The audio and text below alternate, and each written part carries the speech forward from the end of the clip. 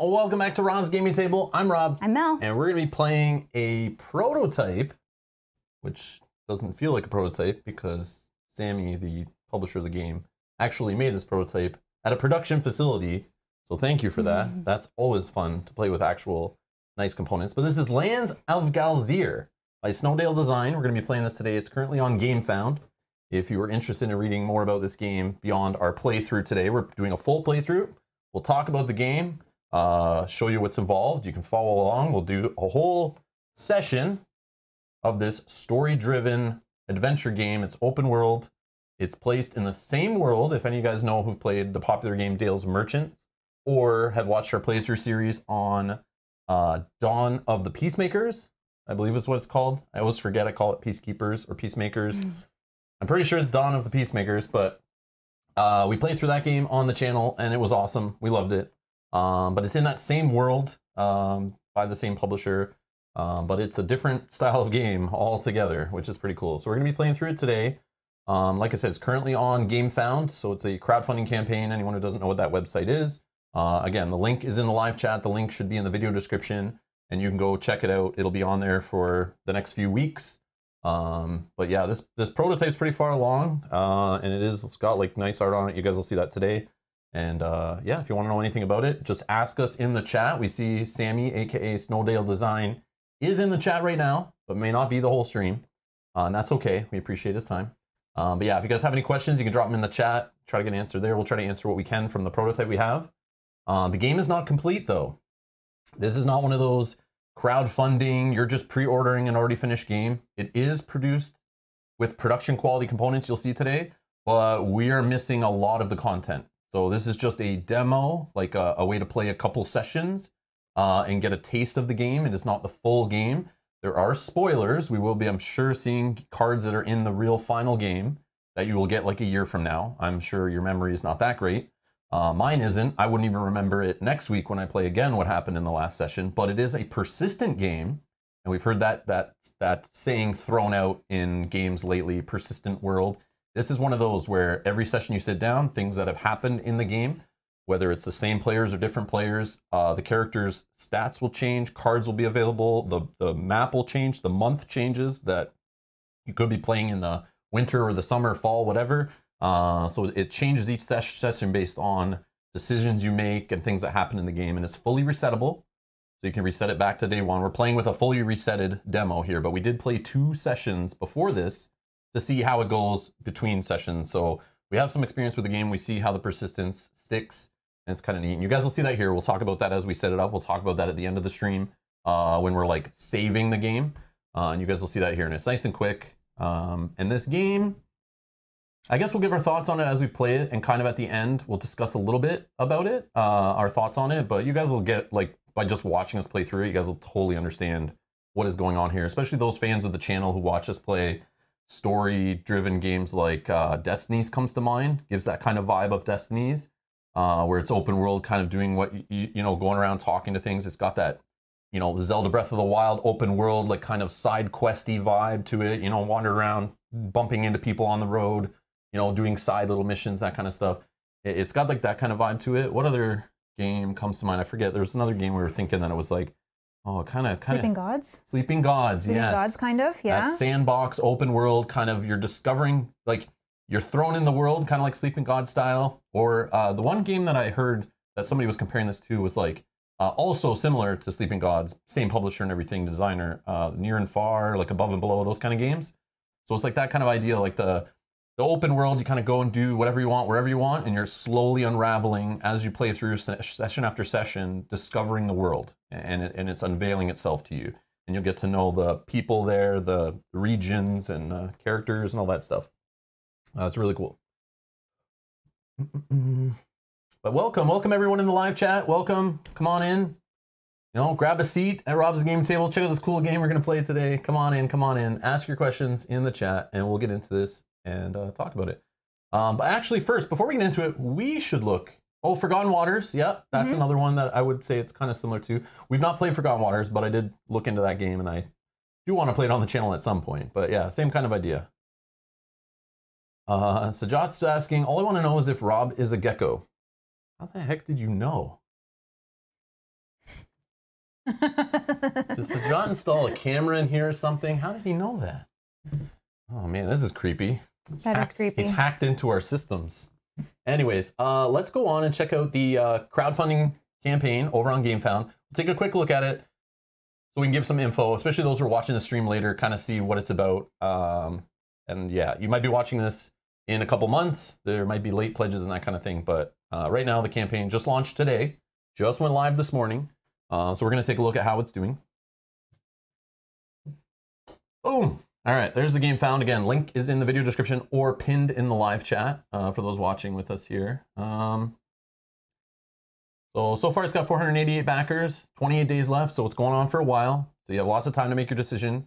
You can even wait the two hours or so until the stream's finished to even make your decision. I know some of you are like, you know, you have to back be one of the first backers, but you, you can wait and get some more info. So we'll give you that today. Uh, so no rush. 28 days you have to make your decision. Uh, I really like GameFound with this this next stretch goal to unlock right at the top of the page. Yeah, I like that. Like I love this system, the way they've they, they're they're slowly making this like a better version of Kickstarter for board gaming. I love it. Uh, a new sub, Cassie. Thank you for subscribing. Welcome. Oh, and I also saw the pop up earlier. Successful geek. Thank you for being a member for two months now to Rob's Gaming Table by clicking the join button down below. Thank, Thank you so much for you. your Thank support. you. Yeah, I saw that pop right before we went live. Uh, thank you for that. All right, so uh, it's one to four players, 100-ish minutes playtime. Uh, That's pretty accurate, I would say. For two player, we're playing two player. You can play this game co-op or you can play it competitive. We're playing co-op today, as the image showed you when you clicked on the the video. Um, but there is a competitive mode. The rules are pretty much the same. There's just a difference in how you might treat the other players at the table and race them to the score versus you working together on the best score. And that changes kind of like your ending, I guess, uh, as you finish. We've not played competitive. No. I don't know if we will stream competitive, but you'll get the idea how it could be working competitive. We'll talk about the differences uh, later in the stream. Um, so yeah, I, I don't know what to tell you. We're gonna show you the game, so I, I don't really want to get into it too much here. But I like uh, on the Game Found page here the changing maps. So you can see oh, both I know sides. that I love spoiled that. it. I wanted to flip it and Oh, show it on camera. Sorry, sorry, sorry. Damn it! No, we can show it up close. I It- like how it's doing that though. Yeah, That's yeah. very cool. It is really cool. Like really cool. I like that a lot. The switching from seasons depending on what month, what month in the game you're playing. yeah, I like that. Uh, Sorry. So there's one thing with this game that I know some people are gonna see, and then they're gonna go get their torches and their pitchforks and call up their app-driven board game hating friends and go march on over to Snowdale Design saying, "Stop putting an app in our game. You're ruining the industry." All this kind of stuff. You know those losers that do that stuff. Uh, but this is not an app-driven game. Okay. Uh, so we are going to be using an, a web app today, which is available in any modern browser. All it is replacing in the game is a giant campaign book. So we've played games on the channel like This War of Mine, uh, Middara, uh, Tainted Grail, all these big story games that have giant books you're flipping through, trying to find out what's going to happen next and trying to figure out where you are in the story, getting paper cuts, dropping it, breaking your toe, that kind of stuff, because they're so huge and they fumble around and they take up a lot of space on the table. This game, instead of giving you the campaign book to play through and find out where you are and then, you know, roll some dice and now go to page 207, section A and find out what's going on, it eliminates all that fumbliness and you can use a tablet, a phone, a laptop, a computer, a TV, whatever you want. Cast your phone to a TV. If that's the way you use the campaign book in this game. So it's called the Adventure Book. It's digital. And the cool part, you guys know from this channel, I get super frustrated when I get a copy of a game and the campaign book is full of errata. It, it there's there's an FAQ I have to go read to find out that the section I'm in, I went to the wrong page because there was a typo or it broke the game. We saw this happen in Tainted Grail. They added stuff to FAQ because it was like we were finding things that were broken on our playthrough and just not knowing what to do next. Uh, the cool part about it being digital and on the web is if you are playing the game and you find out there's a typo or an issue, you don't have to get a new book or write in your book or put a post-it note or get frustrated, uh, burn your book in a fire, whatever you want to do. Uh, you can just, you know, Sammy will update the game on, you know, in the cloud and boom, it's now, uh, you know, fixed and new things are added. So it can be constantly approved and evolved. And when you open it up and you go to play it, assuming you haven't cached it locally, you are always playing the latest and greatest version of the book. So I think it's really cool as people get in their hands and they find something's wrong or something's worded weird or there's a bad translation or something like that, uh, they can fix it on the fly, which is like, I'm all for that. And I'd rather hold my phone in my hand or a tablet or be looking at a, you know, a, a Chromecast onto a TV or something rather than fumbling with a giant, you know, 300 page book or plus, you know. You guys know I've complained about that stuff in games. So just put the pitchforks away. Please do not get crazy that this is an app driven game. All it is is putting all the text and hiding the choices from you using a web app. And you'll see it totally in the playthrough. You'll understand it'll just make sense. It's not deciding AI or, you know, trying to keep track of where monsters are and all that kind of stuff. It's not that detailed. It's just literally taking a book and putting it on the web. But a little more rich than a PDF. Like, you know. So anyways, um yeah, lots of add-ons and stuff. There's a deluxe edition, so you can go choose your rewards here. Uh, so it's trying to, you know, get you to do deluxe, but you can hit choose rewards and it'll bring them all up here. And Sammy really wants you to get the deluxe version, I see, since that's the featured, the featured version. Get all the nice goodies. Uh, and this is US dollars. I have it showing as, but again, you can change the currency. So $154 for a deluxe version of, of a game, and only $83 it looks like for a the base game, uh, US. And then obviously they're shipping. It's supposedly coming out July 2022. But again, it's crowdfunded. That could be earlier. That could be later. Who knows what is happening with the world next year? Who knows what kind of shipping delays happen? Factory strikes, port strikes, worldwide pandemics. Who knows? It, that's the chance you're taking. So yeah, expect to add a few months to that, I would assume. But again, the game's pretty far along, so uh, pending any of those things, I would see that date probably not being an issue. Um, yeah, you can get sleeves, you can get a playmat. The playmat looks nice. Yeah, I know. Man, I like the way it comes in this little bag nice, too. yeah. Like, like usually they, they they come just wrapped up in like some disposable, you know, package, but this one actually has a way to store it. I, I think that's neat. hmm Yeah, it doesn't just come in a cardboard yeah, box. that's a nice touch. Damn, that does look nice. Yeah. And the nice the nice uh, labeling on it. Yeah, I do like playing. I do like playing on neoprene. Oh man. Yep. Uh, but anyways, uh, that's the game. So if you want to find information, link is in the chat or the video description. You guys can go read this, you know, after or while you're watching the stream to understand. But we're going to explain it to you, so you don't need to read about how the save mechanic works or how the game plays. You'll just see it. Okay. Just want to let you guys know that's there. Uh, over on BGG, there's a page also. So the weight is supposedly a 2.0 out of five. Um, but again, this is just Only one person I would assume this is just Sammy putting it in or whatever. But uh, anyways, that's that's their assumption. That's what it is. Obviously, the people haven't really played it to put it in, but I would say that's about right. Yeah. That's a good estimate. I think it's not too complex, uh, which is nice. It's nice to get a campaign adventure game that you're not reading a 50 page rule book before playing. Sometimes, obviously, you know, you you, you got to play those games too, but. It's nice to break it up every now and then and play something that's not so, you know, brain burning and trying to remember rules and looking up things and Yeah. uh, you can just have fun and play it with some family members and stuff, some lighter gamers, which is cool. Yeah. Uh, supposedly best with two, but again, I've never played any other count, so I'll, I'll agree, sure. but again, I just want to show you guys that the 60 to 150 minutes a little different, but the weight. The weight is what I want to show you guys here on this. Uh, so yeah. Oh, that wasn't Sammy that voted for that. Oh, who was, did it then? Oh, Wasn't me. wasn't us. Wasn't me, I swear. Yeah, it does sound about right. I would say know, that, I, yeah. I feel it's like right. It's yeah.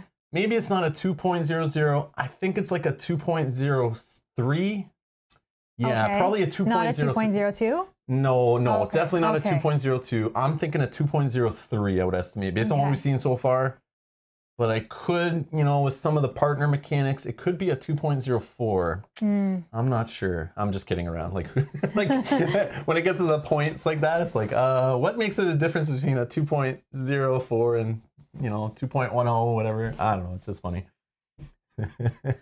You guys are funny.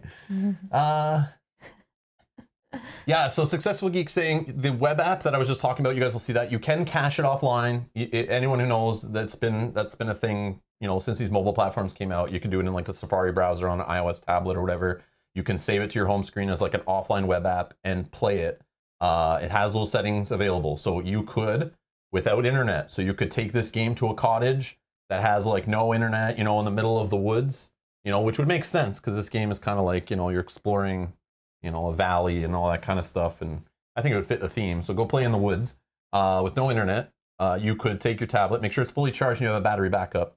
Um, but yeah, you could cache the game while you're connected to the internet locally to your device and play it without an internet connection, which I think is cool.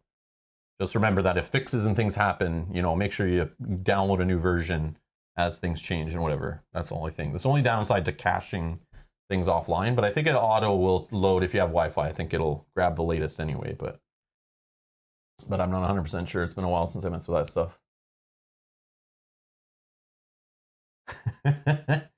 so okay, Dan Robertson chat's bringing up a, a perfect reminder. So uh, he's saying, "Did I step into an alternate universe where Rob is playing a game currently being crowdfunded?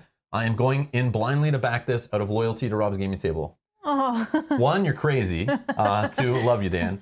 Um, but full disclosure, so that reminds me, full disclosure. So for this game, uh, Sammy reached out. He did send us a copy of Dawn of Peacemakers in the past. We played through that on the channel. We loved it.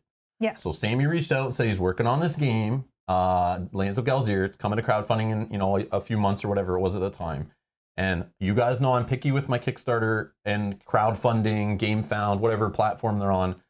I don't really want to play games that are very far from the final product. I don't like playing like, you know, a lot of placeholder art in games or the rules are on, you know, two pages of white paper stapled together. I'm not really a fan of playing like unfinished games like that. But Sammy told me, they showed me, I, I saw it on one of his playthroughs, a previous prototype, and then he explained he was printing it at a, uh, a the, the real production uh, factory where the, orig- the final copies are going to be printed at.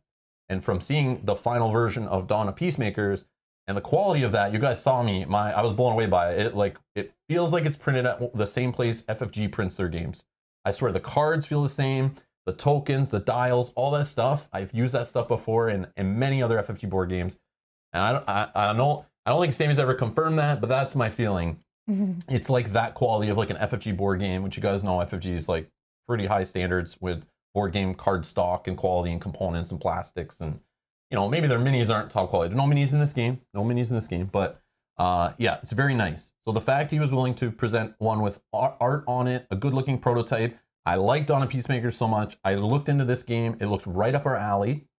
So I said, yep, send on a copy. We'll play it on the channel. I'll take a look at it for sure. But I don't normally do that. So, you know, just letting you guys know, like I was interested in it for sure based on the type of game it is. We play app driven games, or we play games, sorry, we play games with apps. We play story driven games. We play campaign games on the channel. And I like the little world in Dawn of Peacemakers, and that was a really fun game too. So Mhm. I'm willing to give it a shot. So just so you know, we don't normally do Kickstarter previews or game found previews or crowdfunding previews on the channel. Uh, I'm very picky and choosy with that stuff. So read read into that however you want. But just letting you know, we weren't paid to do this. We just got the copy of the prototype for free. But everything I say is my own opinion, Mel's own opinion. You know, sorry, Sammy, if we offend you on things, but we're not we're not afraid to like, you know, tell you if something is like not great. And the cool part, it's not finished. So I mean, if you know we cry loud enough, maybe we can change something in the game. Who knows if it needs to be better? I don't know. But anyways, just letting you guys know. I just want to be fully transparent with you. That's the situation of this game with us. I think too, when we flip to the table and you see the game on the table, it doesn't look like a prototype. It's not. It lo- it's a game. It's just an unfinished game, Yeah, basically, yeah. is what we're playing, which Yeah. is so cool. Uh, bu- bu- bu-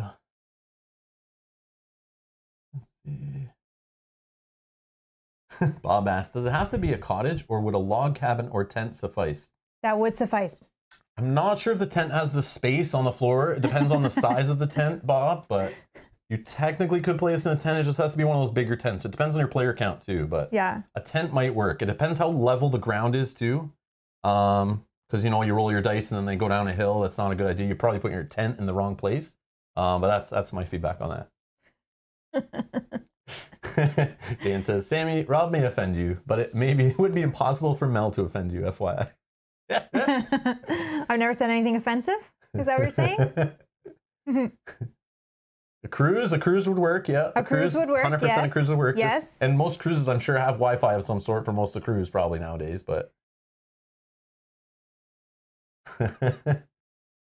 Uh, you guys are funny. Okay. All right, let's get down to the table and let's start discussing this game. Uh, so uh, we have it reset here. Uh, you see the board here. I just want to, before we start putting stuff on the board, I did want to show you guys Sorry, I spoiled that. I had no idea well, we might be playing on the other side because because our first month is going to be random on a D12, so we could be playing in December. Uh, what am I doing? I'm I'm closing it now. Um, I just don't want to wreck it. I don't want to ruin the board. But it's like a fall slash winterish kind of board on the back, and and there's spots where cards go on the board, and they can be flipped to show the winter or the summerish side or whatever. Um, but I love it. I love the art. This reminds me of like the scythe board. A- anyone who knows, I don't know why it's not zooming, but we're focusing. Come on, what are you doing? Focus. Here, let me try something. Wake up. Wake. Oh, what happened? Sorry guys, one sec, one sec. Let me flip. I bumped something and the autofocus changed. Successful Geek is saying, shouldn't you play real time? You could. Right? Each month, play the next month. Yeah, you, You could. could. 100%. Yeah. Which reminds me like the Hexplore It stuff, right? Where in Hexplore It you scan those codes on those living cards. Yep. And depending on the month you're playing, oh, there it goes. Okay, I just need to reboot the camera. I don't know what happened there. All right, so let's go back to the table. So that should focus. There we, There go. we go. Yeah, I don't know what happened there, but uh, all right. So yeah, so look at the art. Really cool. Lots of detail. I don't know if this is final art. I did see a prototype in a playthrough before that did not look as cool as this. But uh, yeah, it's really neat. And you'll see once we put the cards on top. So we'll just throw this on the table for now, uh, and then we'll find out. So, uh, I mean, prototype come with a full rule book. Like it's obviously in progress. They're changing it and adding to it. This rule book can be found online. Uh, I did find the PDF. It's on uh, the Snowdale Design website. I don't think I linked it below, but maybe I did. Um, but you guys can take a look at the rules so far and see what's involved to know what's going on. But again, you can watch today and you'll see. Um, it's similar to Seventh Continent, and we'll be playing through cards. Uh, so it's kind of like that idea of, of finding cards and items and quests and stuff um, in a a library uh, index card holder. Uh, so the game comes with multiple trays of cards, and that is like a, a fraction of the cards. Yeah, I think uh, I think Sammy said uh, there'll be 480 cards in the final game. Oh my god! So it has enough room, and I'm assuming Sammy, this uh, the reason why there's extra trays. Like I know I should be using two trays. It says that in the rules, but because we're not sleeving and because the game's not complete, we can fit everything in one tray. So we have our like save slots back here, and then we have our quest slot up here. But it comes with these little cardboard dividers, uh, which are cool. This is not paper stock. This is actual cardboard. Uh, so it's like nice and sturdy, and you can organize the cards in there. And the cards are beautiful. Uh, let me not spoil stuff, I guess. Uh, the cards are nice quality. You know, the prototype has art on them and everything, but it's like the standard. If you played any uh, Snowdale design stuff, it's like the same quality. Okay, can't. Uh... Anyways, so we're just gonna play from one tray today, but obviously, if you sleeve, uh, I'm assuming there's room uh, to put all the cards. Like there's a second tray you should have at the table, and that's gonna have your your uh, save slot stuff in it, and obviously it'll grow and shrink, and this will grow and shrink based on what's happening in the game and be persistent. Um, and then it's got a little tray for your components to go in. So there are four characters in the game, and we're not playing with these two. But as you can see here on these player boards, really neat. You have your character, you have some traits they have, which are called tags. Uh, you have your gold is counted on a dial. Okay, so you can keep track of your player's gold, and it's supposed to stay the same. So if somehow I ended at a playthrough with 18 gold in this northern banded newt, uh, I'm going to say names wrong the whole stream, by the way. Uh, Karadai, Karadai, Kiradai. Um, he if he had 18 gold in the last playthrough, it stays that way. So the start of the next play session with your, you know, a different player could be playing them, the same player. Uh, they're going to stay at 18 gold, and it, it stays persistent between playthroughs, which is neat. And then this tells you when you're saving the game, you you get this certain card, and then you have your skills here. This little skill wheel uh, tells you how what skill dice you'll be rolling in the game and how good you are at like thievery, might, survival, uh, intelligence. I think communication and perception. Uh, and it can change. I just want to show you this little component. I've never seen this in a game before. I don't know if it's like a brand new kind of thing. We've seen similar kind of stuff, but um, yeah, you just pull out the peg and you're like, okay, I want to change to, you know, in the playthrough, let's say he became more of a thief. And uh, you know, you can you can adapt it based on choices in the game. You might get a chance to move these around, and you can you always have four, um, four tabs, but you could go up to like level two in something, or zero or one. Um, and once you change it in a playthrough, let's say he changed a few stats, the next time you pull out the game because it's persistent, that's what his stats are. And, and it constantly changes, which is really cool. And you guys will see it. I'm sure we'll have a chance to change our stats in this one. but they do have original stats that these are their starting stats. Obviously, 10 gold is the uh, what it should be at there, but we're not playing with these guys, so it doesn't really matter. Uh, and then you're storing three cards at the bottom for their inventory. So this is like your little player board. We're not playing with these two characters, um, but just letting you guys know there's four characters in the game. And of course, they all come with their cute little meeple. Like, how can I, you know, come on. Come on, man. How can you not say that's not adorable? But uh, yeah. so those guys we aren't playing with. But they come with little wooden meeples, a little custom design on the side, which is cool. So no, you don't have to paint minis. Not that that's a bad thing if you have a wife that paints for you. but uh, all right. So just letting you guys know that's not in the game today, not in the playthrough. Um, but I'm playing Moore, who ha- has this little gecko. Or actually, sorry. More specifically, he is a frilled lizard named Moore, who has the tags Boaster and Unfold. He's going to start at 10 gold, which you see there. And here's the stats. Got they got one level one in might, level one in intelligence, and level two in communication. Okay, I guess with the, the little uh, little flaps there, he's good at getting information out. But yeah, I love the meeples too. Yeah, they're Tom, so Tom cute. saying in the chat, love the meeples. I know, Yeah. me too. I, I think it's such a nice touch.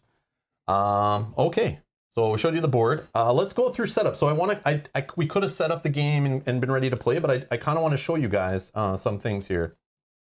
This came with the game. This little welcome to Galzyr, the land of adventure and excitement.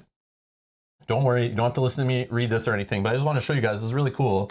But it's like a little travel document kind of thing, like a little flyer.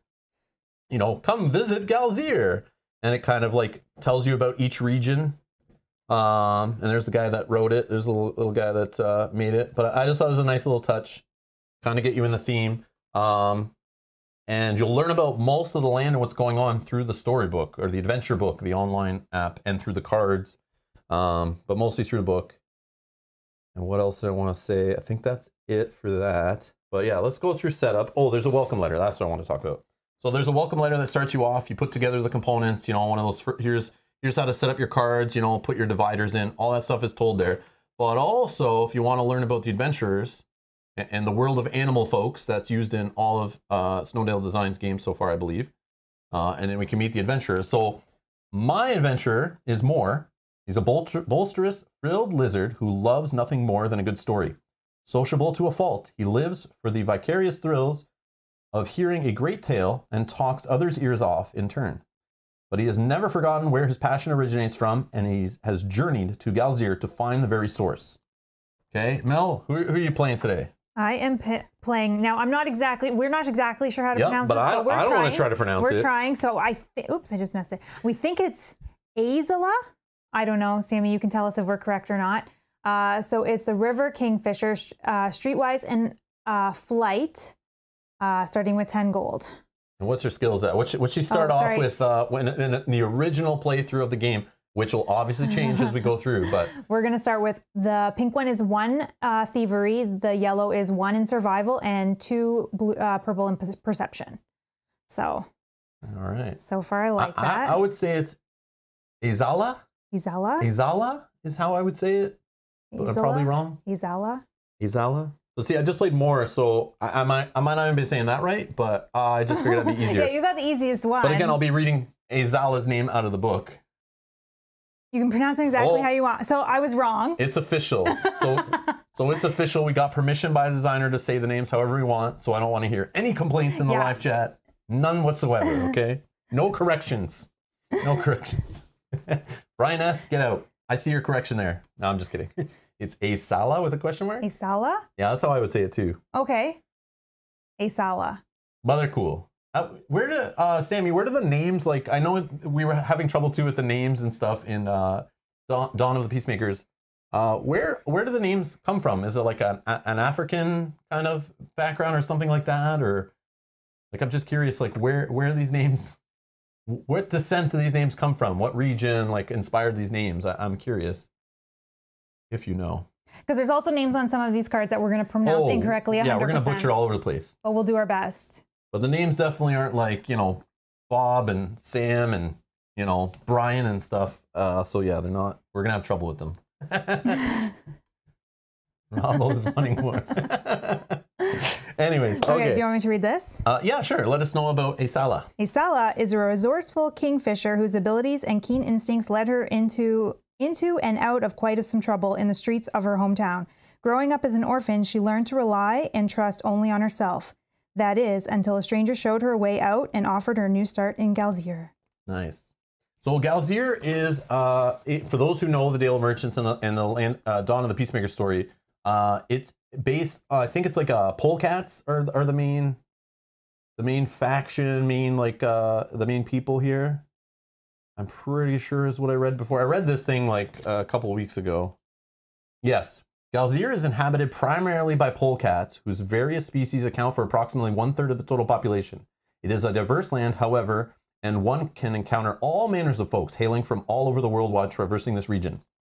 For the past centuries, Galzyr has seen a great deal of conflict following the uh, succession of three cities Rheinstum, which is this area, Hezembi, if I'm saying that right, is this area, and Arin, which is down here. So you can see they're like walled off little regions on the map, um, except for this one. It's kind of like its own little island. Uh, let's see here. From the kingdom of Jemsed, many fierce wars have been fought between the new city states and their former motherland. The tensions are high to this day, and Sarwar uh, remaining the stronghold of Jemsed influence in the region. The polecats give the region an air of wild unpredictability, which is best seen in the aforementioned cities and other major settlements. They are in a constant flux, and just about anything could happen while simply strolling the streets. A certain duck once had to recover his glasses from inside a museum display after witnessing a toad's magician a toad magician's surprise street performance. All in all, there are a great many things to see and experience in the exciting, mysterious, and beautiful land. So step forth, forth with haste. Galzyr awaits. There you go. Set the tone. Set the tone. We'll throw that stuff away. Actually, I'll just keep the rule book nearby in case. But we have a digital one.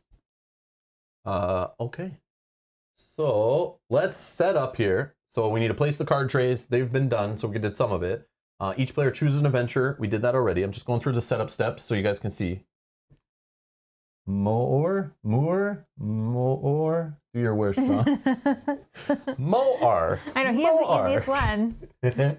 so Sammy's saying it depends which region the person is from. So many have different backgrounds and inspirations behind them. That is That's cool. That's awesome. Yeah, it definitely feels like a, for us, like we're in Canada. It definitely feels like an exotic, kind of like an exotic world eh, with exotic names. Obviously, like you know, you have lizards and parrots and bears and birds and all this that are, are the like people.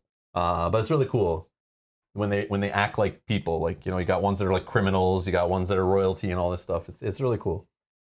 Uh, it's definitely different. It's definitely, Definitely. different. It's not the normal fantasy world you see us play or the sci-fi world you see us play. It's its own. It's its own beast. Uh, take all the cards from the global save slot. So there's a save slot that would be back here, where uh, this little global save slot. There are cards there already, even on the first setup of the game. It's part of the welcome letter. So we take these cards out and we're gonna set them up. So those are where the cards would be when you save the game. You put a whole bunch of cards back there. Super easy clean up in the save system. You'll see it at the end. Um, but literally when you start a playthrough, so if it's you know your first playthrough or your tenth playthrough, whatever, uh, you just grab what's in the save slot and it will kind of like you know roll itself out and set itself up as a, a whole new you know play session that's persistent and was affected by the previous playthroughs, uh, which is neat. So uh, take all the cards from the global save slot, sort them by card type, Mel, if you can. They will be set up in the following steps. So you can probably flip them over and, Yeah. and see uh, the backs Oh, on most of them. Yeah, so just pile them by by type off off the board just in case we have to flip it or something. Which uh, we probably will. We'll see. Uh, if there are two or more players, choose whether you want to play competitively or cooperatively. So there's those two cards. So Mel can show them here. So depending if you're playing competitively or cooperatively, you use a different card that leads to a different story entry based on at the end of the game or how the game works. Uh, there was a modification to the scoring. Uh, we were told uh, Harmony is us. This is the one where we're playing co- cooperatively. Yeah. So originally, when this was printed, uh, we're playing two player. It would be basically ten rounds of the game or ten days. Um, but that is now seven, I believe, right? Uh, it got changed, so it's seven now. So we're gonna ignore that number on there. Um, but it's gonna have a little timer token on here, so we'll know when the game ends, which is kind of neat. And you'll see that in a second. So we're playing with that card. but we are not playing with this card. This is what you would use instead if you're playing competitively. And then it's a whole different game ends, victory party. They read this. So if you're playing solo or co-op, you return this card to the global save slot. So every time you play, so my understanding, if I'm not wrong, is we could play co-op today, and then we can get together and have like a third player, or maybe Mel doesn't show up and we have another player show up, or I could play it solo and pick a character. I can pick any character in the box, no matter how far they are progressed. And I could sit down and play another session in the changing world. Obviously, it's better if you play with the same players and you're seeing the story unfold and you're getting to know the board and who's playing with what character. Obviously, I think that's the best way to play this game. But it doesn't seem like there's anything stopping you from you know, I could play with my daughter in another playthrough. Mel's, you know, gone somewhere, and then my daughter can play a different character or the same character, or we can switch characters, and we could decide we want to play competitive, and we could just play a session as competitive, and then we save it up, and then the next time we play, we decide, you know, Mel's back, and we're playing with our daughter, and it's three player this time, and we can play cooperative. I, I believe that's all possible with this game, uh, from my understanding, because the rules are the same except for that like ending and how you'll kind of play your character and stuff. But all the other rules are the same, whether you're playing co-op or competitive, which is kind of neat. So you don't have to learn like a separate variant book or something like that. Yep. So so Snowdale Design saying, "Yep, I designed it that way, and it's really easy to get to the game onto the table." Yeah. That's the best. Exactly. Yeah. Getting this game set up and and playing another session once you do that first like setup of sorting the cards yeah, it just makes sense. Like it's just easy to save it and easy to set it up. It's kind of neat. And you'll see that here. Obviously, please do not judge the length of a play session based on this stream. Obviously, we're going to talk about the game. We're presenting the game like a demo of the game, you know. So we're not just having our heads down, playing the game really quickly to see how long a play session is. This is obviously going to be a longer play session than you normally would have because we're going to be explaining everything. So I just want to get that out of the way. Um, but yeah, we'll, we'll talk it through here. But normally, yeah, to set this game up, like Mel and I on our second playthrough, we're like, we set it up in like three minutes and we're playing. It was mm-hmm. like so fast. And then to clean it up to like move it down here for the stream, we reset the game. But even that only took like five minutes. Not, yeah, it was very quick. To fully reset the game back to like day one, which was neat. Yeah. I, I was like, okay, that wasn't too hard. Not like when I play Seventh Continent and I'm finished a nine hour session and I literally sit there for 45 minutes trying to put all the cards away and figure out where everything goes. Uh, I'm exaggerating a little bit, but yeah, I, I, don't look forward to ending a long session of Seventh Continent. This game, there's no no dread.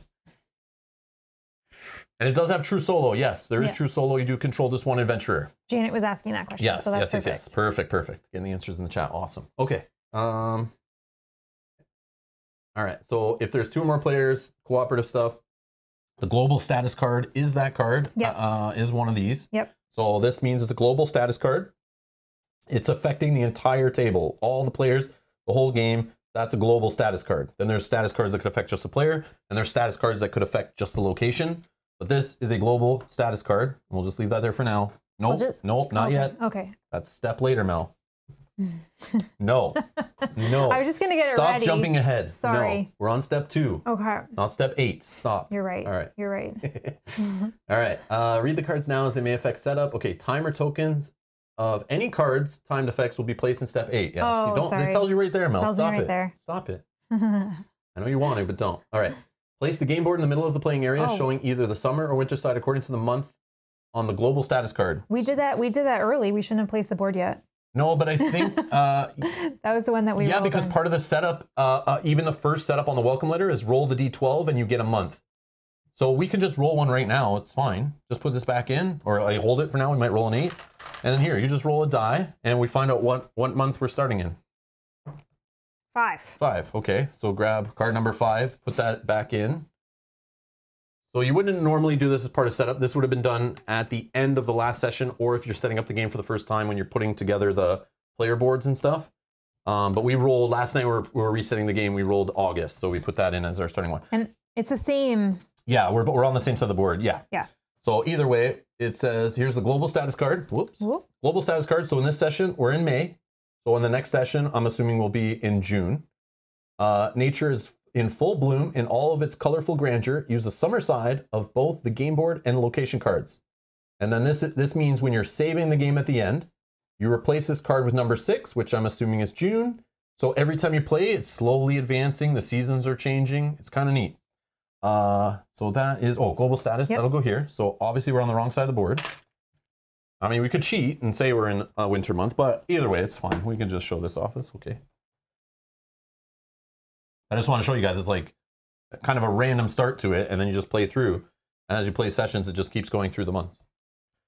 And then we have our little calendar down here that'll show how many days we're playing for. Uh, so we're playing for seven days. So we're going to have a random day set up in a sec here. Uh, shuffle the event cards, it says. Okay, so these are our event cards. I will shuffle them. And you'll see how those will work. We'll do that throughout the playthrough. You'll see how the event cards kind of find different events for you on the play. And those remind me kind of like Arkham Horror 3rd Edition. You know, you're on a street and you draw a card, and it depends what type of street you're on. You will deal with a specific uh, entry on the card. In these, here, I'll just draw one. In these event cards, uh, depending on what's happening, you start reading from top to bottom. So if it's Wednesday, for example, that the player whose turn it is will do this quest, or if they're on a settlement or grassland or forest, you just keep reading down until you find the first one, and then you do that. So uh, it doesn't matter. We're not going to know I what know. it is, so it didn't matter if I put that on the top or whatever. But and that deck is persistent also. So that deck, based on uh, things you see and experience, it will remove cards from there and add new cards to it as as the world changes, which is awesome. All right. So quest cards, we're going to place the quest cards public side face up. So those have been shuffled already. Just draw the first three. This is going to be the um, notice board. So quests are the main way you get um, uh, what is it called? We're trying to get Prestige. prestige. Prestige. We have a prestige track up here. We're both going to start on zero. And at the end, we'll find out how our prestige did and what kind of ending we'll get or whatever in this session. Um, but you try to earn prestige by doing things in the game. Like you could get prestige on an event, an encounter on the road. You meet someone, you help them. You know, you give them some money, you pay for something, you fight somebody, whatever. You could get some prestige and move up. So in a competitive game, you're competing to who gets the first prestige, uh, uh, who gets to the the goal first, and that kind of ends the game. And they get like you know whoever won kind of reads something, that kind of idea. I'm assuming. I've never done the competitive, like I said, but the cooperative, we're just working together each gaining our own prestige, but I think it adds together as a party at the end, right? So we're just uh we're just going to track our prestige separately, but we'll find out how well we do. So we do kind of want to work together, and we could help each other on certain quests and things, which is really cool. So we get these random uh, quest cards, and I'll quickly just flip one over to show you a little spoilery, but uh, for us even playing. So there's like, for example, the Runaway Prince.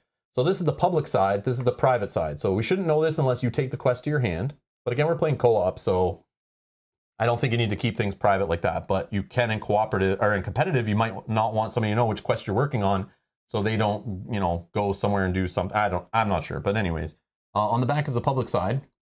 We have Arin here. So what we're gonna do is put a quest token on Arin. Oh, actually, you put the locations. I was gonna out. say yeah, I can put. yeah, that was already. Yeah, yeah. Oh, that was already you on did- Yeah, I wasn't paying No, that's attention. okay. So Mel's gonna put the locations out. There's just little numbers at Oh, the that's bottom. the wrong side. It needs Oh. to be the summer side. So it'll be more green and also the blue, uh, oh, red in the bottom. I see. Sorry, Yeah. sorry. Um, so there's a little number in the bottom that tells you where you're gonna place them. So those are all places. Show it up again. Uh, each each location could have one or multiple cards, or some of the locations are just little spots on the path. But you, they have places to visit. So in this one, you could visit the market on your turn, or you could visit the hot springs, for example, in that place. So some of those places you might be going to for quests also, um, but they're their own little interaction. So the game's pretty simple on a turn. You're moving, and then you're you're doing a scene. So you could pick one of these to do. You could pick a quest in your hand.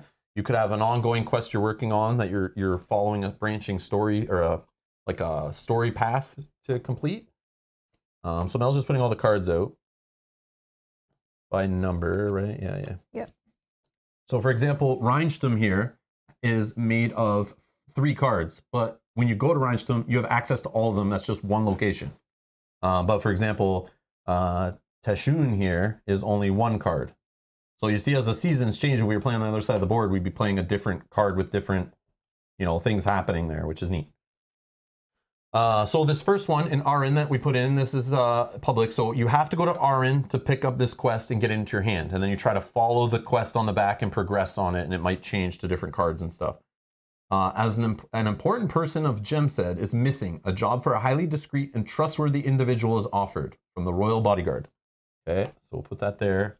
And this is like the notice board. So you have to go here to get that quest, and you can take it to your hand if you want. You can only ever have three quests in hand, so you can discard ones if you ever draw four or more, and you can always dump some of them as you're playing if you don't want to progress them anymore. And when you dump them, uh, it tells you at the bottom when you're discarding them what to do with them. So this one would go back to the notice board. But sometimes if you're like on stage three of a specific quest line, it'll tell you to put the card back in the library, grab this one, do this with that. It'll have instructions, which is super neat to keep the persistent world going. Uh, the next one, Mel, will be in Chabar, if I'm saying that right. So that's up here. So there's a quest token remind us there's one on the notice board in Chabar. An inquisitive but inconspicuous person needed. Contact the sawmill headquarters for more information. So you can kind of read that little description and go, hmm, what stats would I kind of need? Or what abilities, what items would I kind of need to go do those things? That might help. I would assume you can deduce some of that stuff from that. And then we have in Tashun, you want to throw a Tashun right here? This one says a chance to earn money for an apt individual with nerves of steel. Oh, and folks with bad manners don't bother. Uh, Ar- Araltai the Gray Marmot. Again, I'm not saying that right, I'm sure, but all good. So that's the notice board. This is publicly available, but you have to go to these places to get those quests. And you can like, like I said, you can dump quests when you get new ones. Things might happen, and maybe you just don't want to work on certain quests and you're just holding them. But I can see the fun in competitive mode where you're like, ooh, Racing for a quest. yeah, like I want that quest. I'm near there. I'm going to get there. And then the other player goes and grabs it before you do. And then like they change up and, you know, they're working on one that you think might have been for you. And, uh, but you can partner up even in the competitive mode. You can help each other out and both players will get rewards. But, you know, you have to decide like what you're helping them with and what items you'll use and that kind of stuff. It's really neat. But in co-op, we're pretty much just like, let's just help each other if we're on a specific location. For example, this one right here, you're able to do with a partner. A single player could help you with this quest. So they have to be at the location on your turn. You're the active player, you're doing everything, but you have access to use their dice, their items, if they're letting you, uh, even in com- competitive. Um, but they will have to give you permission to each individual, you know, if they're going to lend you three gold for it or whatever. But if you do succeed or get some cool reward at the end, they usually will get that reward too, or some of it, or something out of it, right? Uh, which is cool. Uh, all right, so quest cards we talked about. You'll see those more as we play through. We place the quest tokens. Uh, then we got all the bits. So these game trays don't come with the game. These little blue game trays, they're from Game Trayz. Uh, I don't know. There might be a link down below if you guys are interested and want to check those out. Um, but yeah, they don't come with the game. We're just using those. We use them on all of our playthroughs you guys have seen recently. So just letting you know, these little trays don't come with the game. Everything else you see, except for this dice tray, this dice tray doesn't come with the game, but there is one in the Gamefound uh, that's specific if you want to get. Um, all right. So we're putting each player's prestige on the zero. There is a 10 on the other side. In case you go over 10 prestige, you just flip it and keep going on the track. Uh, I don't think that will happen. I haven't seen it yet, but maybe as we get better at the game, uh, it might happen. All right, so now saying open the book of adventures and randomize the starting day. So let's do that. So here's the book of adventures. This is just a web app, just on a website. It's in a web browser. Again, you can download it as a local offline web app or whatever. Um, but we're going to click start a new game. But you do need this to play the game. So you do need some kind of digital device nearby, just FYI.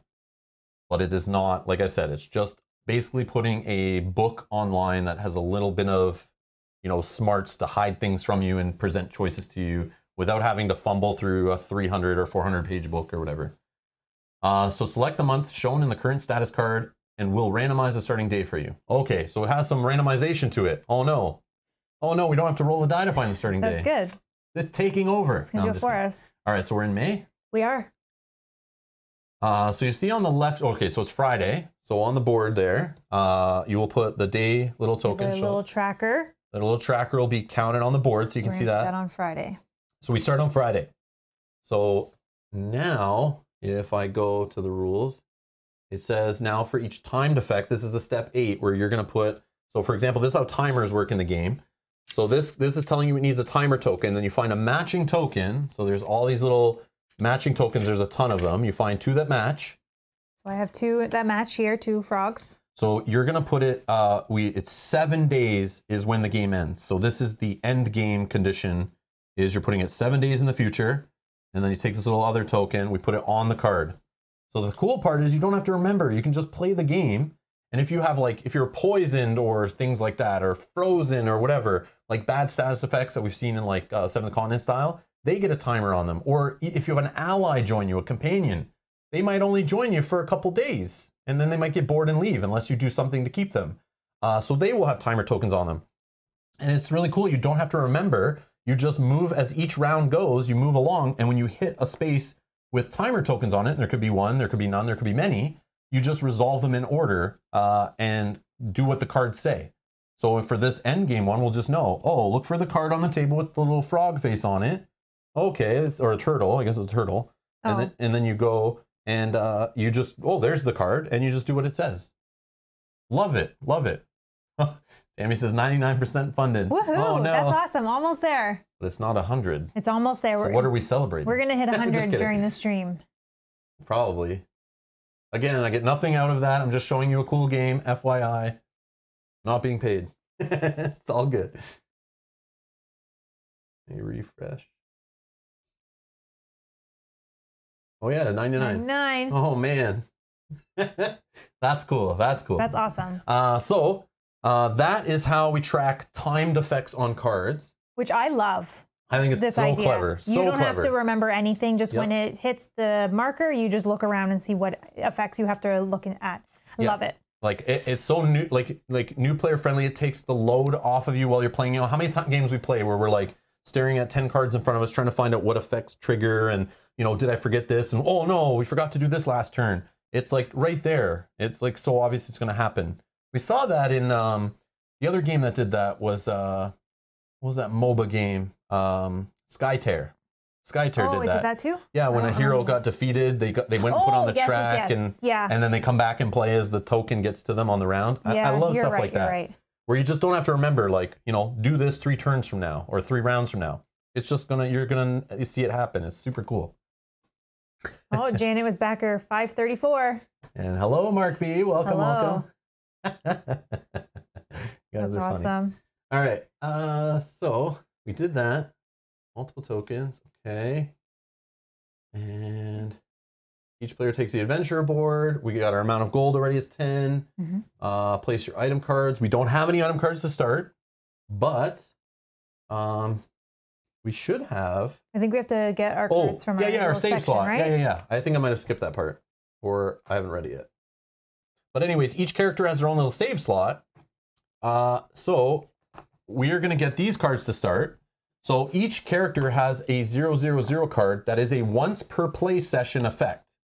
So if you don't use it, it goes back to your save slot at the end of the game and you get it again next time you play, or you choose when you want to pop it off and, and, and get the ability. Uh, so this guy has risky intuition for Moore. And uh, so on a perception or a communication skill check, I may discard this as a one time use. So when it gets discarded, uh, I'm. I guess you would just, yeah. I think there's in the save, it tells you where to put it, right? Yeah. Yeah, I'm trying to think like the flow. When, so you when discard we it. played, and I just kind of put it to the side Yeah. and then at the then end get it of back the later. game. Yeah. So yeah, it's a one-time effect. So we'll just keep that. We may remember to use it. I may forget it's there. I do that. So we got our little once per play ability. Okay. And then I have this. So they each have their starting quest. And our plan is in today's playthrough to not spoil too much with the quest. So we might do like, you know, our starting quest a little bit, just so you guys get an idea. But it has multiple parts and it will keep going on. So I don't want to fully spoil a character's starting quest, but it is specific to them. Uh, and it's really neat. So you get to kind of know the character. They make some choices. It shapes them a bit. Um, but we'll just do a little bit here. This is mandatory, so we have to do this part. This is a mandatory quest to start your adventure. So anytime it has a lightning bolt, we have to do it. So even if I was holding multiple quests in hand, any that have a lightning bolt, I have to do one of them on my turn. Mandatory. So obviously we're going to start our starter quests because they're there. But on the future playthroughs, if you already progressed it a little bit or completely, the players aren't going to start with this. They'll have their own quests they got last time and that kind of whatever they're working on and that kind of thing, uh, which is really neat. Okay. Mm, mm, mm, also, it is now fully funded. 100%. Well, that took a long time.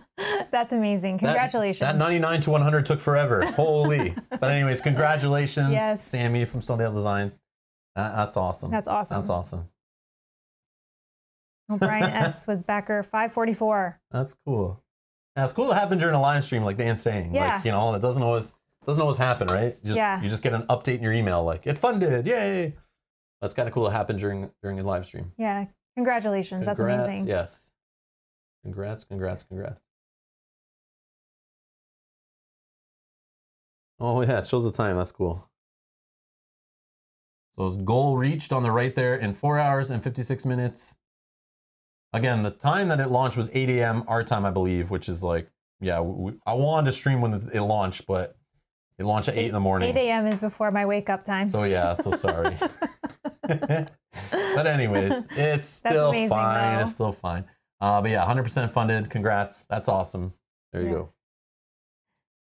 go. Okay, so uh, next for setup, uh, the player who has most recently completed a task given by another person receives the starting player token. Well, I give you the task of putting location cards on the board.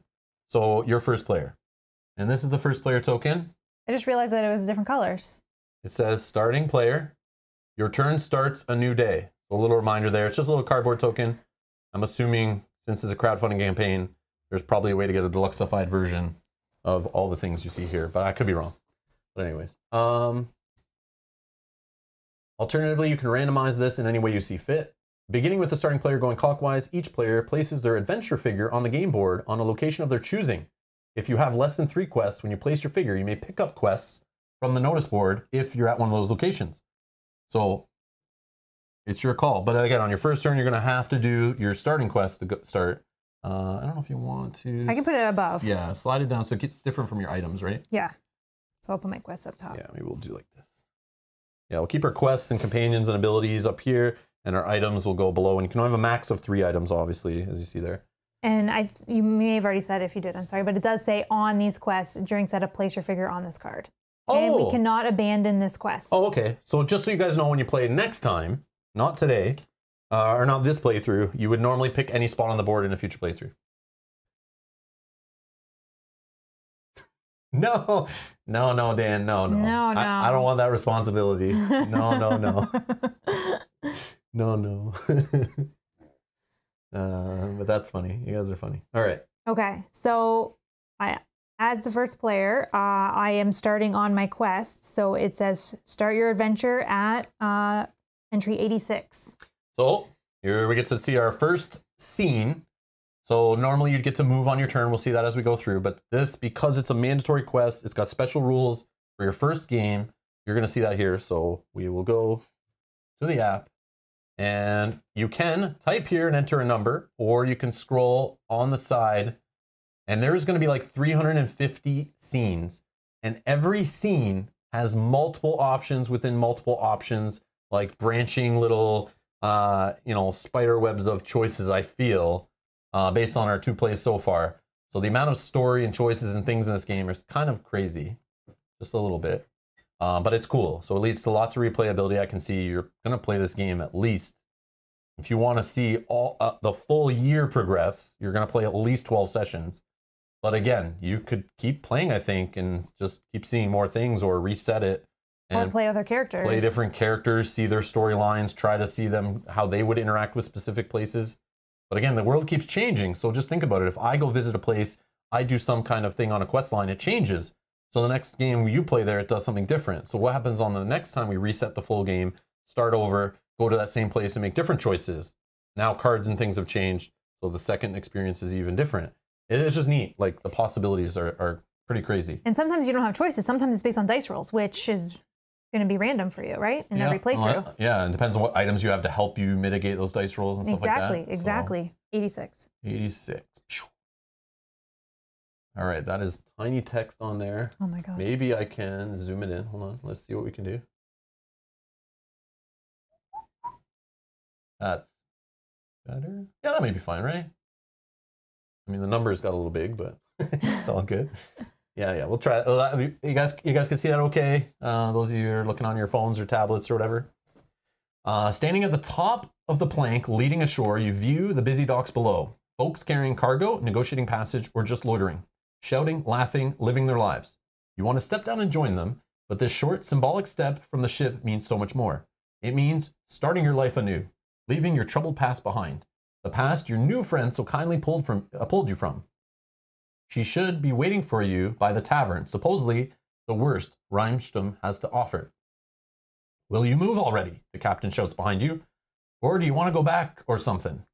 So your only option here, do you want to step ashore and go meet your friend, or step ashore and go meet your friend, or do you want to step ashore and go meet your friend? I'll step ashore and go meet my okay, friend. Okay, step ashore and go meet your friend. Yes, okay, yes. all right, cool. Uh, walking through the seaside street, your mind wanders back to your benefactor. You met in an you met in awkward circumstances. Yourself trying to steal from her.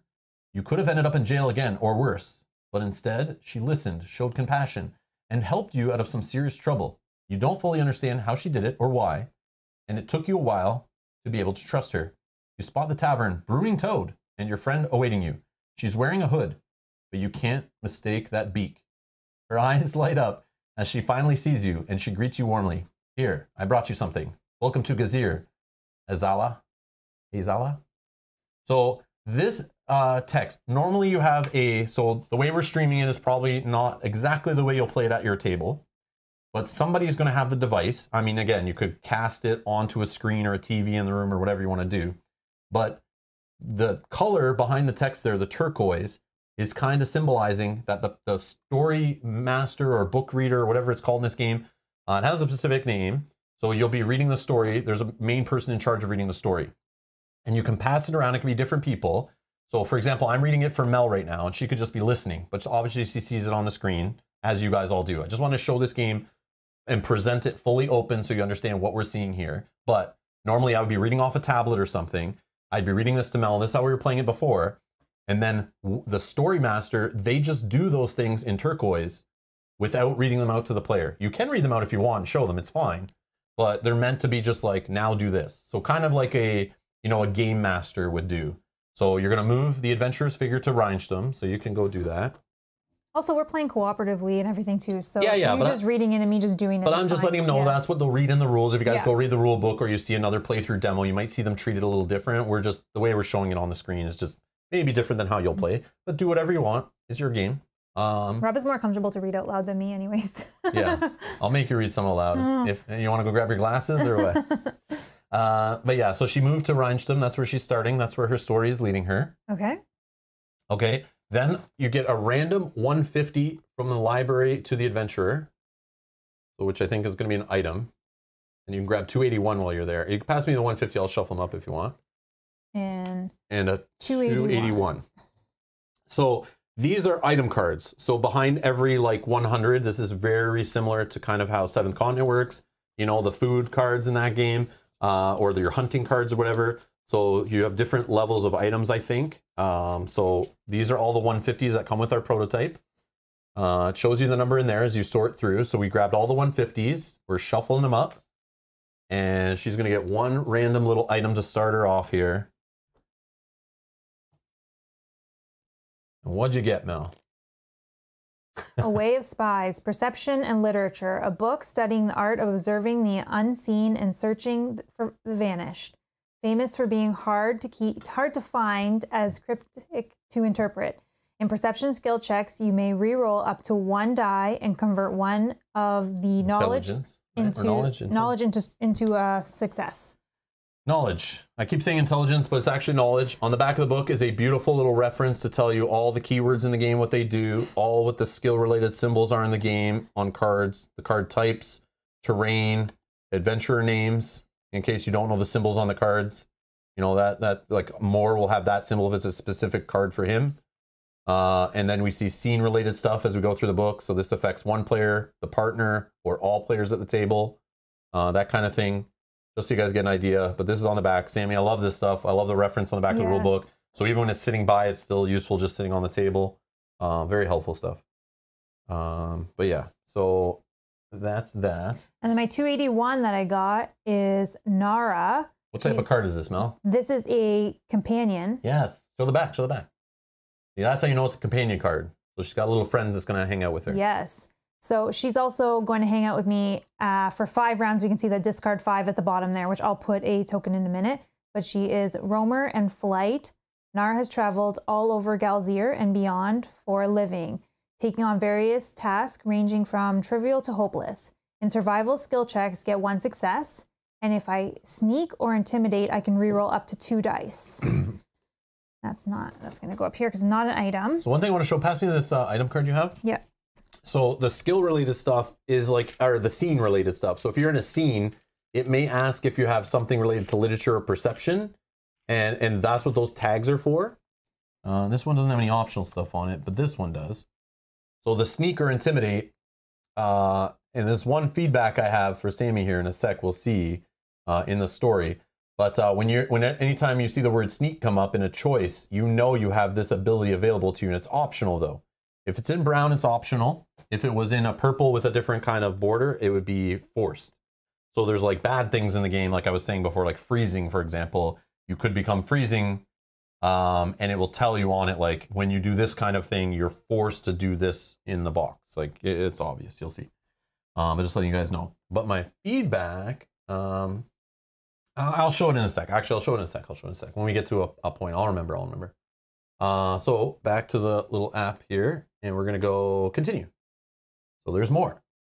So you have your wits, but to make it here, you'll need more than that. Nara blabbers on as the two of you tour the city's market. Wouldn't hurt to try to make a good impression or to pick up a book every once in a while. You do know how to read, right? But most importantly, be careful out there. You notice her grimace briefly at the last bit, but before you can ask her about it, she excuses herself to visit one of the stalls nearby, uh, which seems to offer camping equipment. Left alone for a moment, you look around at the busy market, curious about its foreign city you've ended up in. What are these folks like? So here's Mel's first choice that's related to skill. So this is where my feedback is. So here you know it's a medium test. And in this game, there is easy, medium, and hard skill checks, which I can show you. Uh, there's a table right here. Uh, let's see. Oh, I can bring it up here. So on the left here, you see a little table in the rulebook. The difficulty of success is required. So a star is a success-ish. Uh, it's just letting you know you need one success on easy to pass but you can get more successes to get even better outcomes or even less successes. You could get as low as zero and not even pass, and something happens, which maybe is good, maybe is bad, um, but it's, it, it, could happen. So uh, two is medium, hard is three, and there's unknown tests, which is really cool. And then, uh, yeah, okay. So if we go back to the app, so in here you can see there's a medium perception test. So if we look at Mel's character, she has a level two, which it's not zooming here. we go. A level two in perception, uh, one in thievery, one in survival. So here's how the skills work. This will make more sense. Uh, so skill check. On a skill check, you're always going to roll five dice. And these are your five dice you're rolling to start. Okay, on a, a generic, when you're building your dice pool, you're basically grabbing five black dice and there is one of each of those skill symbols on all the sides. They're nice little custom little D6s. So you have, you know, your communication, your survival, all that. So there's one of each symbol on here. No misses. No misses. Thank you for that. but you still can miss if you're not getting the skill you need, right? So you have these five. Now here's where the cool part comes in uh, to know how how you can change that dice pool depending on your skills in an area. So how I like to look at it is you look at what test you're doing. So let's say we're looking at that first option of perception. So Mel has two purple little plastic pieces in here. So that means for a perception test, she might want to grab, and I believe this is optional, you can choose, but I'm, you probably would. So these perception dice that exist in the game, they have two sides with two perceptions on them, but then they also have two sides with one of each of the neighboring skill. So two of these perception dice can also help you on a communication test and can also help you on a thievery test. Okay. So by that, the pink die for thievery also has some perception on it. So not only would I want to use these dice because I'm trying to do a perception test, I would also be allowed to grab one pink if I want. I don't have to, but there's more chances of getting a perception symbol on here. There's two versus only one chance of getting it on a black die. So you're always rolling five dice from my understanding, uh, but you can change them out. So like I said, you start the pool with the five, but then you can start replacing dice in the pool with your better dice of that skill test. Okay? And this is just a one player making the decision. If we were partnering on a quest, works a little different. We'll explain that at some point. We'll get a chance to do that and show you how two characters can work together on a skill test uh, and figure it out. And not only are you just building your dice pool from this, but when you roll, you get a free re-roll if you want. You have to roll all the dice. And before your roll, before your re-roll, or after your re-roll, anywhere in there, you can choose to use abilities off cards. So for example, this one, if we were doing a sneak test, we could re-roll up to two dice. And you can only use it once, it's optional. And you would have to decide you either do it before you do your full re-roll or after you do your full re-roll. Maybe you don't want to re-roll. Maybe you get awesome results and you just want to re-roll a couple of the other dice, see if you can get some more. Uh, you can do that. But then you still have a free re-roll of everything. So if you still don't like it after that, you can do that. Any order you want. But there's also items that might give you free successes. So you could have something in this case. Well, for example, this one that has oh, uh, in a survival Oh, yeah, check, yeah, I right get there. one success. yeah. This is unfortunately not survival, but that's okay. And then for every symbol you roll is a success. So obviously, if I roll two eyeballs in a perception test, I'm getting two off that. And if I roll one off that, that's three successes, for example, right? So that's all it is. That's that's basically how skill checks are going to work. Um, but you don't know, you know, do you, you know, you know it's a medium test. I know it's a medium perception on that first option, uh, and it's an observe. So if you have anything with the observe word, uh, you could add that ability into it.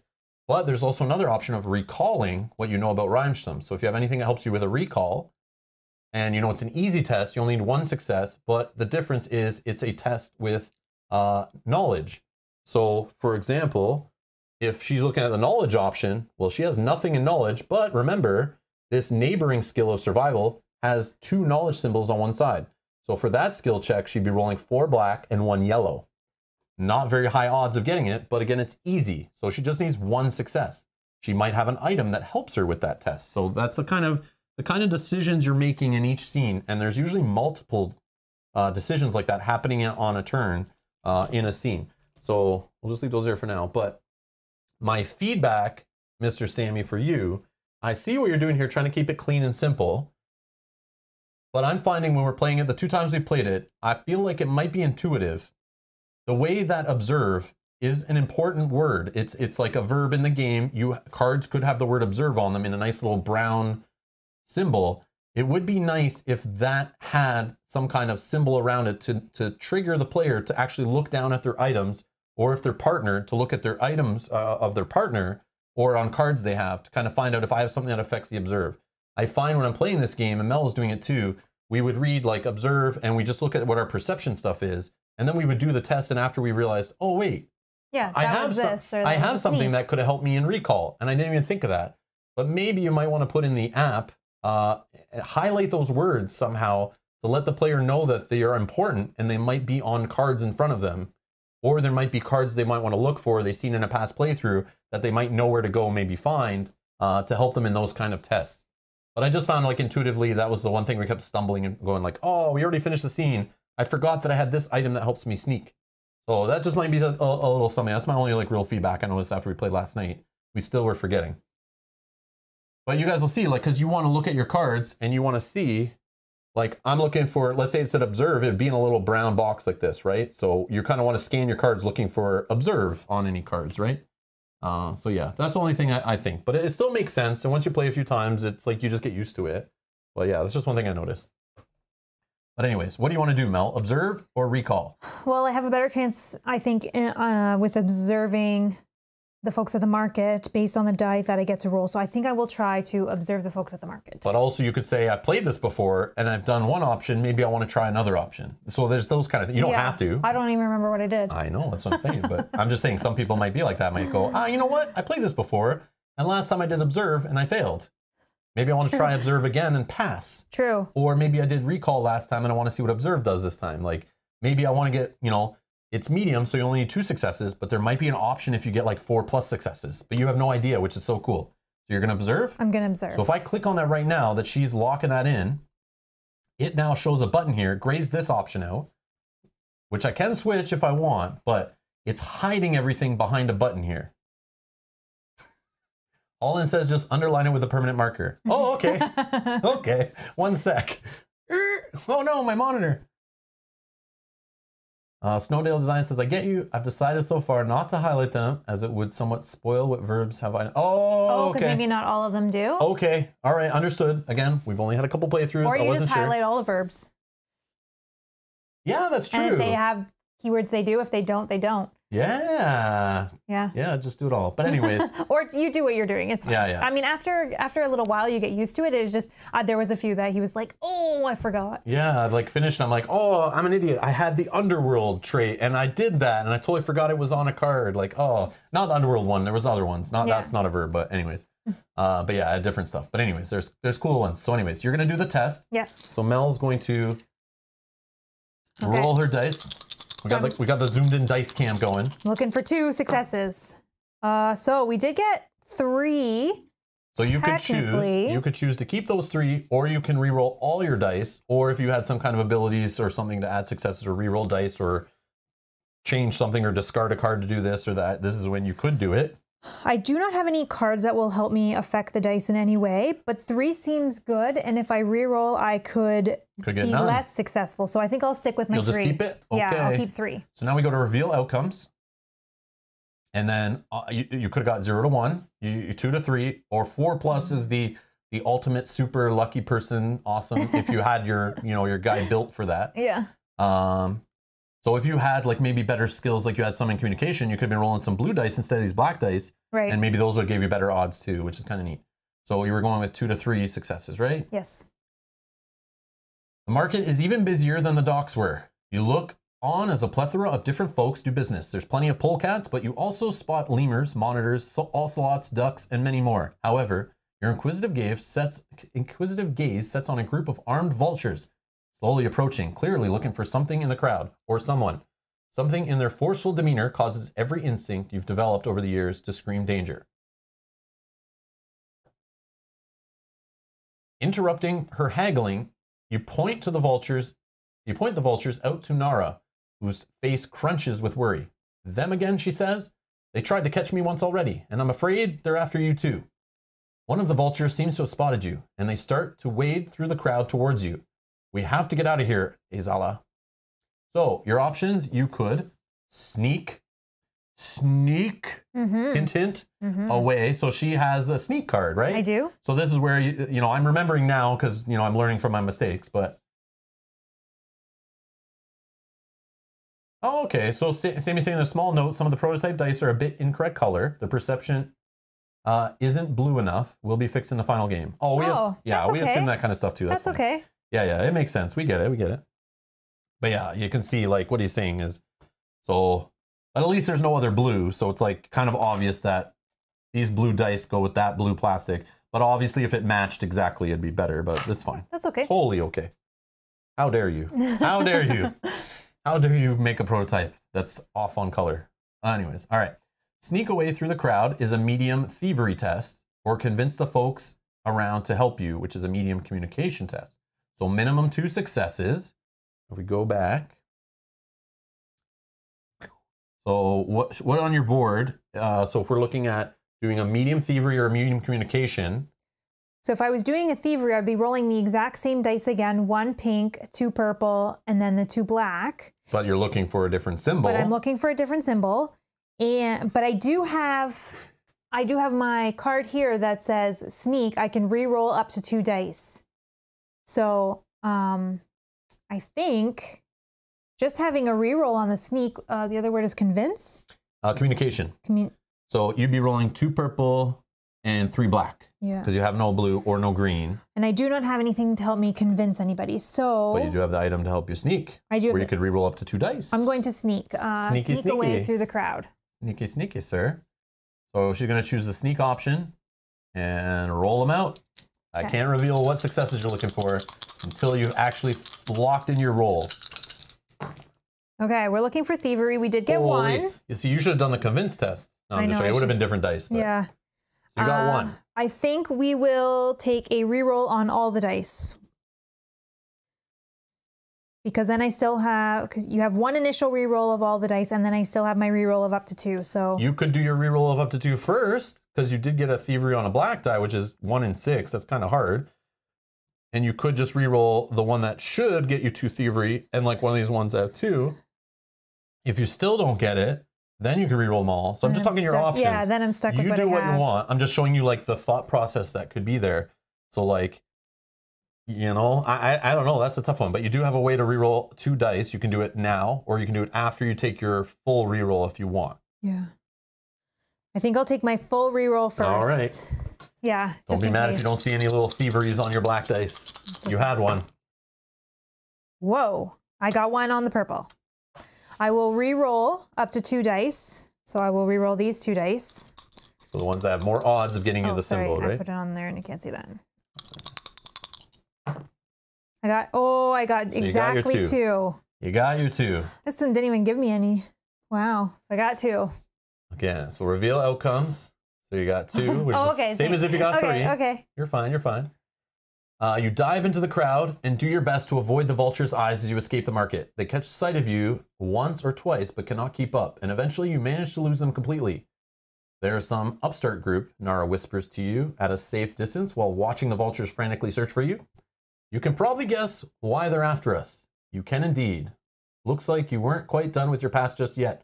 You'd have to deal with that before you begin your new life in earnest. So you gain two prestige. Okay. So she's going to move her little token at the top of the board there on the prestige track. Okay. Uh, and then the story master would return a friend in need, which is your it has your little symbol on it, so it's your specific quest card 111 to the library. And the library is just literally this section of brown dividers, and you're putting it back in the in the numbered section there. Yep. And then you're going to grab card 268, which is specific to you, has your symbol on it. And you're going to take it, which I'm assuming is your next part two in your quest line, which is cool. Hey, Quip, how's it going? 268. Yes.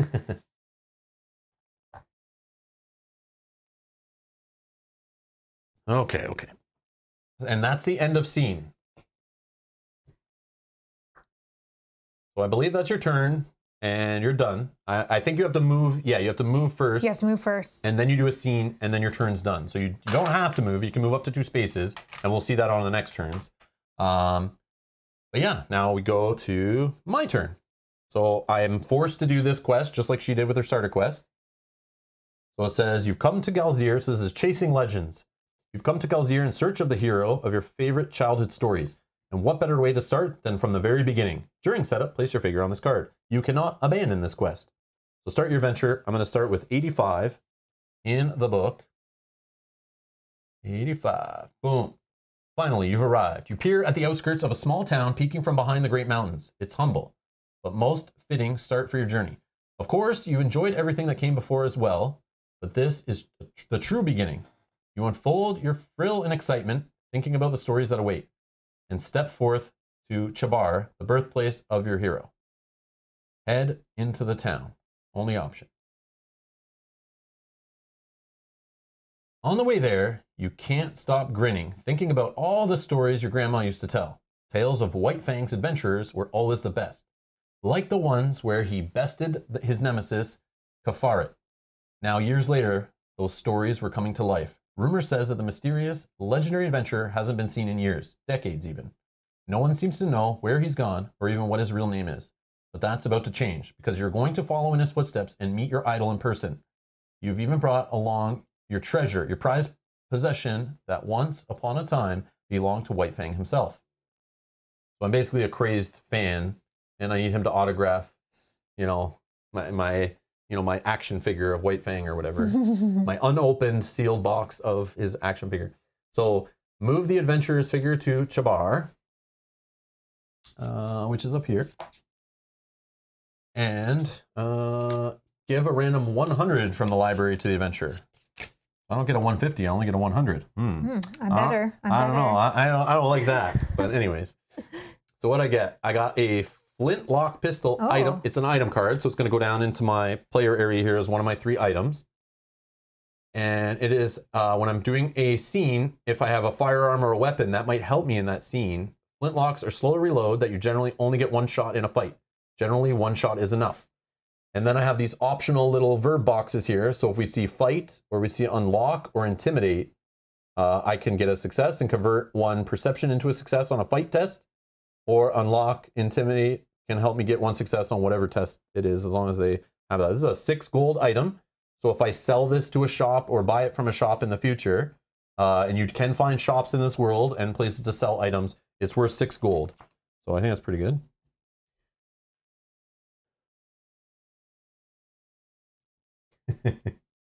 okay, uh, so let's go here. So we're going to continue. Your mind races as you follow the enthusiastic polecat, polecat cubs guiding. Uh, in it is such a small remote town, but every everyone knew White Fang, and the cubs immediately agreed to show you his childhood home. He's truly made. He's truly made. We are here. One of the cubs explains, interrupting your daydreaming. You look around and the place appears most ordinary on the outside, a small farmhouse some ways off off the town. But the inside looks like a museum filled with memorabilia of White Fang's many adventures. Standing there, you close your eyes and immerse yourself in his legacy and story, which feels closer than ever before. Opening your eyes again, you see the cubs looking at you expectantly. So we could investigate the memorabilia, which is an easy perception, or recall White Fang's adventures, which is a medium uh, knowledge. So if I look at my skills here right now, I'm great at communication. I have some knowledge and some uh, fight, or might, sorry, might. So I'm looking at an easy, easy perception would have me rolling two blue and three black, or the medium, which I'm trying to get two successes on, I'd be rolling three blue, one green, and two black, but I need two successes. I think I might try that one. But Are you feeling lucky? I don't have anything to help me with investigates. And I don't have anything to help me with recalling. But I do have my once per game ability, which I don't think I would use here. If I choose to do the perception skill check, I might be able to help get a bunch of successes off that.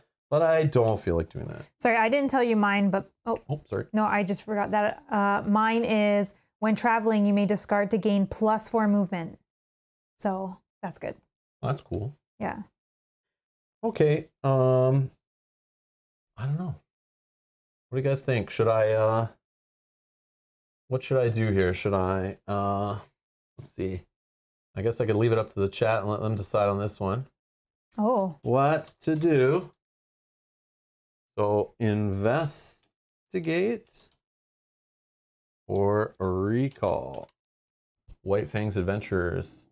So now you guys know how to kind of a skill check works and what I'm choosing from here. So I need one success on perception. And you guys can see here, that would be two blue, which again, those blues only have two sides with single perceptions.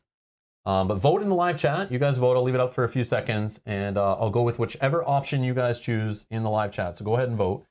Um, but do you want me to try the medium test with, or would you try the medium test with knowledge, uh, where you're rolling a few more colored dice? We have a better odds of getting it, but we do need two successes at least. But if we get extra successes, we could get some cool option. So even if we try the easy test and we get like three successes, that might be even a better result than just rolling like the minimum one, you know? So there's a poll in the live chat. You can click on the option, should be there if you're on uh, mobile or on, on the website or whatever on YouTube. Yeah, yeah. I'm should be saying knowledge, but yeah, if I see the book and I say investigate, uh, we play too much Arkham Horror, the card game here. So that book in my head is in, you know, doing a or intellect, uh, we're doing an investigate or intellect. Uh, but yeah. Or oh, I see. You're saying also the investigate. Oh, investigate the memorabilia. Yeah, yeah, yeah. And invest. Hey, yeah, we're doing an investigate check, not using the book. well, you're gonna look. What's happening? You're just gonna here? look around. is you're not- this is investigating not what with I'm your used to eyes. doing. You're investigating with your eyes. Oh, and Steph in the chat says he's backer number 569 for the deluxe. Oh. Oh, awesome. and all in. Gotta have the nice, pretty nice stuff. huh? mat. Yeah, the nice mat. Yeah, I'm a little jelly. That mat's nice. Yeah. Yeah, Sammy, where's the mat, huh? Why are we playing on cardboard? No, I'm just kidding. I'm just kidding. Uh, so we're going to end the poll there. Thank you, everyone that voted. And it looks like we're going to go recall with 55%, I think that's a good idea. which is cool. Yeah. So let's go recall. Yeah, I'd probably do that. A little more push your luck. That's fine. yeah. Uh, so let's go here. So uh, again, I have uh, a green, and I can use two blue, and then two black zeros. Rolling the five dice. Whoa. Um, hmm. I don't see any book symbols, so it looks like I'm just re-rolling again. I don't have anything to help me with that that I know of. No recall help. This is medium, so we need to see two. I need at two least two successes. If I fail, bad things might happen. We'll fault. see. No, no, it's my rolling. we didn't pray good enough to the dice gods or hard enough. Oh, None. None. I got zero. So this is good. You guys get to see this. Uh, again, we, we risked it, and this is what happens. So I'm going to do zero to one successes. And being amidst it all proves distracting, as you can't recall, or, or really, sorry, focus on any single story in this environment where everything blends into one magnificent adventure. You scramble for a tale about his many adventures in Sa- Sarwar, Sarwar, but everything you say, the Cubs have heard many times over. In the end, all you can do is look around at the various folks there and smile at the tremendous influence your hero has had. You see, the others give you curious smiles in return. There are several eyes on you, no matter how you've always liked being the center of attention. Time to impress them. So now I can declare your ambitions or sneak out, which is a medium test, both medium tests. One's communication, and one is uh, thievery. I feel like I do the declare your ambitions, so I would get to roll two. I, I'm rolling the same dice, but I'm looking for a better symbol. But I don't have a sneak. I don't have anything to help me with uh, Declare? declare. But again, I do have my one-time ability of using it on communication or perception. Probably should have used it. I know I couldn't have used it on the last one. Yeah, yeah. I'd have to pick a different option. So I'm going to declare my ambitions. Edgar's calling out the cursed dice tray I again. know, I know. Well, you saw it work for Mel okay, I guess. All right. Okay, you- technically, I got the two I need. not on the dice that you wanted on though. I know, but do I risk getting higher than two when I have the two? Probably not. I don't trust my ability to re-roll. We've all seen how rerolls Yeah, yeah. work. So I'll just go with a two to three. you give a passionate speech stating that you'll be the one to find White Fang and proudly bear the torch of becoming a great adventurer yourself. Your declaration has met with cheers and happy faces in the crowd. Not quite everyone seems convinced, but you're sure they'll learn soon enough after they witness you in action. Satisfied and eager to continue your adventure, you turn to leave, but before you're able, the cubs come running at you. Or come running to you, sorry, and they're carrying something. We found this lying around, one says, and we want you to have it. Tell White Fang we said hi. So I unfortunately only gain one prestige. Okay. And then I'm going to return Chasing Legends. So my part one quest I was just working on is going to go back to the library. And I'm going to get a random 200. And I'm going to get card 267, which is specific to my character. okay, random 200. A random 200. Here's the random 200. Oh, one more, sorry. Oh, no, a few more. What Oh, are you doing, wow. Melanie? Trying to short me here? No, there's lots more. And then They 267. Yeah. Yeah. Oh, two- 267. Okay. I'm going to shuffle up the 200s and I'm going to get a random item. And again, when you take your fourth item, so you can only hold three on your mat, below your mat, but once you take your fourth, or at any time, you can decide to discard them. But again, you can sell them. And if you ever have to get rid of an item, let's say you take a fourth item, you can always discard one and use an ability if you have like an anytime effect on it uh, and still use it. So I'm going to take an ear horn, okay, which helps me with hearing. Growing old has both many advantages and disadvantages. Loss of hearing can be classified as both. So I have something here to help me with sneak, unlock, and observe to help me reroll up to two dice. Hmm. The jokes are going to start flying. Hmm. All right. Uh, then I'm There's just your 267. oh my 267. Yeah, yeah. Let's look at that. Uh, so this is Chasing Legends Part Two. White Fang's storied enemy lives in Sarwar. You should pay him a visit and find out what he knows. He might not be in a talkative mood, however, and you cannot abandon this quest. So this will always be one of my three quests I kind of have until I complete it. The cool part is we both could meet in Sarwar and, and we could do it together and maybe both get some rewards. Uh, and we can meet the enemy 89. But I don't know how much I want to continue.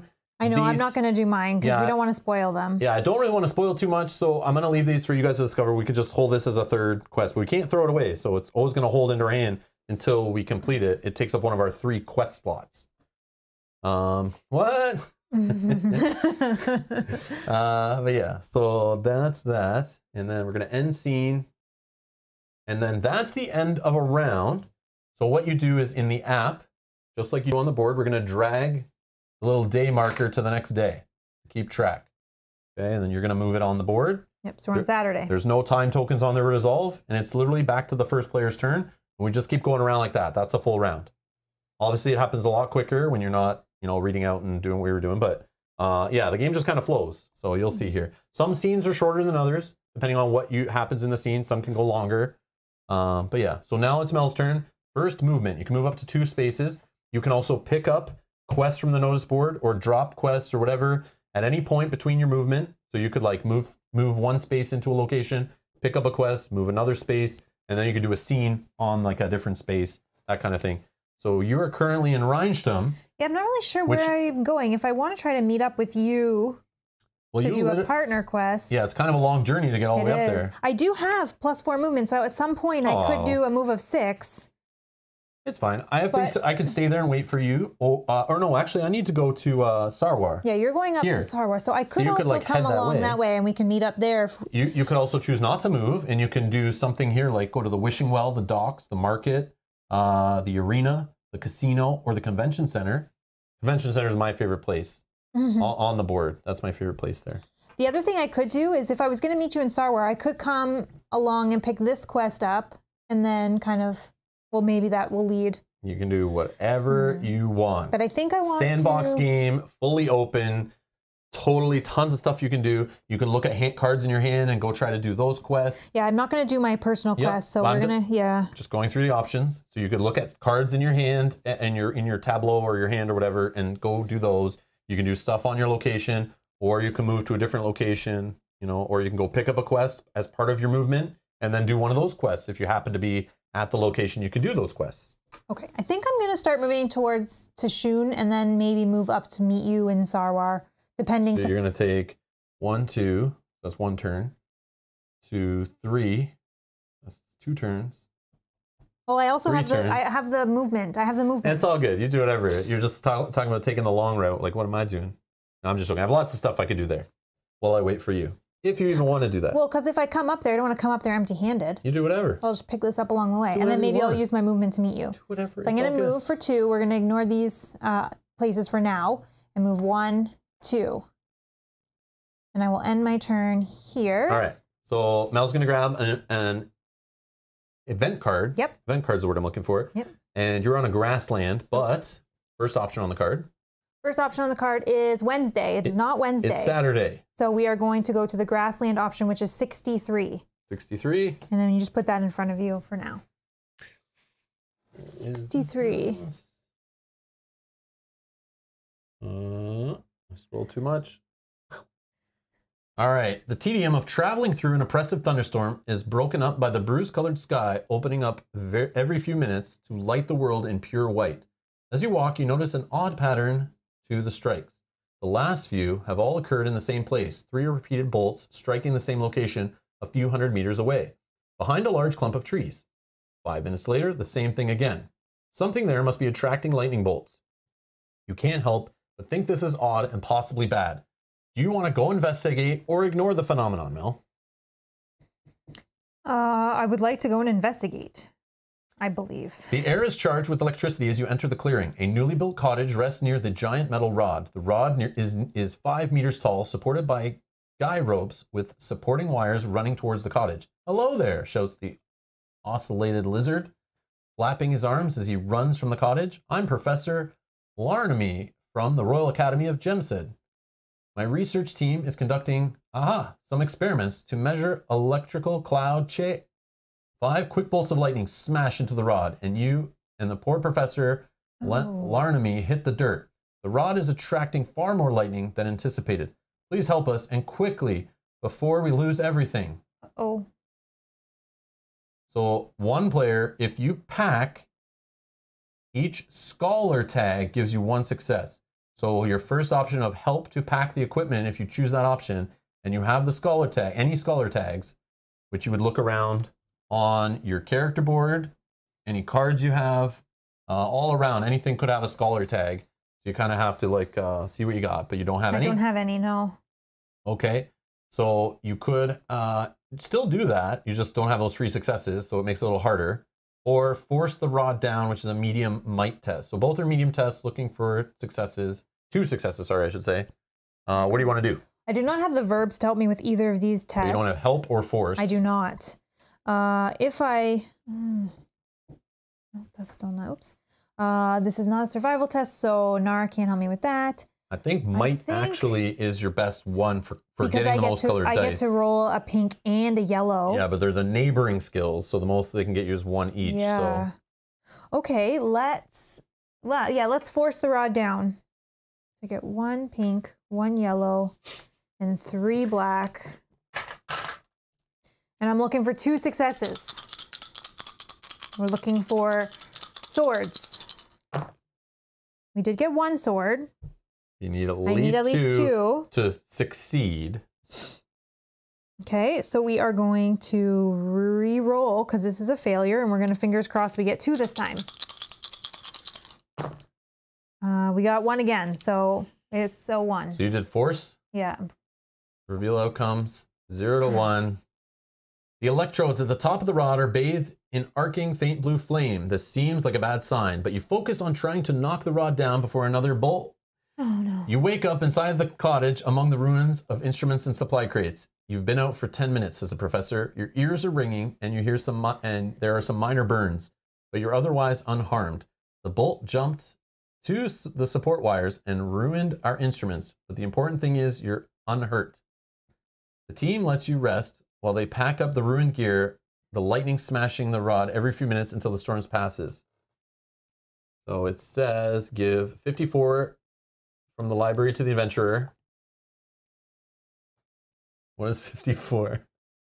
You're I'm shocked. shocked. So I'm stunned and weary. Your mind is haunted by the latest experiences, and you can only wish you would have acted differently. You cannot utilize your skill marks. You're always rolling black dice For right now. three I rounds.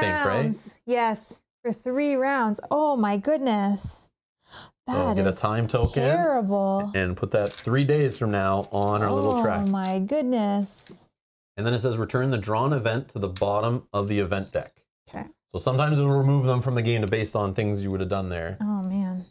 Watch out for that lightning, folks. Three. Yeah. End of oh, two, scene. So your turn's done. So on my turn, That was terrible. I should have ran away. I'm gonna pick up this quest from Chabar, which is an an inquisitive but inconspicuous person needed. Contact the sawmill headquarters for more information. So this is now in my hand. Smoldering Wood Part One. So if I want to do this, I have to go to Yezden, and I could do it with somebody to visit Jaonka's firm, and there's a little story here to it.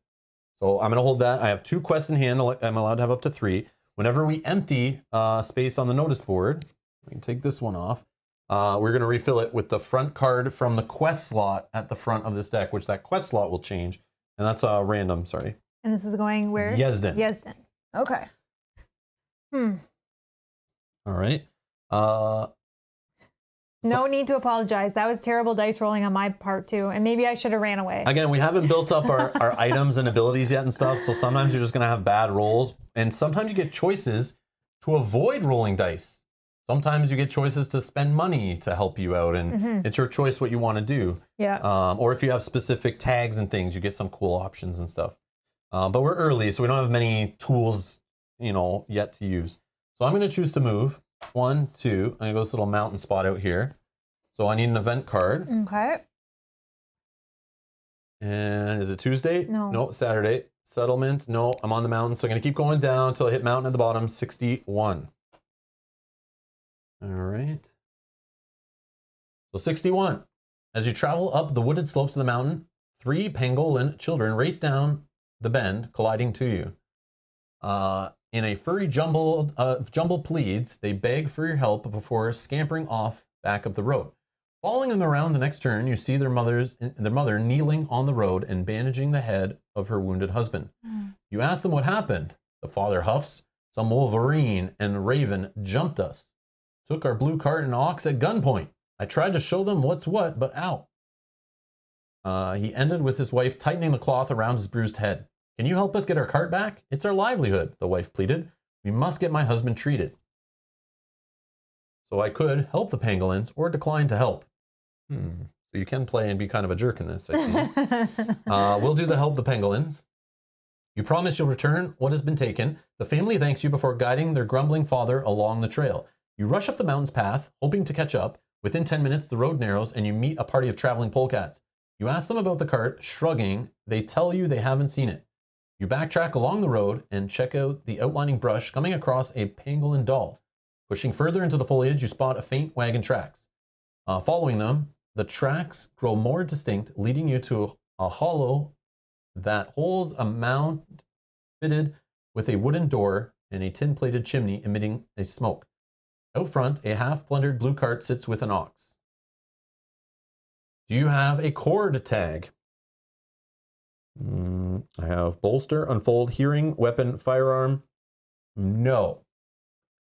If I had a cord, uh, that would probably make this all easier, but I don't. So I could enter the mound and fight, which is medium. I would roll one orange die, but four black. Don't feel too good about that. Or I could come up with another plan, which I get to roll two blue, one green, which could get double books on them. So I will think I'm going to come up with another plan. All right, so two blue, green, and two black. I got one, but we need two. and this was a come up with another plan, which might not have. Yeah, I don't think it has any keywords. Uh, all right, that I've seen. So I'll just re-roll. Nothing. Oh no. Nothing. Oh, What? I should have fought. I have something to oh, you fight. have fight? I'm an idiot. Oh. I'm an idiot. I see. Then rewind it because you haven't actually revealed your outcomes yet. Right here is what I'm talking about, Sammy. Totally didn't put that the fight word in there, tied to my fight on flintlock pistol. Because even even Sammy's saying that not going guns blazing Yeah, flintlock what- uh, pistol. Yeah, so I- rewind that. You I think can. I can, right? Yeah. okay, okay. And just roll your different dice. Yeah, that I'm being an idiot again because I forgot about that idea. That it says fight right there. I should have realized. Uh okay. So yeah, yeah, that makes sense. So what I would do instead is enter the mounted fight. So I roll four black and one uh, uh orange, orange, one orange. And it gets me one success and I convert I convert one perception eyeball into a success also. Okay. Yeah.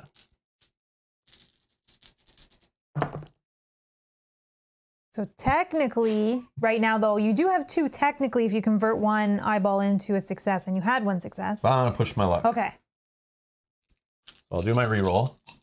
I Oh, got two better. swords and I got an eyeball. So I technically have four. Yeah, that's better. And I don't need to discard this to do this, which is good. Oh, Sammy says I'll put that on the campaign pa- page as a quote from Rob. I'm being an idiot. That's Sounds correct. That's correct. That's that's my official quote. When Rob played it, he liked the game, but he also said he's being an idiot.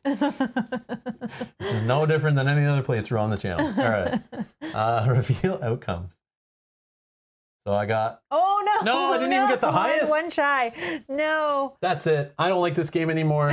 Don't like it. No, I'm just kidding. All right, Oh, so I got funny. Four. Let's see. You boldly tackle the door open. Inside, a Wolverine and Raven are uh, sorting stolen parcels. Intruder, the Raven squawks.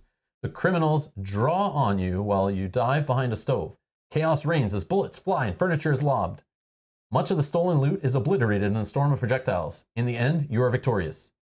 Uh, steering the ox wagon to the nearby inn, loaded with criminals and surviving uh, goods, the Pangolin family, along with the guard patrol, greet you.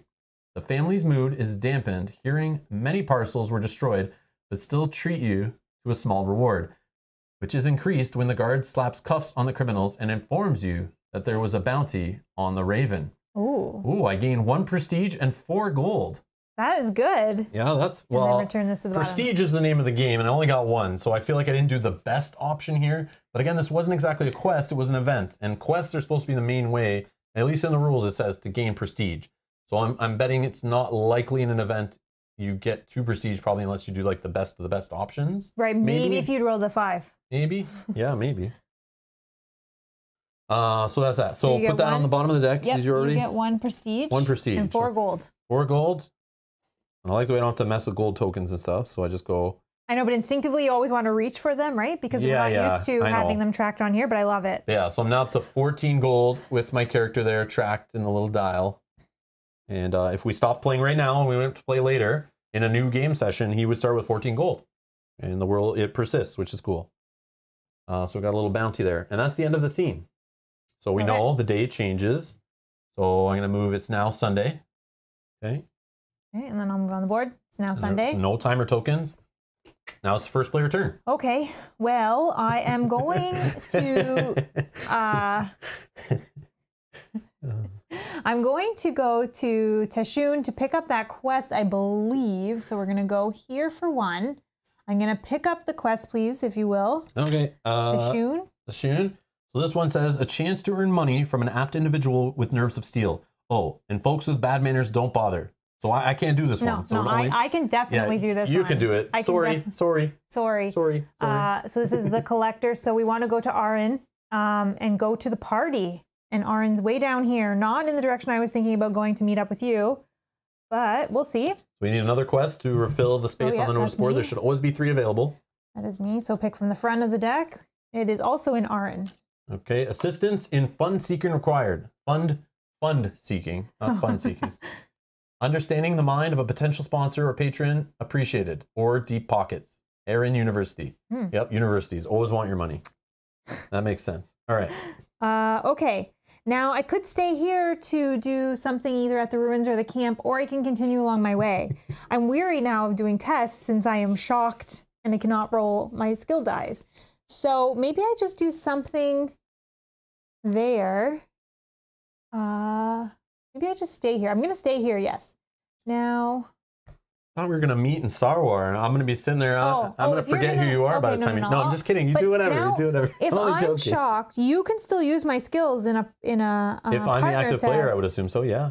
Okay, then then yeah. like in read, that read case, what Shock says. uh, you cannot utilize your skill markers. I'm not you. So you can. Okay. But I don't know. Maybe it's not allowed in a partnering. I don't know. Actually, I could I could use my plus four movement and move one, two, three more to get in there, and I'll already be there for you. You don't have to. It's all good. I Just can do that. I don't know if that's worth it. No, I don't. I don't know. I'm not sure. I don't know. Well, I can't do much because I'm Sure, do it if you shocked, want. It's a one once per session ability. If you just want to use it now, that's fine. I guess. I don't know. Yeah, this also uh, another reason is um, But it, you have to discard it, right? Yeah, so I So discarded then- it for this for this playthrough, but it also says return any companions without flight back to the library. But if I don't have this, I don't have to worry. She has flight, so I'm fine. Are you restricted? Because if you're restricted, you can't use the card. Is shocked restricted? No, it's stunned and weary, right? Yeah, I'm assuming restricted would be Yeah, we'll tell you. would tell me restricted. So I think I'm gonna do that. So I'm gonna soar in the sky and move up to four. You can just put it back in the safe slot for that character Yeah, yeah, that's true. because you're gonna get it again next game, right? Okay, and I'll end my turn in there, and then I can choose. I will do that in a second. I can choose one of these places. So you could do a quest in your hand out of I your don't- available quests. Yep, I don't have or any you here. could pick. Uh, you could do. You could visit the metal factory. You could visit the market, which you still have Oh, I item have- slots empty. And I have ten gold. Yeah, that might be a Maybe good I go spot to to the market. Or you could go to the museum or the city park. Hmm. I believe I will go to the market. All right, market I have is some number gold. eight. If I can't use skills, then maybe being able to get some items might be helpful. So the market is number eight. Sarwar Market is mainly known for its lively trade in mounts and draft animals, great for riding effortlessly from place to place. But there's plenty of other stuff for sale as well. Ooh, so you can maybe get around. Do you have a mount tag? I do not. Okay, so that's a no. What would you like to browse for? You could rent a riding animal for four gold. You could look at weapons and camping equipment. You could look at books and apparel or miscellaneous gadgets. Your choice. Hmm. Interesting. I Yeah, think this is cool. I think I will go for. What are you buying? Uh, I'm not really a fighter because I'm more in the perception. Books and apparel. Hmm, I think I'll go for miscellaneous gadgets. Miscellaneous gadgets. You're feeling curious today and decide to take a look at the selection of uncommon goods and gadgets in the market. Take card 201 and three random 200s from the library and place them face up in front of the adventurer. This is normally how you shop in this game. Okay, So they give 201. yeah. Show then, me 201. Uh, this card this card comes up with it. This is assorted gear. This is perception and thievery. It can help you on. Blending into the shadows is often affiliated with dishonest intents. What if you simply want to avoid disturbing anyone? When purchased, discard to swap one of your skill marks for either uh, perception or thievery. So this can help you change your skills going forward. forward. So for this playthrough and in future playthroughs, you know, you get to modify these little skills. So you could do that. Okay. But it says, I only get to pick one, right? Of these. yeah, you may purchase. Oh no, you may purchase any number of these by Oh, paying okay. its value. You may also sell your items for half their value rounded up. So this is different than the last market we saw. The last one was like you pick one of. Yes. And we've seen sometimes it presents rewards and you choose one. Sometimes you can buy all. Sometimes you can sell. I don't know if the selling values change, but uh, that's kind of Okay, cool. And I get three random 200s. So we'll take one. I'll show them in a second. And then you return the items the adventurer sold and those they did not purchase back to the library. Okay. So my other options are a cloak, uh, which is shady and warm. This costs five gold. Cloaks are pretty much the only clothing always in fashion amongst Lumiere nobility. Uh, they are striking in appearance, but can conceal you from prying eyes when it comes time for more unseemly activities. Sneak, I would get one success, reroll one die, and intimidate. I think I already have something with sneak and intimidate. I do, but she's going to leave soon. It even makes you even better at it though. That's true. Magnifying glass also costs five. Reading, being able to discern minute minute details come in handy in many professions, from detectives to locksmiths. However, when viewed through the lens of a polecat cub, the most important trait is the enhanced ability to make funny faces. Search, get plus uh, two successes, and unlock reroll one. Oh, that is very good. I also found a feather duster, which is also cost five. Sweeping, made from the fallen fallen plumage of various feather folk. Dusters are commonly used for cleaning up. They're not to say there aren't others other uses for a st- slat. Oh my god, A god, stack, of, ticklish fluff. Search, get one success and reroll one, or fight, convert two thievery into one success. You can tickle them in a fight. I could. I don't think I want the tickle. And hello, Mr. Brian Weaver. Hello, welcome, welcome. Hello. I think I think I'm gonna take for five. I'm definitely gonna take this magnifying glass, which gives me the search plus two uh, successes, and unlock. I can reroll one. do I want to change my stats, or do I want the You could cloak? sell the other item you have for uh, Was it round? three gold. It's rounded up. Rounded up. Rounded up. So you could sell that for three gold if you want to like make some. You don't feel like you're going to use that ever. So checks. I know you don't really need to clear out slots. So you, ha- you have you know stuff you can Mhm. fill it up. You'll get other chances to buy things and get rewards and find random items and stuff too. I think I'm actually gonna go for the magnifying glass and the cloak for the full ten. You don't want to my change your skills to better perception or thievery at all. Hmm.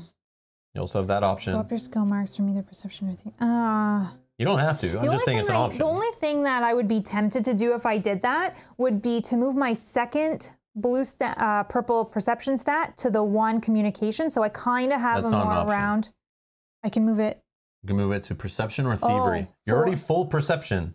Oh, I So- thought I could move one of No. those. Sorry, sorry. When No, no, purchasing no. or discarding, swap one of your skill marks for either. Oh, I see. I think. Oh, I don't Yeah. want to do that. Yeah. So I don't want So to it's buy like very this. specific what you could g- get better at. So Okay. You're being like more perceptive or more sneaky and thievery and Yeah, no, thank you. I think I'm going to spend all my full 10 for a magnifying glass and a cloak.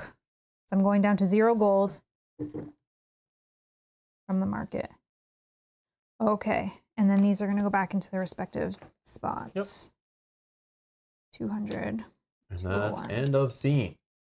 All right. I am going to move into where Mel is. I'm just going to move one space.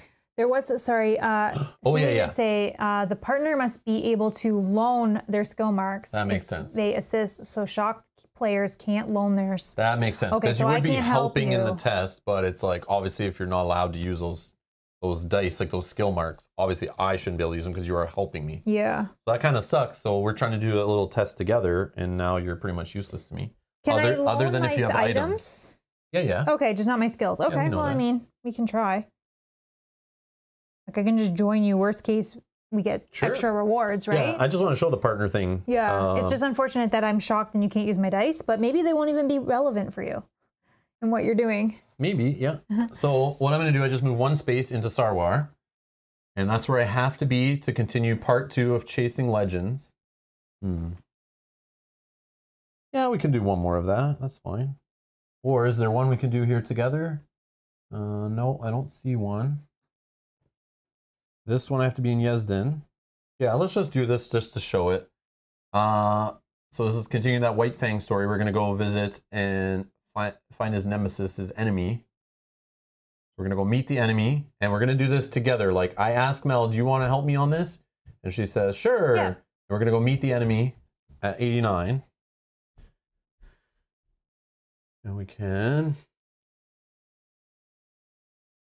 Can 89. Not let me type in. I don't know. 89. Uh, you knock on the door of the imposing manor near the market. Rather than size, it is the subdued, seemingly effortless elegance that makes the two story house imposing. The yard is impeccably cut, the rose bush is neat, and even the open window on the second floor glimmers cleanly in the sun.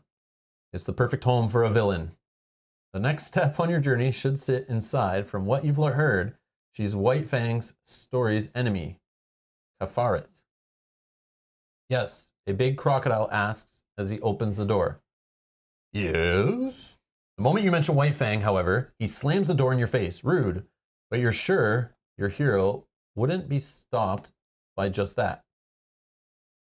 So you can, or I can, sorry, I'm the active player, so I'm choosing. Mhm. I can unlock the door for medium thievery or climb through the window for an easy survival. For unlock, I do have one reroll. I have reroll up to two dice off my ear horn. For unlock? Yep. I Oh, so that- also, off my flintlock pistol, have one free success. Oh, so, So let's get sticky with it here and go with the thievery, I think, right? yeah. Or I mean, the, uh, the yeah, the thievery test. So unlock the door. So this is going to be so. It's unfortunate I can't. I have a Yeah. pink die, but I can't give it to you. but I, I can use my orange because it's neighboring to the pink. So I'm literally like kind of rolling crappy dice to do this. But we do have lots of rerolls and, and some successes to start. Yeah. So let's just roll it up and see what we get. I did get one. So technically, with your auto success, we have two. You can reroll one from mine and two from yours. You could reroll three dice. Yeah, let's just do the uh, two reroll. Do you want to do this one too, or not yet? Uh, we'll just do the two reroll first. I may want to do a reroll on the orange Oh, yeah, die again. you're right. You're right. Oh, nice! I got I got another one on the black die. So now Mhm. I'll use your one reroll one die. Oh, there got you go. Got one there. Okay, and so I get a success from an unlock. Do you have any unlock anything uh, else? That's the only one I have. Okay, so four successes. Oh. All right, I got the highest one. I like this game again. I like this game again. in no time at all, you pry the lock open and sneak inside. Short way in, you come across a large room complete with a large dining table, and there's a much smaller figure sitting at the other end. Who are you, and what are you doing in my house? The dwarf crocodile asks. She must be Kafaret, then. She wields a napkin on her neck, several rings on her fingers, and a cane which she is currently pointing at you. You ask if she remembers White Fang, just as another larger crocodile comes in carrying a food tray, which he promptly drops on the floor. You have some nerve, Kafaret says, in her voice suddenly dripping with venom, to barge in and ruin my supper like that. You try to explain yourself, but she interrupts you. That's enough. Get him. So, I could fight them for a medium fight test, or offer to pay for four gold. I have no gold to offer you. So I could fight with my flintlock pistol, which gets me one success, and I could turn a perception symbol oh. into Oh. one success. I have. I do not have any fight keywords, unfortunately, to lend you. Rob is so swingy. Yeah, yeah. It dice, depends on if it's going in his favor or dice, not, right? dice are swingy in games, right? So my opinion is also swingy along with my dice rolls. That's just how it works. No, I'm just so kidding. I can't offer to help you in any way on this one because I have no fight, I have no dice, and I have no money. but it would have been nice. I would have been able to use a yellow and a pink. I know. Uh, I would have been able to use the yellow and the pink from your neighboring skill dice and my one orange. I should never have explored the lightning. And Va- oh Vassal's no! saying, fight, you have a gun. exactly. I think you should try the fight too. So it's the same dice I'm rolling. And I have one success. I can turn eyeball to a success. You don't want me to just be a chicken and buy my way out of this? All right, here we go. Oh, this time we're looking for. I didn't even get an oh. eyeball, and uh, yeah, no fight symbols. So I'm just gonna have to re-roll all of it. I, I don't like these odds. I don't know. I need at least two successes. You have one auto, right? One auto success. Yeah. Uh, yeah, I have one auto success. So I just need to see one sword at least. Oh, And I got three. Oh, look at that four again. And I got an eyeball. oh, so you got I'm five. at five. Whoa. All right. Let's see if I how my impressions of this game increase. Please say five plus. I'm just kidding. Oh, four. Four plus. Even so, Man, still I'm good. overkilling Still it. Still good. All right, I'm so good at this game. I'm just amazing. All right. Uh, drawing strength from heroes that came before you, you face your foe in a fierce fight and overwhelm her in a glorious victory. As she slumps in her chair, one of her goons lying unconscious at her feet, Kafaret looks defeated in more ways than one. Unbelievable. Just when I started to forget the indignity, it, it, in comes another. What do you want? Or did you come here just to humiliate me? Still feeling your triumphant high, you stare in her eye and demand to know where White Fang is. Fine, she says. With luck, you'll beat him as well. My sources tell me he lives in the countryside near Reinstum. She points out the location on the map, and with your business settled, you leave her be. Time to go meet your hero. Oh, I gained two prestige. Look at this. So here's how the partner thing works. So this little symbol of the one little hand uh, is one, the, so the active player. I'm going to return that quest to the library. So you're going to put that away Okay. and I'm gonna get 62 card from the library, and then I'm assuming the next step and the next part in this quest, which is 271, and it has my character symbol on it. So, In 62. and then it says the partner, since she helped out and joined me along in it, she's gonna get some prestige out of it. So do you see how in a competitive game versus a cooperative, like we're working together, we're trying to get prestige all together, but in a competitive game, you might need another player's help, and they might want to help you, so they get something out of it too. And this just shows you like, you know, how they could help. But when they help you, they choose whether they want to give you access. So if I had the gun and Mel was in doing this, and she could say, okay, Rob, I, I need your help. I need your gun. Can you use it on the test? And if we were playing competitive, I might let her use it and I might not. Because I'll still get something out of it, I assume, if I help her, but maybe not if we fail. So these are the kind of decisions and options that can happen in the game. And I'm not sure which is the best way to do it, but so since you helped me and we did a really good success, uh, we're both getting to prestige. You're getting 62. I'm getting a 62, and I'm continuing my quest line. That's your card. So you're we're both going to gain two. So cha- Chasing Legends Part 3 is now in my hand, so I can't abandon this. I have to go one space east of Reinstum to find White Fang. I can do it with a help. It has the partner symbol on it, so that is in my hand. I'm gonna don't let me do that one. I don't want to continue anymore No, on stream no, we don't I don't wanna- want to. I don't want to spoil too much of it, but uh, we're also both of us are determined. So this is a character status, and you're resolute and upbeat. No matter what kind of hardships await, you feel like you can take it all with the strength of vigor of three speckled bears. In a skill check, you may discard this to get one success. So it doesn't matter which skill check. And if you have a afraid status, discard it as discard to return it to the library. So we can get rid of an afraid. So this will just sit here until we use it, basically. Um, but this is the kind of thing, like the little tool set you're building up, and why at the beginning we're like having trouble with skills.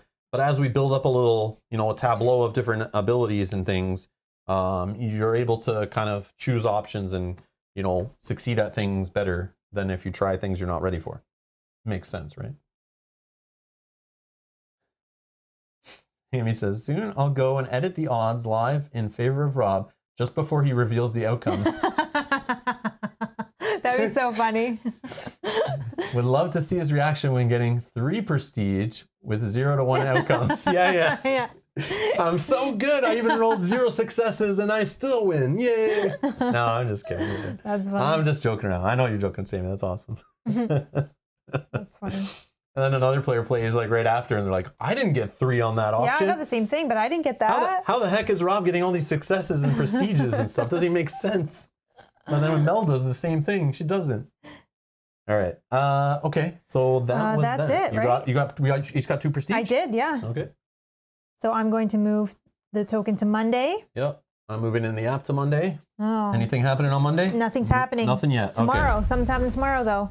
Oh, we got a new subscriber, Underlord. Uh oh, that sounds evil. Awesome name. Underlord, welcome. Welcome. Pull up a chair, take a seat, check out what we got on the table. Welcome to Rob's Gaming Table. Thank you for your support. Welcome. Okay. yeah, best game ever.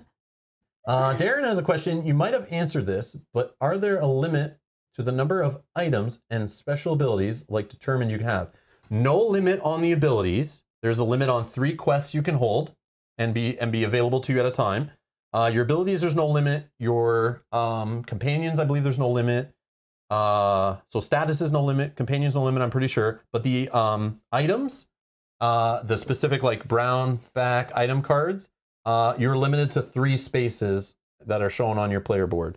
So once you draw fourth, you have to get rid of one, um, but you can discard and use abilities on one if they have discard abilities at that time. You don't have to completely lose it. And uh, yeah, so you do have to manage some inventory. But I believe your statuses stay with you until they're gone or you use them.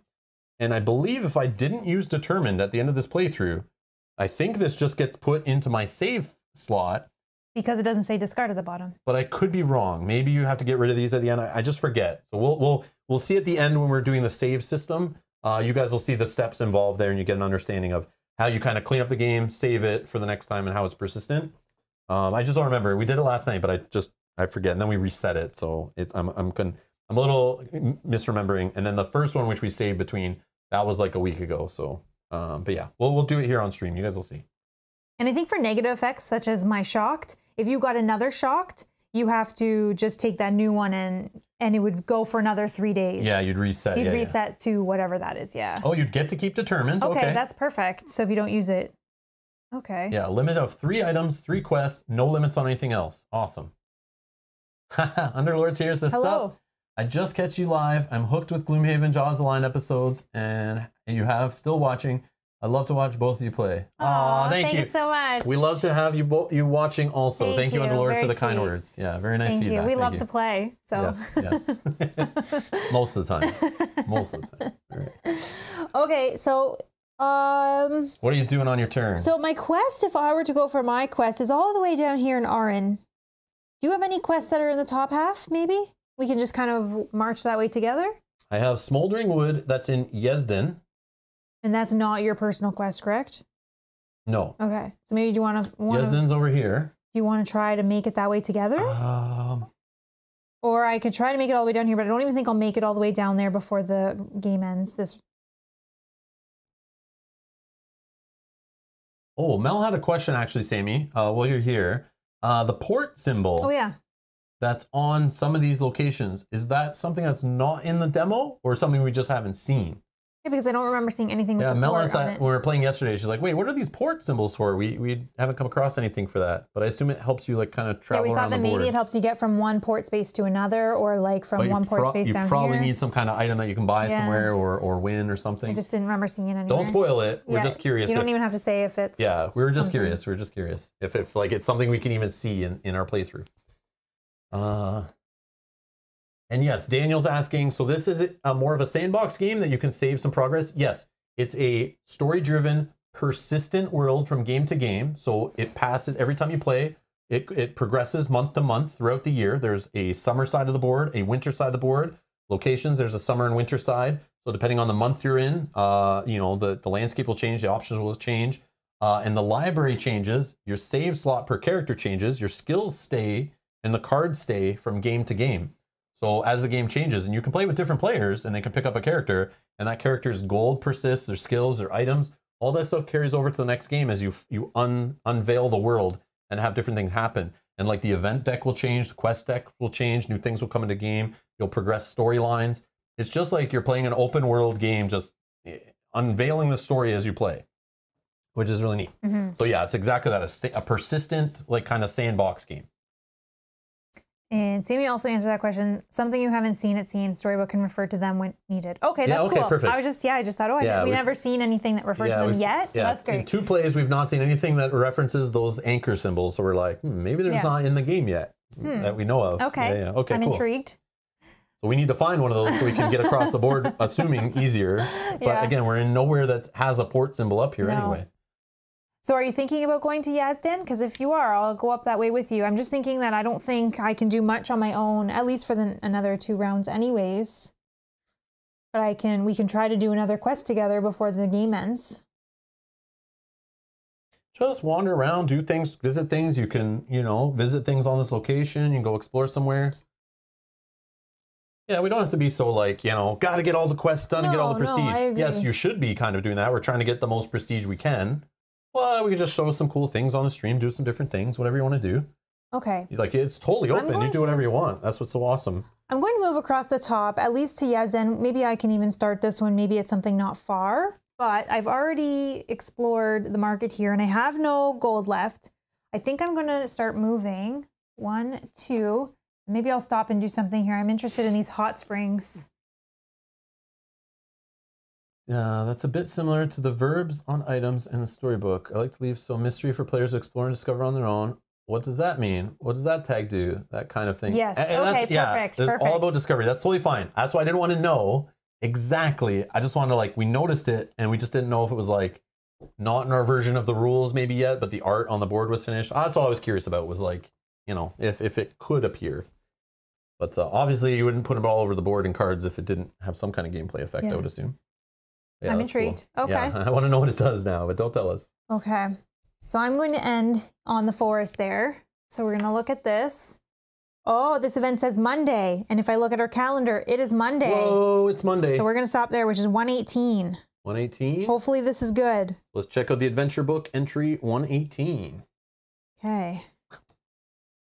Late one night, as you're out and about, a white polecat gracefully steps before you, flanked by a group of goons. You turn to steer away from the sinister trio, but behind you, a whole band of thugs emerge from the shadows, forming a living wall that traps you between the two groups. I am Tuhek, an intelligence officer of Jemsed. The polecat offers as she shows you a piece of parchment. It bears a completely faithful and detailed drawing of your face. We learned that you are a spy in the service of Reimstein, plotting conspiracies against your empire, our empire. So if you value your life, you will come quietly. Tuhek's underlings pull out cruel-looking weapons. Do you have a tired tag? I don't think so, but let me just triple check here. What are you doing? You've met you've I am. I you've don't ticked know. some people off. You're on like a wanted poster. I here. don't know. So you don't have tired tag. I do not. Uh-oh. Oh. So you could God. convince her you were a double agent, which is hard. It's a communication test, so you need at least three successes. Okay. You could fight your way through the underlings, which is a medium might test. And again, we have convince, we have fight. We've seen those before. We know those are in the game. Or you could buy her underlings loyalty for 12 gold. I have no gold, so it's not that option. Mel went shopping and spent oh, everything. Oh, and the things I bought aren't even helping me with this. Convince and, and these guys don't take credit, so I'm sorry. convince and fight. Convince and fight. I do not. Hey, Matouche.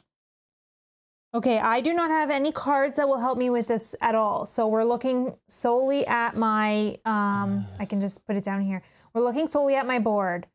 If I did the communication, which is hard, I would be rolling two purple dice, three black dice. You If I did- three of those symbols. If Ooh. if I did the fight, I would be rolling a pink, a yellow, and Three three black dice. but you only need But I two only need two successes. successes, and I'm rolling. Hmm, I think I'm going to try to fight my way out of this. Uh-oh. But you got to also think what I've learned from playing this game so far is always think about the bad thing. oh, I'm determined. You are right. Oh, you can get a free success if I that. discard this. Yep, yep. Okay. So hmm. always, I find this game has Oh, this. no skill dice. Yes, Dragon. Sorry, sorry, sorry. No skill dice. Oh no, you're rolling all black. Oh, no skill dice. You're right. I forgot about that, Dragon. Thank you. So, but either way, it's the one you need less successes for. So it's probably the one you want to choose. Yeah, we're going to fight. I But think. You have to also go with what is the worst outcome thematically. I find this game, and I, I'm pretty sure it's designed this way, is like some of the other story games we played. Is think thematically like what would happen possibly if you chose to fight but failed. Do you want to see what that is and risk that, or maybe just try to convince them you're a double agent? What's the worst that could happen? You know, or try to buy their loyalty with no money. I don't think you can pick that option You unless you can't. have the gold. I'm pretty sure, but. no, you can't. You know what I mean? You got to think like, you know, which which kind of character do I want to be? Which choices do I want to be? What could the outcomes possibly be, even if you fail? You know, so it's like kind of fun, like seeing the outcomes of these things. I, I think it's just hilarious. But uh, yeah. So you want to fight still? Uh, I think it's our easiest option because, as being determined, I only need to roll one versus having to roll two. Okay. Oh, but you're right that if I fight and fail, it's probably worse than if I try to convince and fail. Oh. Do I let the chat decide this for me? I don't know. Yeah, we can. Yeah, you guys can help me decide this because right, uh, let's- again, I'm without my skills, it's a lot harder to decide. Oh. Because if I fight and fail,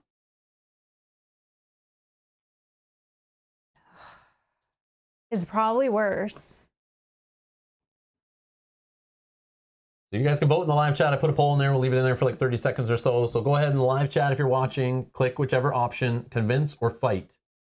Uh, again, Mel's rolling all black dice. So literally on each die is one of each of the six skill symbols. So she has a one in six chance on each die to get what she needs. A hard test needs at least three successes to pass, and a medium test needs at least two successes to pass. But I am determined, so I have one auto success Yeah. if I need it. Yeah, she has this card right here, which we got before. So she could, in a skill check, you may discard to get one free success. So she can pull one out if she needs, but Hmm. again, Matouge, it's not, of course, fight. No. It's not always about which one you can succeed at the best. It's, It's- like again, what will the failure be also, and like how bad hurt will it be? most? Like how risky do you want to be and stuff like that, right? So it's like it's fun doing the story and seeing what happens. But yes, from a gamer point perspective and like statistics and all that kind of stuff, your odds, you know, you probably go with the fight. But If I had all my dice choices, I definitely would pick the fight. but again, it's it's like you could have some fun and just pick random things and, and see what happens. You know, you could I get know. super lucky and get all all the stuff you need. But all right, so we're gonna end the poll in the chat, and it looks like. It's all good, Matouche. She said, I have no idea. I just pushed a button. Uh, all right, so fight is 52%. Thank you, everyone that voted right. in the chat. We appreciate it. Thank you. So Mel is going with the fight fight, it. or the chat. So the chat is to blame. You guys are to blame. What happens here? So it can't be on Mel anymore. So I'm gonna fight my way through the underlings. Okay. Okay. So we need to at least roll at least one. Uh, we did not roll any, so I have my one re-roll of all my dice, And which again, I you're will do. forced to re-roll everything. You can't just pick and choose unless you have abilities that let you do that. And we got one. We got one. We got one. So, do you want to discard uh, determine then? Yes. Put that in I there. will discard determine. I will put that back, okay. uh, which will give me two. so we got two successes. Oh, oh, hold on, hold on. What is this? So this the story master would be reading this while Mel's being the active player. So I would be reading this off a tablet, let's say. Uh, if the adventurer is in a settlement, so I don't have to read this out loud to her, but I, I would just do this stuff. If an adventurer is in a settlement, No, I'm in the forest. okay, and any items. So you didn't even know this before picking the option, which is so cool. And this is the first time I think we've seen this. And any items with firearm tag were used. All swords count as Squiggles whatever the heck symbol I've never seen that before are. instead. Okay, well, this so you're doesn't not in a settlement and you didn't use anything with a firearm tag. No, no. So my Oh, this is so cool. I've, I've never seen this. This, this is I've seen where it's sn- snuckily threw out some options. So this is something I didn't mention before, but uh, you are not supposed to touch these dice. Once you roll uh, something, you leave them. Like once you've settled on your roll, you leave it for the rest of the scene unless it tells you to roll for another test. So there could be things that pop up and do things based on other results you have yeah. which is so clever and so cool. And it's not common that we've seen. I saw it happen one time before, but this is like on another level. Dragon says stun. I mean, it does look like stun in other games or noise, maybe. Yeah, I don't know. Anyways, okay. But we don't get to pick any of those, unfortunately. If you were doing it, because you have a firearm, don't you? yeah, if, if Oh, I if I used it, yes. That's too bad. Okay, but I did get two. So you got two swords. Yeah, two legit. So we're picking that option. So it just we thought there might have been three options based on all the tests we've seen, but now there's six options that could have happened. That's this, That's cool. Is crazy. I love it. All right. Uh, the only way to escape the situation is through the line of thugs blocking your way. You fiercely attack, furiously, furiously attack the group, scattering enough of them to open a path through them. Exploiting the opening you just made, you run off into the night. Behind you, you hear Tuhuk, to Tuhek screaming, "The spy cannot be allowed to escape." The remaining goons give chase, but as you have a head start, you lose them shortly after. Hours later, when the coast is clear, you return to the spot where Tuhek was looking for answers. The only trace of the altercation is the discarded weapons of the thugs you downed and something familiar. You may swap one of your skill marks for a might skill mark. So to help you out in these kind of tests in the future, you can swap one. Uh, Hmm. And then you got to give uh, the specific card. What symbol? That's the symbol of. 223. I don't know what that symbol is. Oh, that's, yeah, these that's are the card related. our card specific. Yeah, when asked to take this card with this icon, pick the one matching the active player's adventurer. Oh, okay, okay, I get it, I get it. Uh, Yeah, I remember that. If unavailable, you give a random 200 instead, and then you're going to return the drawn event 78 back to the library, so that we can't run into that event again. Uh, for now, at least that we know of. um, And then, as you see here, we'll shuffle 173 back uh, from the library into the event deck. So now our event deck's changing, which I'm sure there's something in that new event card that progresses this story. So this is how we see the persistent worlds start to change based on decisions made and stuff, which is really cool. so sorry. These ones, I just think we might have made a mistake because we only have the two, the two that we didn't play with. But we've had these before, but I don't know. They're not here, so we may have put something in wrong. Right? Because we had these in our last. Uh, they might be here, maybe. I don't know. Sorry, sorry. That's all good. We can figure it out. No, they're not there. So maybe I just. Ugh. So you're looking for two two threes. They might not be in there But I thought we uh, had. because they're not finished. Maybe I, I don't know, but I don't think so. Those are just items. yeah, and I thought we had these in Oh, our we did. last game, so I might have just put them in the wrong slot. That's okay. We can figure it out.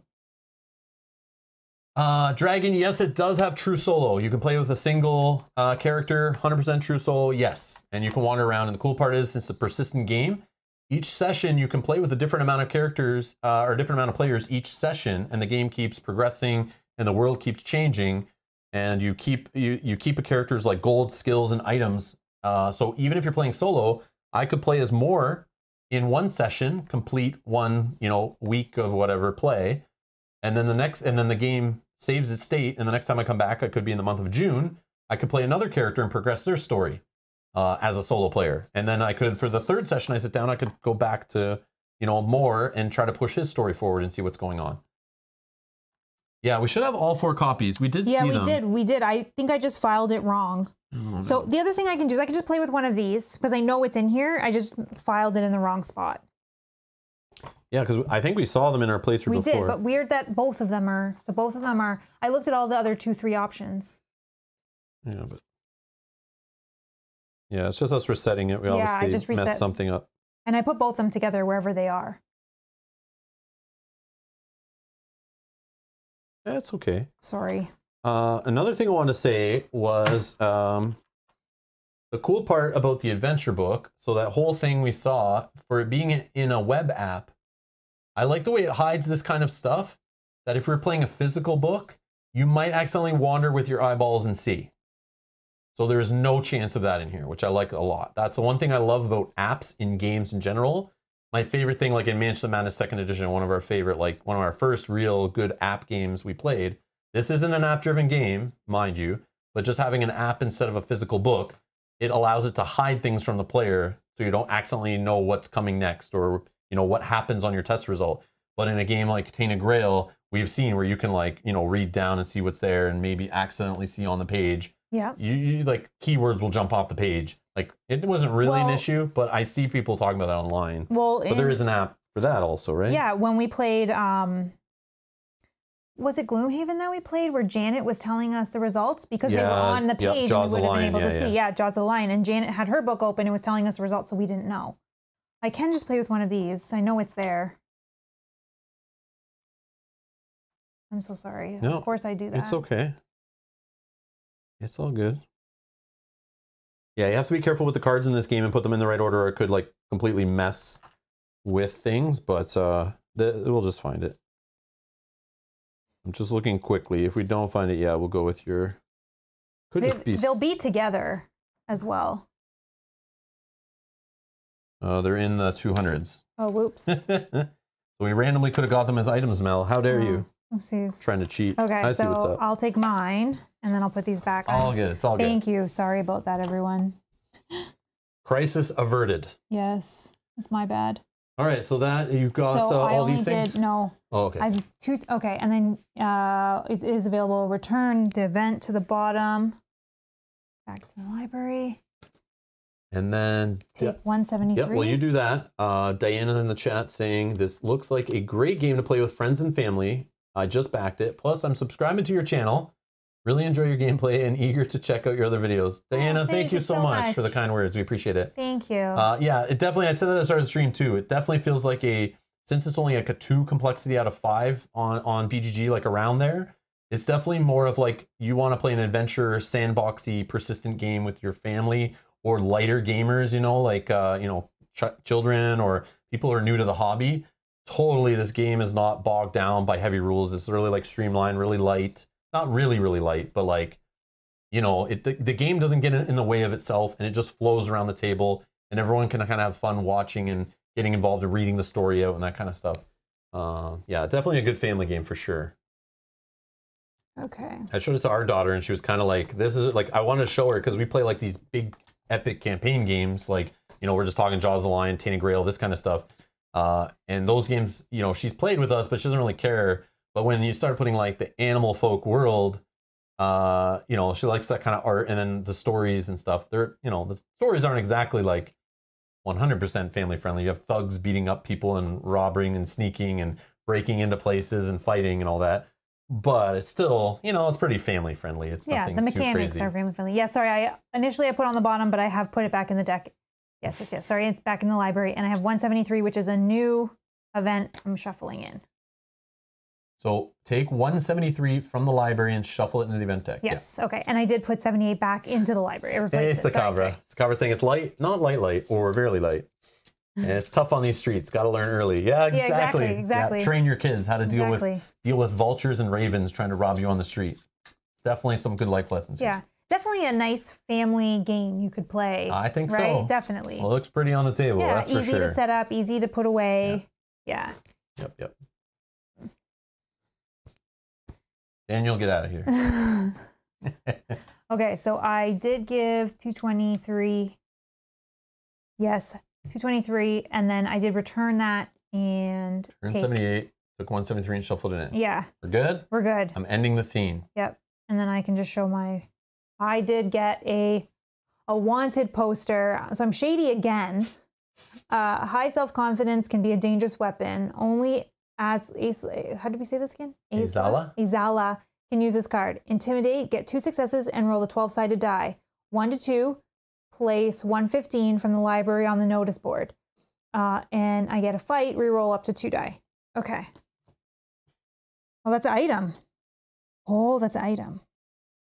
Hmm. Now I have the decision of either throwing something away. Nothing I have on the items I currently have have a discard, so I would just be replacing. Uh, You don't have to take that though. no, but I do like it gives me a fight Mm hmm in the intimidate. Depends what kind of character you want to be, Mel. Do you want to be a little shady? Well, clearly that's the way this is going.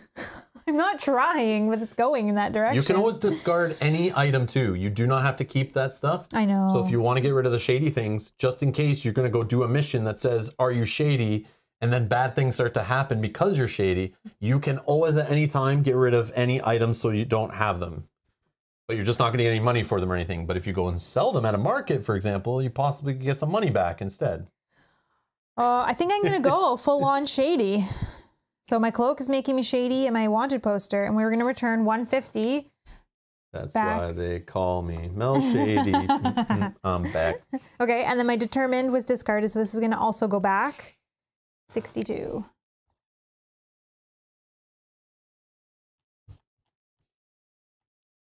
Okay. I'm done. Okay. One more turn. Oh, actually, next round I'll have my dice back. Yeah. So that's good. All right. good. My turn. Yeah. Uh, Sorry. It took a long time. We're trying to get to Yezden, I think. So I could go to that place you're on. gonna go the same path.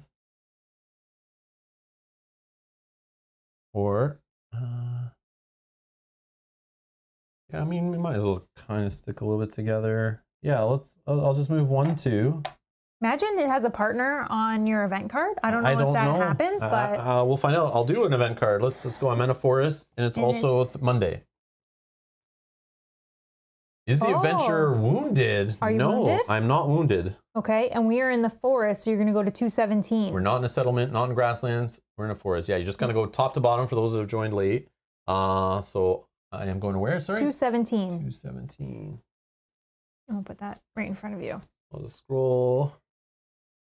217. While you are heading through the woods, the sound of cracking twigs and muffled curses raises your curiosity. Probing deeper into the woods, you hunt for the source of the sound. As you look around a tree where ruckus seems to be emanating from, you are met by the muzzle of a blunderbuss. Behind it is an old, gruff badger bearing fangs and dressed in the worn out remains of a Jemsed military uniform. At his feet is a sack of gold and a twisted charred remains of a pistol that misfired. The left leg of his pant is shredded and burned. The fur under is stained red. Now you best take a step back and go on your way, youngin. What can you do so he will not shoot you in the face? Whoa. All right, so being Serious. being children friendly maybe is not the right the right words I was saying before. Uh, do I have the cumbersome tag? Whoa. No, I don't. No, I don't. Okay, so that's a no. If you inspect, each first aid tag gives you one success. I do not have anything that's helping me with first aid. So I could inspect the badger's wound, and obviously having a first aid item would help me with that thematically, right on the nose. I could intimidate the badger, which I do have an intimidate off my flintlock pistol, which could give me one success. Intimidate with my gun. Uh, I do have two blue, uh, two level two in communication, which that is like a good test for me. Or I could back away slowly. Come on, I'm not backing away. I got a flintlock pistol. And, and I'm one of those lizards that can do the whole, you know. So like, I'm gonna intimidate this guy. Come on, man. All right, so let's do the Do you medium. have an intimidate keyword? Yeah, so I get one success, like I Okay, said, off perfect, my flintlock pistol. So I am going to roll. Uh, so I can roll two blue, which is the one that could have two communication on a side, and two of them. I can use the um, knowledge one green that I have because it's it's adjacent, so it'll have some knowledge symbols on it, better than black dice, and then two black. So here we go. And I got two Two. which is medium. Technically, that's a pass. I got a free success off my flintlock pistol, assuming I'm not going to get punished for using the gun and turn this into some other symbol. Who knows? Oh, yes, I do have the risky intuition. I keep forgetting about this. I think I've only used this like one time before because I always forget I have it. Uh, I could use this one time per playthrough ability that each character has. Uh, This is my own one. I could discard to get one success and roll the d12 as many times as I want. On a one to three, I get minus. That's a minus one. That's what it looks like when you get minus one skill, and you stop rolling. Or on a four to twelve, I get one success for every time. So I keep pushing my luck. Are you going to get another chance to do this test before? Uh, Well, hmm, hmm. Like I mean, we're, on Monday, we end on Friday. I might as well, right? Yeah, let's just use it to show it. Yeah. right. Risky intuition. it's risky. it's risky, all right. All right. So uh, I'm going to stay with this roll of just getting two successes. Okay. I have one free off this. So I'm already at three. I don't think I would use it. It Because even if you roll the minus one, you still technically pass. I know, but you kind of want to use this when you're like really trying to make it happen. And, and this is like the first test of the scene.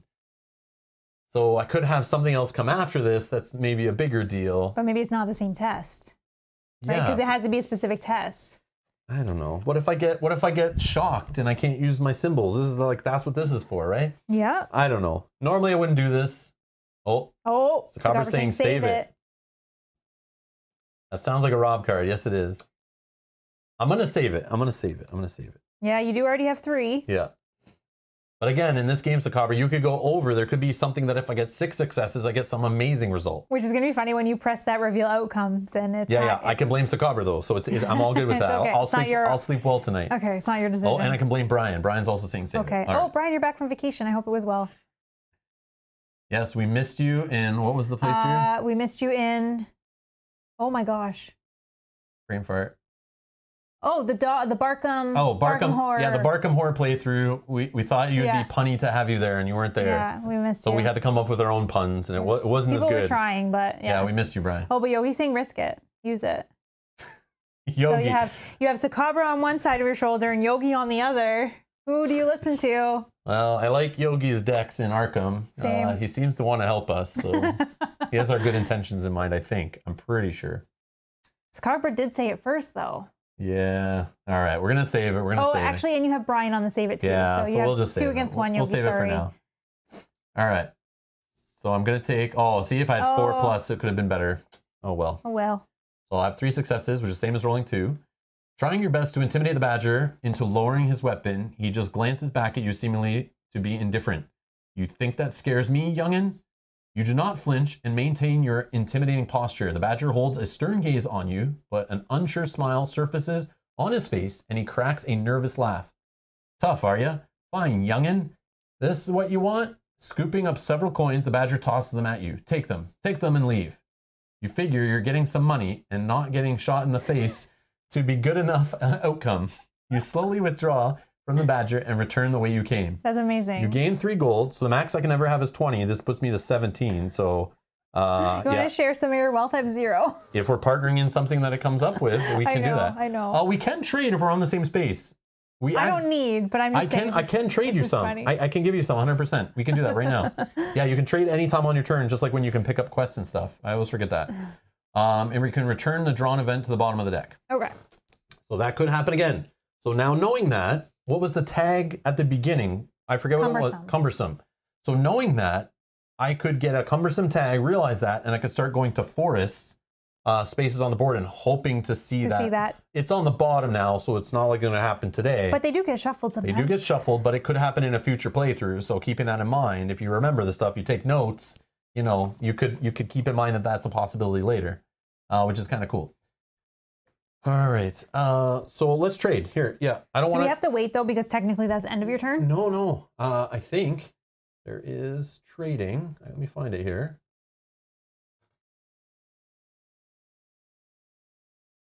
There is trading for sure. I'll find it. I know I read it.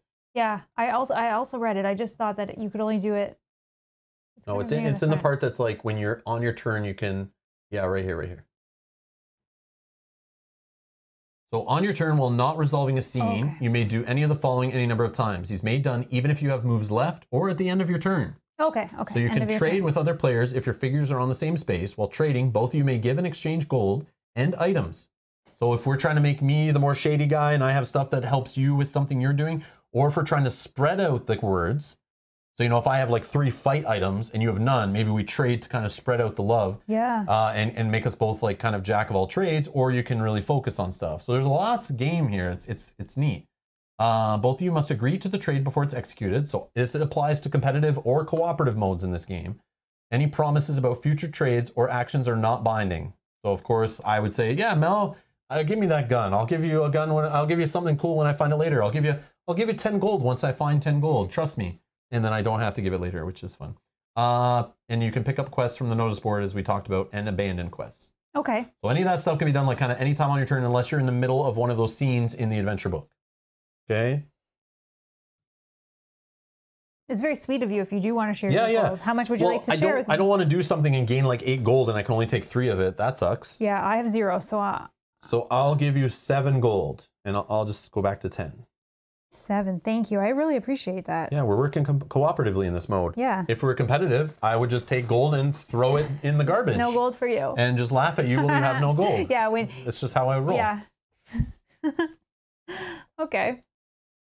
Uh, Brian Weaver says, "Have fun, guys. Game looks like a blast. I'm at work, and my next appointment's here. Oh, So that's quit too bad. slacking, Brian. Get to work. Thank you, though. Get to work. Stop slacking on YouTube. No, I'm just kidding. Thanks, Brian. Have fun." Uh, Darren says, "With how big the G is in the web app, It almost looks like it says glands of Galzyr. Oh, I see what you're saying. Oh yeah, yeah, yeah. I see what you're saying. Yeah, yeah. The the the logo reminds me of uh like the Legend of Zelda. Something about it reminds me of like the old NES like Zelda games. Something about it. I don't know if it's exactly it, but it just gives me that vibe. But this game kind of gives me Zelda vibes too. Like Breath of the Wild wandering around or even the original Zelda, you know, it's wandering around finding random caves and holes and old men and you know trying to sell you stuff, random merchants like hidden in a bush. Like just this, this that game has all that uh, you know, except for the choices you're making, you know, they, they, they can persist throughout the game, which is neat. Yeah, that's cool. uh, all right. Okay. I'll give you a massage later. Psych. okay, so now that was end of your turn. So we're now moving our little marker to Tuesday. And when we get to Tuesday, we'll see that we have a token here.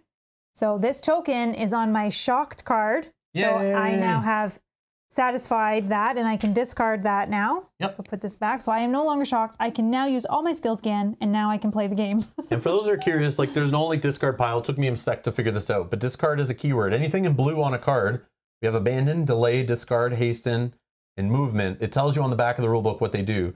So discard, when a card gets discarded, return it to its place in the library. So it's not like normal discarding in a card game where you just kind of throw it in a pile. If the card has multiple effects which require discarding the card, only one of those effects can be resolved, and discarding always refers to the card it is written on. So just letting you guys know there's that's why you'll see discard in the blue because it actually has a little it's different than normal discarding, like in a in a game usually. okay. Yes, it's now- dangerous to go alone out there. Exactly. It is. It is. I now have access to all my skills again. So that's exciting. Um, I would like to move for one. You know, And I think I'm going to stop in Chabar and I'm going to visit the hot springs. Oh, I gave you seven gold. Now you're gonna go and visit some hot springs. Go on and have a sauna vacation, Mel. This is what you're doing with my money. Holy! I mean, what you kind gave of it to me. You didn't tell me what I had to use it for. What kind of game we got running here? This is oh man. Maybe What- this is not going to cost any money. It's location six or Yes, or please. scene six. Scene six. yes. Yeah, maybe it's a free hot spring. Yeah, yeah, I'm sure, sure, sure, sure. Right. Oh, that's funny. Well, I mean, at the time of, yeah. All right. The Inn of Wet Feathers is the main attraction of Chabar, city of hot springs. Relaxing pipe music can be heard even before you enter, and upon going through the doors, you are welcomed by the deep bow of an emperor penguin, the innkeeper Ranut. He squawks enthusiastically about how busy it is this time of year and how proud he is of his little resort. My staff can barely keep up with all the peak season work.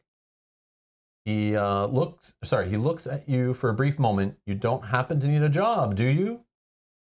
So your options you could spend a day at the inn for for two gold, spend my hard-earned money. oh, man. Oh, we did forget to change the day. no, I changed it on here, in but the I think app. in the yeah, app. it's fine. Yeah, I'll do it when I get back to the thing. Yeah, I keep forgetting. Um, thank you, Edgar. You could clean the baths, which is doing some work, doing a medium survival check for two successes, or you can help at the inn, which we don't know what happens there. Hmm. This is interesting. I don't know. That, I don't think I want to clean the baths, but I'm I'm willing to help at the end, but or spend my day at the inn. I'll help. I'll help at the inn. I think. Let's save the hmm. money. Maybe I can make some more money helping. Okay. Exactly, vassals for money. I'll help at the inn for the money if it gives me money. Clean the baths? No, help. Oh, at help the at the inn. end, sorry. Yeah. Oh, I see, I see. Uh, the amount of work that goes into managing an inn surprises you. There's laundry to do, floors to mop, dishes to wash. It won't make the most exciting chapter in your memoirs, if you ever write any, but at least Ranut pays well. He also insists that you stay the night at the inn, an offer you gladly accept. It definitely is nice to sleep on a proper bed every once in a while. You gain eight gold. End of scene. All right. So I have 15 gold now. Thanks for sharing. So what day are we supposed to be on? Tuesday? Yeah. Oopsie. Okay, okay. Uh, all right. all right, what am I doing? That's all you know. Hmm. I think I'll just pass on through. One, two. Uh, and I'll go stop on a little forest event. Okay. Is It- it Tuesday? It is Tuesday. All right. 119. All right. That's fun. I love when that happens. I don't know, like it's, it's rare to line up, but when it does, it's like this better be good. Aw. so here's to show you this is officially a prototype. It, uh, it doesn't look like it production wise. Everything here seems like a complete game, but it is not like we said at the start of the stream. Not every scene entry is done. Not every card leads somewhere yet. They're still developing the game. So if you back it on Gamefound, links in the description or in the chat, you'll see there's still more game to develop. So, you know, it's you're not just pre-ordering a game. This is a project that still needs more work to be done and to be completed. So it just says pick another one. So we could just draw another event card, or we'll just go down and we'll just pick the different uh, symbol. So Yeah, so if we go down, you are on a forest, no settlement grass. So 59. we go 59. We got excited. You saw how we got excited there for a minute, and it then was it's like, wow. Wow. So yes, we eagerly want to play the full game eventually when it's ready. As you can tell, uh, yeah, I want to see what happens on a Tuesday when I go to that location. Now. All right, cold sun showers leak from the summer sky, dripping down onto you through the branches of the forest you're in. Along the road that is taking you through the woods, you spot something up ahead. Drawing close to inspect it, you see it shred, uh, its shred of fabric impaled out, or impaled on the limb of a bush. I think you see a shred of fabric impaled on the limb of a bush. Uh, one player, if you search, each scent tag gives you one success. I don't have a scent tag, but remember, I have my once per scenario risk intuition oh, that we. that could get me successes. On, uh, it's a risky one, but I could choose the hard test to hopefully get three successes minimum. Hmm. Or I could figure out what happened here. Medium. That one's probably the easier one for me based on my dice, but we saw even I can still roll nothing on that. Sammy says, "I'm sorry for the letdown." No, it's oh, all no good. need it's all to good. apologize. Oh my Yeah, gosh. I'm just the joking amount around. that you've put into this. Yeah, it's no, crazy. no, this is no. prototype is like a mind blowing amount of Yeah. work that's gone into it already. Uh, That's the first time we've come across that too, right? I think so. Yeah. Yeah, yeah. Because we there were some cards in our prototype to be to be transparent. Uh, we got more cards, uh, probably twenty or so cards we had to take out of our prototype. That I guess at the time it went to print, uh, those storylines and stuff weren't ready yet, which is totally cool. Which is also is good for prototyping that the book is digital. So technically, as things are added, we could play in a couple weeks from now, and maybe some of these entries are in there. I would assume, maybe not. I don't know, but yeah. So it's kind of kind of interesting. And we may play this again uh, before the uh, Gamefound campaign is finished. We'll see. We'll see. Depends how many likes people put on this video too. So if you're watching, hit that like button down below, and, and, and maybe maybe we'll continue with a persistent playthrough. And you guys can see how it keeps evolving. Uh, but yeah, I don't want to spoil too much, so we might only do one playthrough uh, and leave it up to you guys to discover this game when you get the full game. Uh, all right. Or we could ignore the torn fabric. I don't ignore anything. exactly. You guys know. That's what says, to be honest, Rob is a loot person. Yeah, yeah. So I got to search the area, right? well, Janet also says go for search for the loot. Yeah, let's do it. Let's go all in. Yeah, you do have your backup card, so All right. So let's go to the special view here. All right. So we are going to, so for search, it's a hard perception. I don't have any skills in perception, but I do have the neighboring communication. So I can roll two blue dice, which have two eyeballs on it, which is 50% better than the regular black dice. So I'm not expecting many eyeballs from the dice, but we're going to use risky intuition depending on what happens here. And that will let us roll a d12. We can push our luck and maybe get some more. and you get to see your result before I- you decide I that. do- so I do also have determined. oh, So I could discard that to get a success. So this one we're going all in because I mean loot. Come on, right? Hey Buell, you got busy, eh? what else is new? what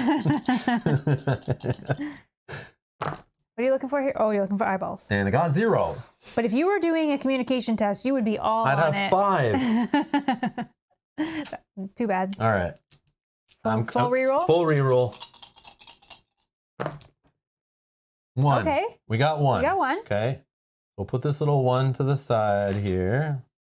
Okay, these ones will just keep the, the same facing, right? Because it could say we if you got some books, you know, add those in as something else or something weird could happen. We never know.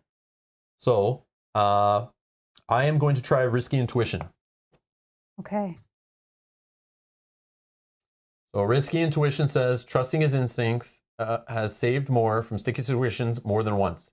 Getting into trouble from the exact same thing, not rare either. So, I am in a perception test.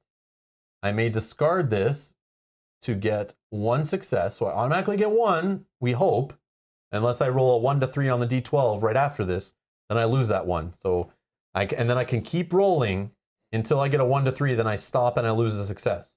So Mel's going to use her amazing finger tracking, and we're going to know how so many. So you have one, technically two. I technically have two successes for the test right now. okay. So I'm going to take the D12, the one that we used to, to randomly determine what month we were starting on or whatever, Okay. And I'm going to start rolling it. And sometimes you'll see the D12 will come up on other card abilities and in tests and things. A six. Six. Success. All right. Oh, here, I got to switch to the other view.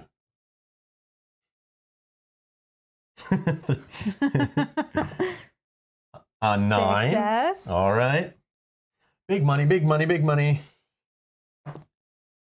A Four. four. Okay. It's not the one to three. We're cl- I was close.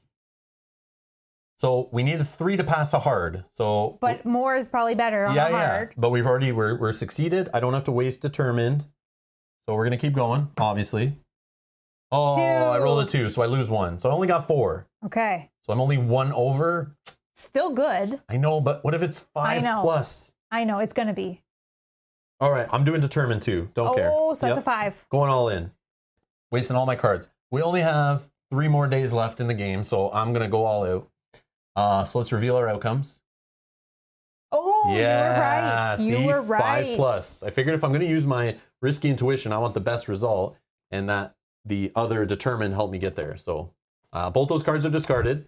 So the once per game ability goes back into my save slot. We'll just throw it there, and then the uh, I think it goes to the library, but then when you reset or save at the end of the game, it goes back. Um, but yeah, anyways, uh, we go five plus. So scanning the area, you spot tracks. Following them, following them, you're led to a cottage on stilts where the tracks go under the building. Dropping to all fours, you see a young frog curled up and feebly calling for help. Her dress matches the piece of fabric you found. Uh, you help her out of the hole and carry her back to the main road. She thanks you, but can barely say more. It's a risk of going in forced hibernation from the cold.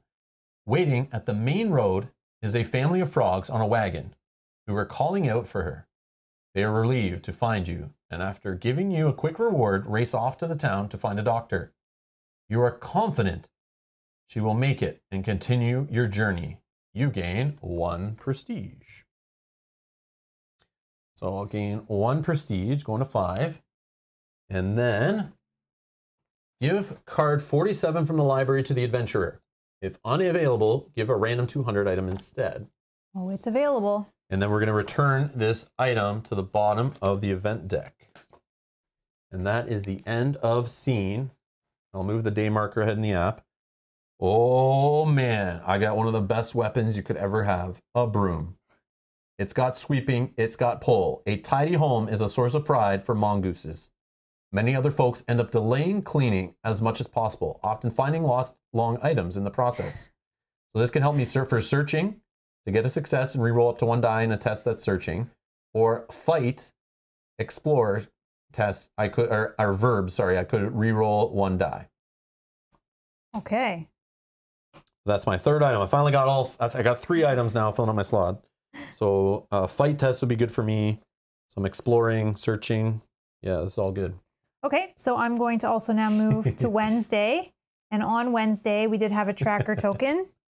This is where we're going to lose my friend here, Nara, who was of no help to me, Oh no! is being discarded after five turns. So I will discard her back in the library. So she didn't help me at all, but that's okay. It was nice to have a So- friend along the way. So our fellow Canadians in the chat are making jokes with the broom about sweep and hurry hard from the sport of Oh. curling. For anyone who watches the Winter Olympics, knows of curling. That's like a Canadian pride kind of Mhm. sport, uh, especially out east. Uh, but Kate uh, has taught me that there is a curling emoji. Never knew that. That Hmm. just blew my mind. Um, and Brian S with the funny way to clean up, Rob. Way to clean He's- up, Rob. He's back. Very nice. Very nice. And thus, curling was born in the new realm. Yes, Yes. Casey, that needs to be added to the story. curling is an official sport in the animal folk world here, land of Galzyr. All right.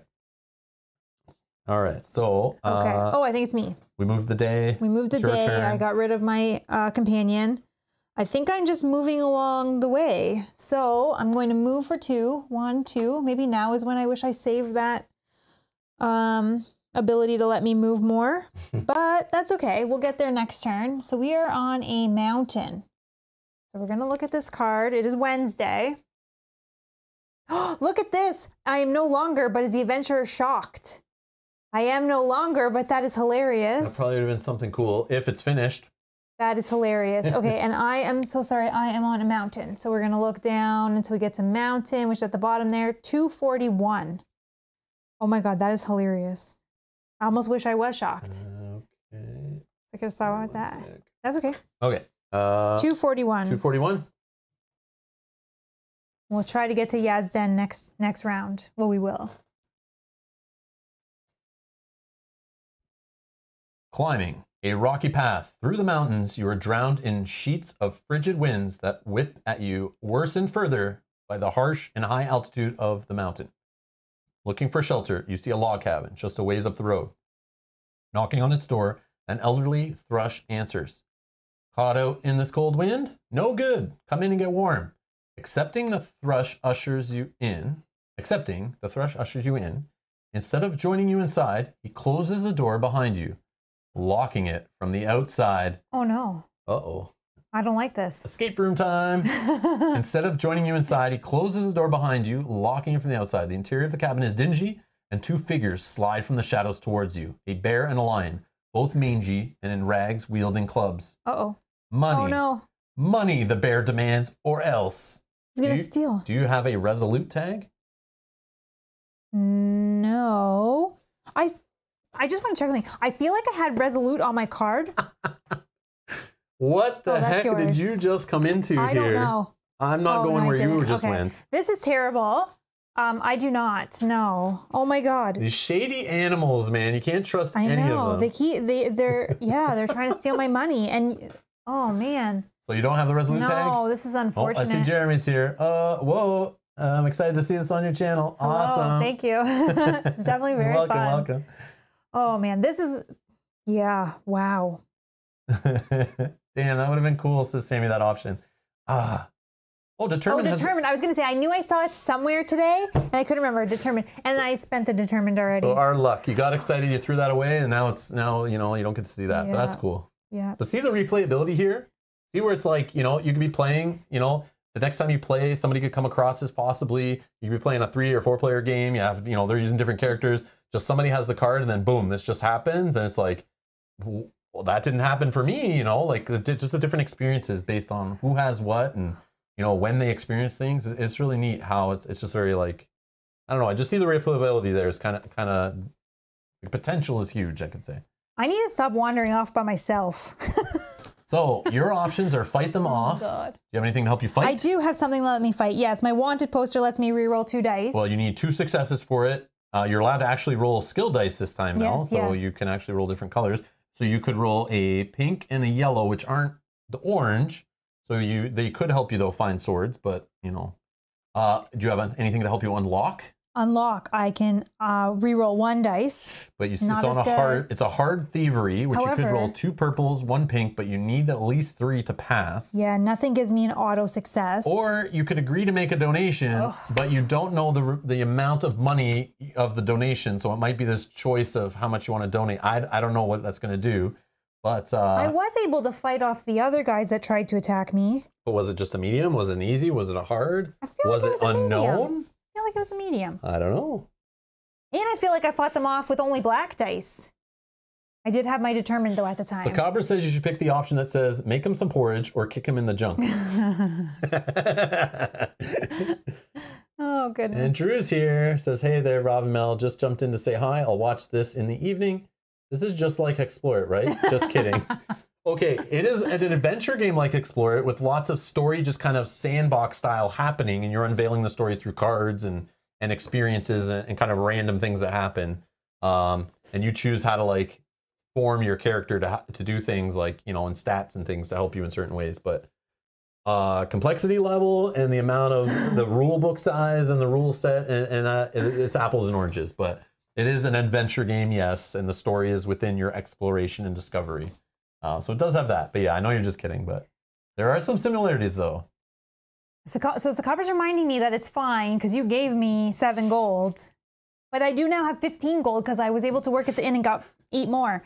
So don't come back to me asking for more money because you you wandered into some cabin looking for a good time Oh my god. No, they're trying to rob me. yeah black eye or not i don't know if i can give you any more money Okay, okay, okay. I think part of me really wants to agree to make a oh. donation. I'm not set on this yet. I'm just talking it out. Or I want to fight them. I don't think I'm going to go with trying to unlock the door because I don't think that's a good idea. Actually, I think fighting them if I fail on a fight, I think this is bad What too. if they're just captives that that were like you and they're just imprisoned in there? Oh, but then if they have no, weapons, they imprisoned me. Well, no, no. Well, they tried to like lure me in and then lock the door behind me. I don't know. Oh, they're Come wielding inside. clubs. It's so warm yeah. in here. Never mind. They have clubs, so they probably would have beat up the captor. Yeah. I just thought maybe you got locked in and then they were also locked in. You know, you got tricked like that. But no, I think they're all working Mm-hmm. no, together. they lured me in. All right, what are you doing? Fighting? Well, I'm either fighting or making a donation. Uh, I'm just thinking, oh, do I think I can get two swords? I got, I have two rerolls. Okay, let's fight. Let's fight. Let's fight them. Fight off. them off. I'm not letting them take my money easily. Okay. So I roll one pink, one yellow, and three black. I have, I can re-roll up to two of my dice. Uh, first, we will re-roll all of the dice as my one zero. free re-roll because that was zero. Oh, I don't feel good about this. I don't either. Okay, okay, we got two. Oh, okay. We got two. All right, you've you've passed. And now I can re-roll up to two die. So let's just re-roll these two. Oh, we You got got, three. one. Okay, we got three. Okay, okay. All right. That feels good. So it's still the same as two. You're okay with that? Yeah. Instead of complying, oh, I guess you'd have to be okay with that. Too late to use stuff. Uh, instead of complying to their demand, you abruptly attack them. The fight is terrible at this in- intimate range, but after a brutal and long battle, the wounded bear pounds her fist on the door. Let us out! The thrush unlocks the door from the outside and is trampled by the escaping bear and lion and scampers off uh, scampers after them, leaving you alone in the cabin. Taking a moment to rest and let the soreness drain from your bruises, you search the cabin and find an item along with a couple of gold the ruffian stashed away. Once the raging and freezing winds settle down and a gentle br- to a gentle breeze, you leave the cabin. You gain two gold, Okay. and you also get card 18. And if unavailable, you get a random 200 item instead. 18. eh? Okay.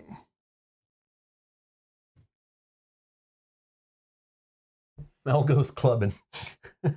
What'd you get? I got multi lens goggles. Reading. Lensmaster 4000 greatly enhances your vision and improves your chances of spotting whatever you're looking for. I like this. Man, those In are way better. Those are way better than the Lensmaster 3000s I used to have. Yeah, for sure. Way better. For sure. When I search, I can reroll three dice, observe, reroll two dice, and unlock reroll one dice. Yes, this is probably better than my magnifying glass. Definitely. But you could use both at the same test. Like on searches, you could have two successes and re-roll a bunch of dice. So how much searching uh, do you think you're gonna do, or just you're gonna focus on that or not? You know what I mean? Like you never know, right? Like unless you know some places where searching was a thing, like in some of these locations, you might go back with some search in mind. Good thing it was a bear and not a seal. Oh man, bom bom. I think I'm actually just going to replace my my goggle, my magnifying glass with my goggles. All right. That's so what I'm just put it do. back, the other one back in the library where it goes. Okay. and then return the event to the bottom of the event deck. Okay. That was a fun event. I thought I was going to be unsuccessful. And that's the end of your scene. Uh, so I am going to just move to, and I'm not stopping where Mel did. I don't need to be locked in a cabin or anything weird like that. So I'm just going to continue on to Yezden. I'm actually going to pick up the quest in Yezden, which is the one says moving between cities and Galzyr is a pain, not to mention how badly my back aches after a bumpy ride on a lowly wagon. I have a solution to all of this. Only a simple courier service is needed to complete my plan. Olamide the Dodo. All right, so take off that symbol, and if you can get me another quest to replace it in the uh, in the uh, notice board. This one's in Arin. Oh, oh, wow. man, All the quests. so all the quests right now off the notice board are in Arin to go pick up. And this one, the public posting is I came to Galzyr for a little vacation. I have everything already well planned and I would love some company. Karimia, the Gila monster. Okay, whatever that's about. I don't know if I want to find out. And okay, so I have high hopes. Part one is the quest I just took off the notice board. And I only have two, and you're allowed to hold up to three quests, so I can hold this one. And it says, I got an idea for this from this large basket I found for cheap. Strap on fabric bag along with a burner, and we have a vehicle capable of transporting folk from city to city. There are suitable banners in Rhinestone, or burners, sorry, suitable burners in Rhinestone. Drop by the bank and take a small loan on my name before meeting the seller, and we're all set. O- Ola- Olamide, the Dodo entrepreneur. So my next to to progress this is obviously part one. So there's more to this, but I'd have to go to Rhinestone. I could do I could have another player help me, and we can visit the bank and try to see if we can get a loan to help this guy build some kind of traveling device, which is really cool. I want to do that, but I don't know. We don't. I don't think we, have don't time. have enough. I don't think we'll have enough time in this playthrough to do that. But just showing you, like, man, okay, okay, uh, all right. So I'm in Yezden. I have a uh, smoldering wood quest part one. I But if you try. wait for me, we can do it together. Yeah. So what is there? Uh, can you lift the card up and just Yep. show me what options are on the space, so I can do something else while I wait for you? You can visit the temples, the gardens, or the market. Uh, hmm. I think the temples would probably be cool. Number one. All right, let's go to the temples while I wait. Yeah, I'm gonna if do you wait for me, we can do it together and possibly get better rewards. yeah, I'm gonna do some sightseeing at the temples while I wait for Mel to show up after she's done attacking, Sorry, beating bears with clubs or whatever. She did. okay, number one. The atmosphere is serene, and you climb the numerous stairs, arriving at the higher parts of town, home of the temples of Yezden, ones that have been said to touch the sky. You're welcomed by a marmot dressed in a cloak who bows slowly and introduces herself as Lynn. Behind her, you spot a small stall nearby with a sign Boutique of Fleeting Delight. Does the library have 119 available? Oh, that's oh, cool. I like this. Uh, give me a second. It sure does. Okay, so I'm going to say yes. So I guess it's something special that obviously can only be seen on this quest line. And if somebody already did this quest line, You can't do it it's going to stop you from doing it again. I, I would assume that's kind of neat. Uh, yes. Lynn explains how it's in the transition of Bobak marmots to journey to unknown lands and destinations in order to achieve spiritual growth. In addition to meditating daily at high altitudes, you'd be uh, you'd be free to join in either if you wish. Lynn finishes with a worrying look on her face. One of our members, a young apprentice Jung, left for a wayfaring, uh, wayfaring sorry, journey some time ago alone. He should have returned by now, but we're hearing we've heard nothing. I fear that something has happened to him. So if you meditate, each comforting tag gives you one success. I don't have anything comforting. Uh, so I can help find Zheng. I can explore with the Wayfaring group, which is an easy survival. Join the meditation session, which is an easy book, or I can visit the gift shop. Hmm. All right, this sounds like a uh, voting for chat kind of thing because I don't know what the heck to do here. So, uh, what to do so we can help help we can explore. I'll talk about my cards in a sec if that helps. Uh we can join or we can visit so I'll- put that in the chat for like a minute. You guys can live vote. Those watching this live can go in the chat, vote on that option. I'll do whichever you guys want to see. Um, but uh, again, we don't know with the Xiong what kind of tests or what, what's going to continue with the story. We have no idea. Also, visiting the gift shop. The gift shop might just be a market kind of thing, I would assume. Um, but for exploring, I have a broom, oh, your new broom. my new broom, my hot new acquired. broom. Uh, could help me just reroll a die. I, I don't know if that's great, but the explore test is an easy survival. I don't have any survival stat, but I could roll a green and an orange and three black. So remember, the green and the orange will have two sides that each have one survival on them, and the black have a one in six chance of survival. Um, but I do, again, I could re-roll. Also, uh, the other option was join. I don't have anything for joining. Again, I don't know if there is anything for joining in the game. But on that skill test, I do have one in the knowledge, and I could roll two blue, which could help get it two, and then two black. Um, and then, yeah, helping find Jung, who knows? So you guys vote in the live chat. I'll give it a few seconds. Uh, I'm going to take a quick break uh, and just get a drink and stuff, and we'll be right back in like a minute. Okay, so stay tuned. Be right back.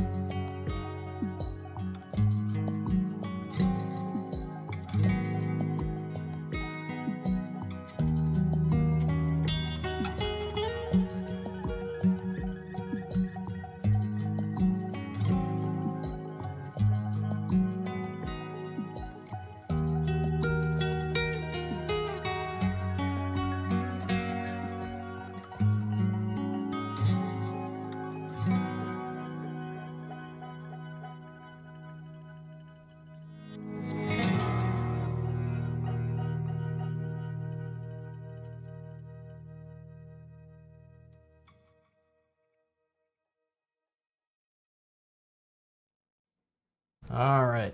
Uh, let's end the poll. Thank you, everyone. And okay, poll results.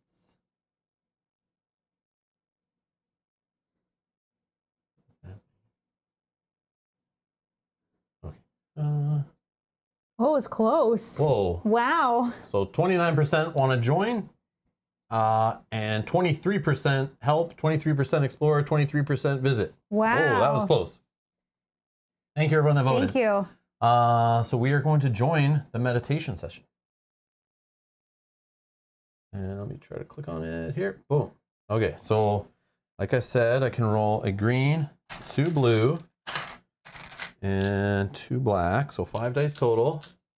And joining and meditating and all that stuff, I don't think I have anything for.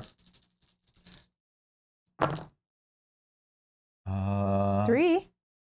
Three books sounds good for an easy test that should only need one. I'm just gonna go with it. No reroll. Oh, yeah, three go. plus. Awesome sauce. Uh, the guru's words lead you to a state of deep focus. A gentle breeze swaying in the tree branches, the quiet ripples caused by a nearby stream. They became, uh, or sorry, they become an expression of the calming effect this place has. As you open your eyes, you feel rested, better than you felt in a long time. You may return any weary tag you have to the library. Oh, that's cool. Uh, that's cool. Give card 60 from the library to the adventurer. End of scene. And that will move our day forward. We'll take a look at the card. There's no timer token stuff. oh, there's a few 60. Oh, it's the same thing. Yeah, if, it's, if it just shows that symbol of just card number 60, you grab any one because Yeah. they're either all the same or there's only one. So I just gained the uh, status called Inner Peace. I'm serene and upbeat. Meditation and calmness are the keys to tranquility. If you take part in a thievery, a might, or a uh, survival skill check, discard it. You gotta be calm, bro. Be Yeah. calm. Don't be aggressive. Uh, and oh, this is forced. This is a forced uh, verb box. So again, these ones, all the brown ones with the little like rounded borders on this on the words are uh, optional. But this is a purple one, which is forced. So it's got like the uh, I don't know what you call the, the borders on, but it's purple. Recall, convince, and observe. I get a success automatically, whether I like it or not. Forced. And you have this till the end of this playthrough. Yeah. So when we, yeah yeah. So when we go to save at the end of a playthrough, this will get discarded back to the library. That's what that tells me. So you don't get to keep it from play to, through to playthrough. Daniel is also saying that effect would be useful in your Arkham Horror. All right. So I'll keep this for tomorrow's Arkham Horror playthrough, and we'll use it there also. Oh, Edgar says shocked Ted weary. Oh, that's cool. So Ah, been okay, able to get rid of that. That's cool. I don't remember all the tags. That's yeah, cool. Thank you. Okay, so it's Mel's turn. Oh, We're yeah. on Thursday. One more day left One in the more day. game. So I'm just Or joining this is you. the final day, right? Because as soon as it moves, we do that timer tag, and we'll see what the end of a playthrough does for a cooperative. Okay, you visited the temples. I will visit the gardens. Gardens number two. Yeah. The garden is beautiful. You've never seen anything like it. Bushes, fall, uh, full of berries, flowers of all colors, tree branches bending under the weight of ripe fruit. You see a polecat tending to the garden. She has already noticed you and approaches to greet you. My name is Heideban, and I'm here. I'm the head gardener here. She sees you're still astounded by the beauty and abundance of the garden. It really is something to behold, isn't it? A result of hard work, mind you. There might actually be something around here you could lend a hand with. How about picking some of the harvest? We could also find something inside if that's something you'd prefer. What do you say? Hmm. So you could gather fruits and berries or go inside. I'll go inside. Oh, uh, Sammy's saying I've reworked Inner Peace slightly to have a timer of four, and you do get to save it between sessions. Oh, Oh, that's cool. namaste.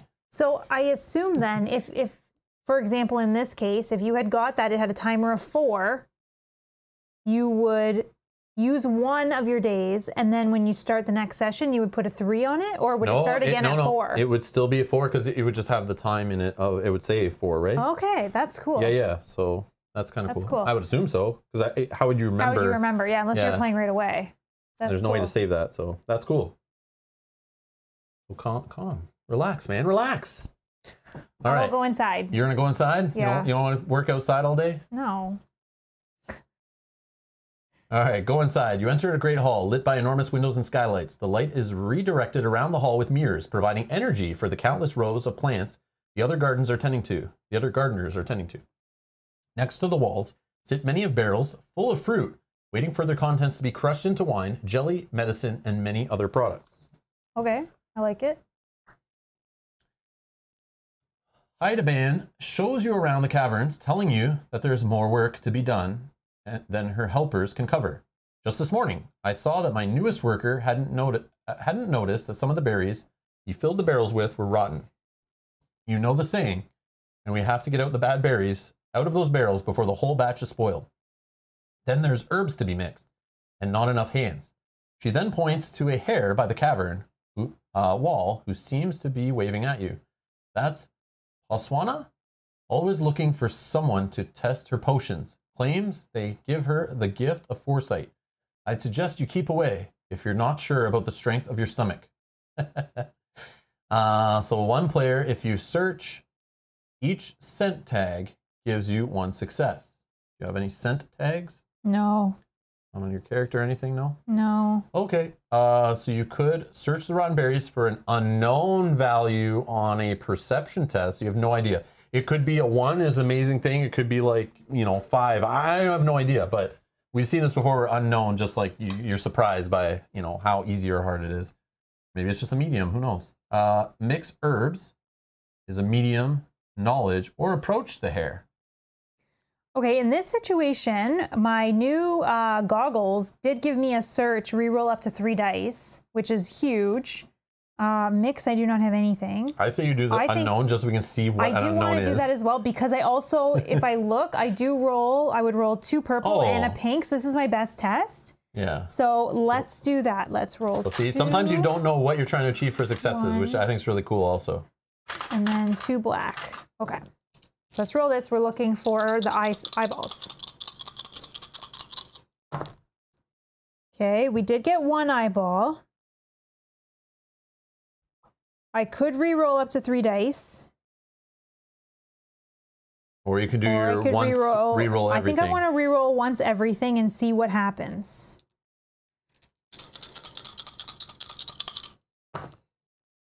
Okay, now we have two. So we'll just put the two here. And then I can re-roll three dice. So I'll just choose the three that are remaining. Okay. Oh, we got four. We got, oh, I'm putting them in. You can't see. Sorry.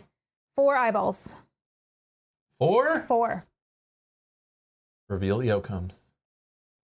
Oh, wow. Whoa, there's a six or plus? six plus. Okay, but I did get four, five. I'm But we, we with don't that. know what these do. Like, is that like I a know. pass? What that you don't, might you not don't, be good you don't know what a pass Six is. may be the best. So four to five. Yeah.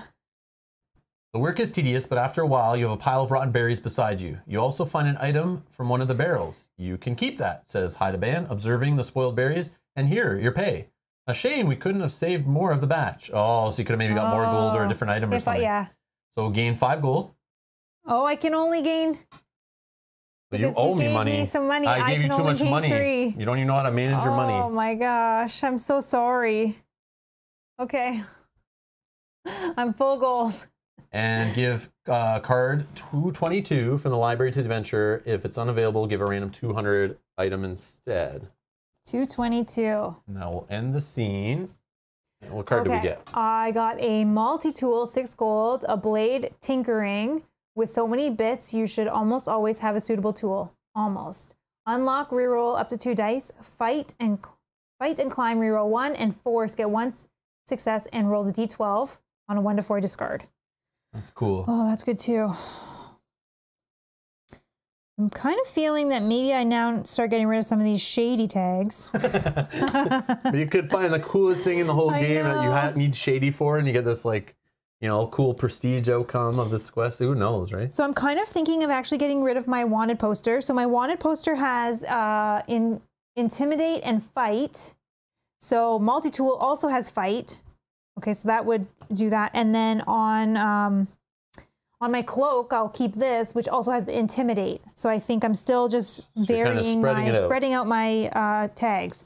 So I'm gonna get rid of my wand poster, and I'm I still have one instance of shady. So that'll take a little bit Yep, longer, but still shady, I'm still that's shady, correct. but I'm less shady.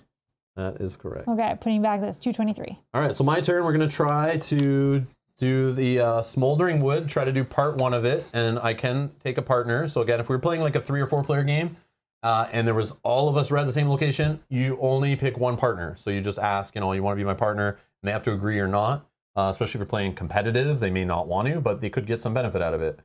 Uh, so yeah, smoldering wood. I'll be your partner. So Rovin, my employer, owns a large sawmill. A lynx named Hylamo is currently in prison for an attempt at burning it down. We believe Jeonka, a previous co-owner of the saw, to be behind the arson plan. We find evidence to support our presumptions. Jeonka's firm is a logical place to start. All right. Uh, so we're going to 143. 143. Following your only lead, you make your way to Alluring Shrubs and Herbs, Je- company. It is a fairly small building located some way off the city center, and as one might have guessed, seems to deal in spices and various flavors of ornamental plants. Wondering if you should just slip in and look around, you peek inside the front lobby. It seems quite busy. There is an aardvark clerk behind a counter, a number of customers, and a couple of workers hurriedly carrying boxes and from a door to the side. Oh, to and from a door to the side. Surely enough, a placard on the door says that they're hiring. Perhaps that's your way in. So I could try to get a job or sneak inside the building.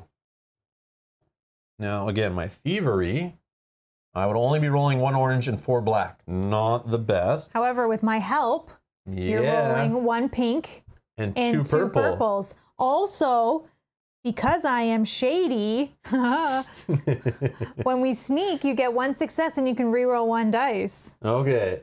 So I think we're sneaking in. We're, we're going to be shady, We're sneaky shady. little We- thieves. We, got to take advantage of this shadiness. So, so this is a better example of how the partnering works, especially in a cooperative. So, Yeah. if it was competitive, I would have to ask Mel, "Can I use this skill?" And she says yes or no. Then I ask, "Can I use these skill dice?" She has to say yes or no. So it's like a one-to-one basis. Which piece you want to allow, and can I use the tag off this item? She has to say yes or no. In a cooperative game, I'm assuming you're just kind of like, "All right, my stuff's yours, your stuff's mine. Let's go." So unless she It's- was shocked and couldn't use her dice which, as we saw, for example. yeah, so this time, uh, we're just going all in. So you guys get to see the real benefits of partnering up uh, and how we can try to get the better results.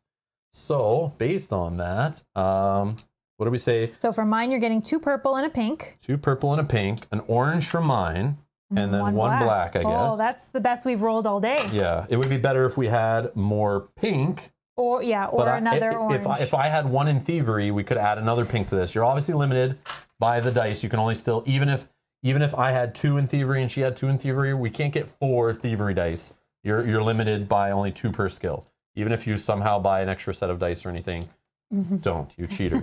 don't be cheaters. All right. Um. Okay, and what did we say? Sneak. I have a reroll up to two. okay, and then for my sneak, you have an auto success and a reroll of up to one. Okay.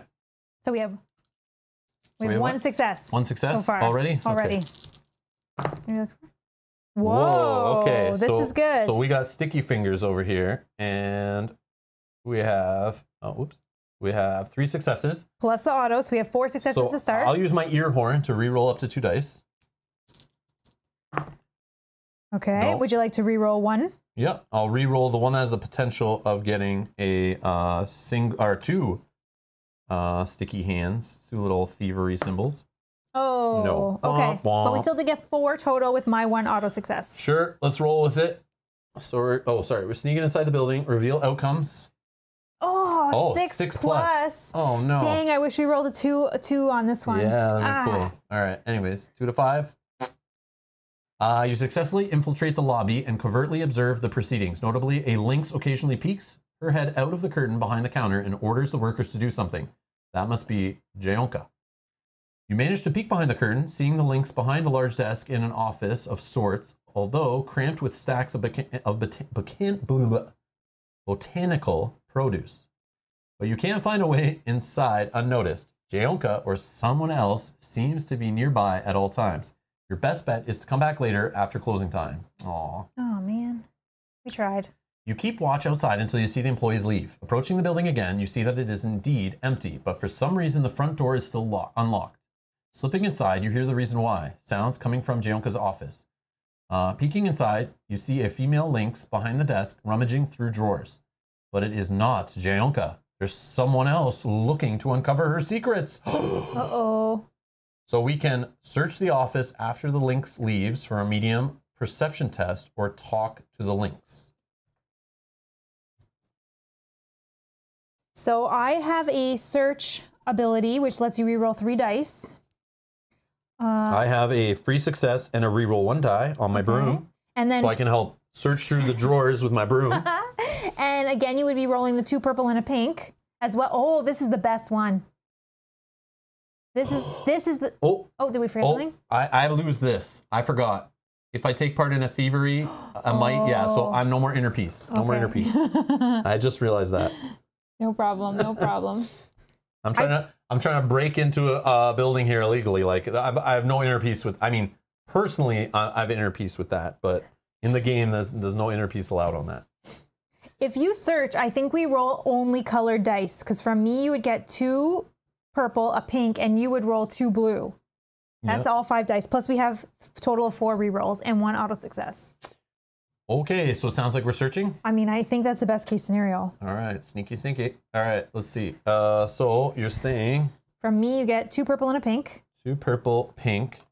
We got two blue Yeah. And and one. No, that's no your black. five. Yeah, Yeah, yeah. it's all. This is the best one. Here actually. we go. I'm looking for eyeballs. Eyeballs only one. Ooh. Mm, mm. Do you do all the rerolls, or do you want to just do No, a full No, I do a full reroll first. All oh, right. okay, that's better. So whoops, Oh, that was a was a double. Here, let's get these out of here. Uh, so we got two eyeballs. So we got two eyeballs and then re-rolls. I have a three die reroll. So this was a search. Uh, so I can roll one, which wanna- purple is the one we want to roll the most of Okay. Because it has double eyeballs. No. We didn't get it. Now you can reroll up to three dice. Uh, so we want to reroll that, and these don't matter, so because they all just have the same on them. okay.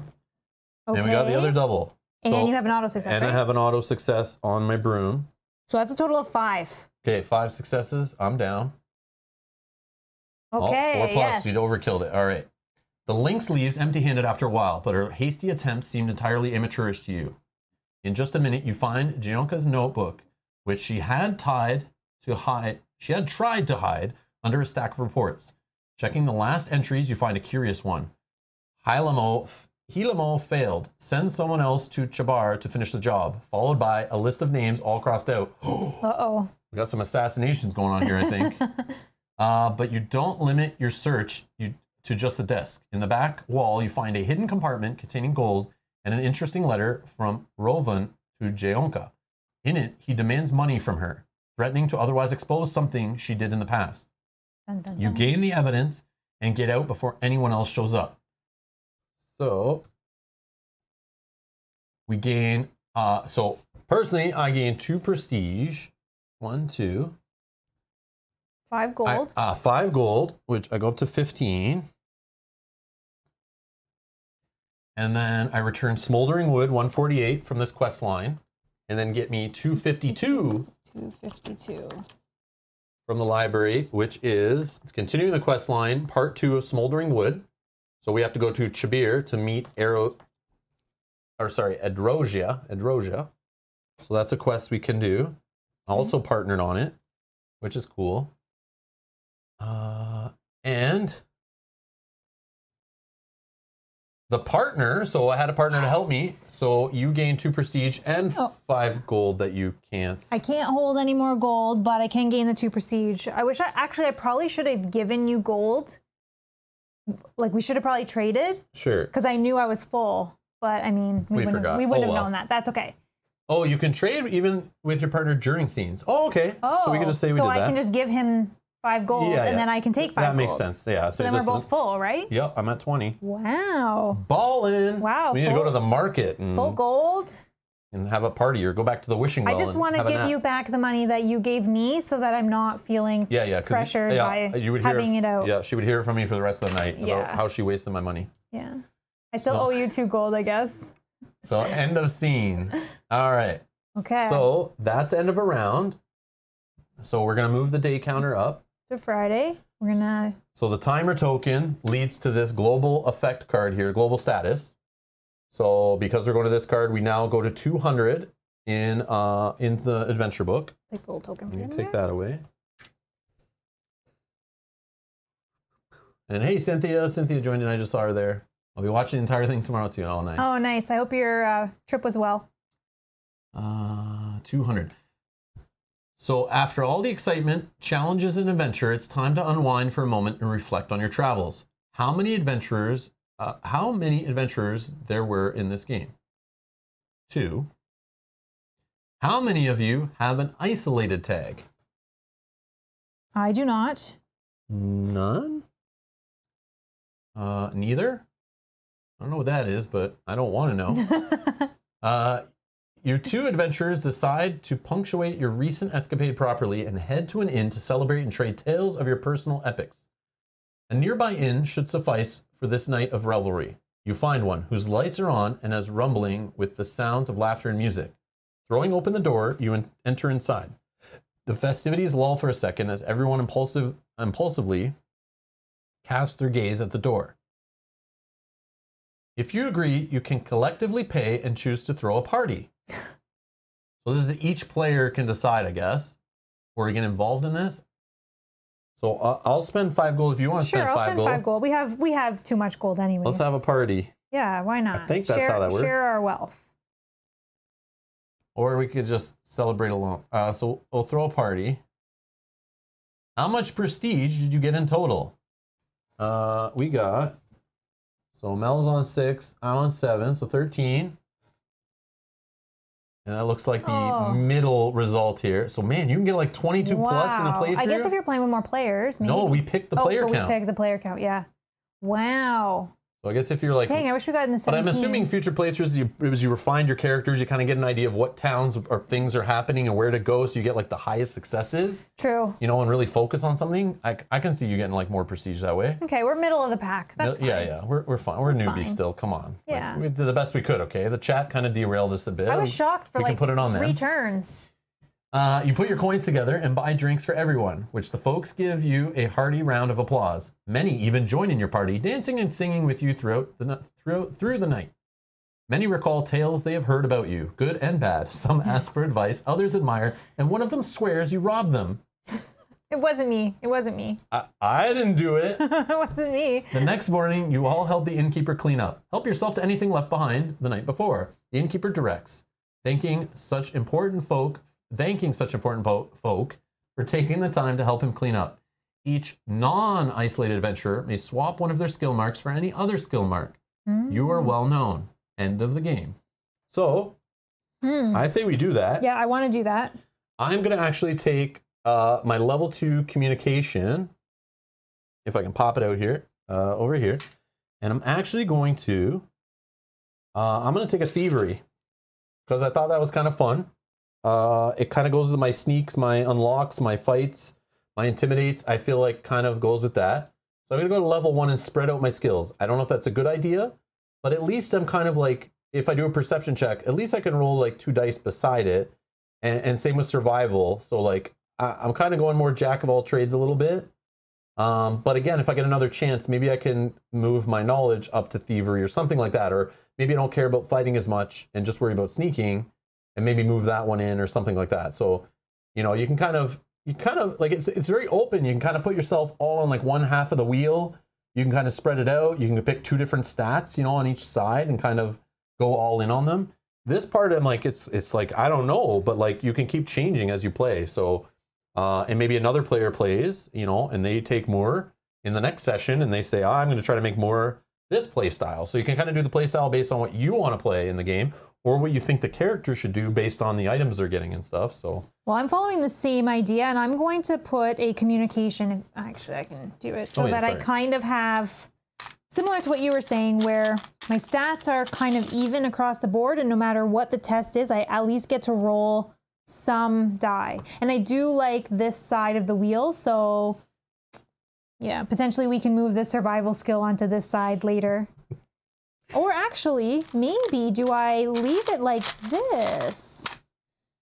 Maybe I leave it like this. If I like that side of the wheel, and maybe I go more like that. Yeah, if that's I think I like that because I do like this whole perception, communication, yeah. thievery. I'm not really doing any survival skills. Maybe I should be. I don't know, but I think we're gonna go like that. We're gonna stay on that half. Then when I click end a game, it just goes back to the title screen where you can start a new game. So we're gonna go through the save uh, mechanics of the game to show how you kind of clean it up at the end of the scenario because I want to show this.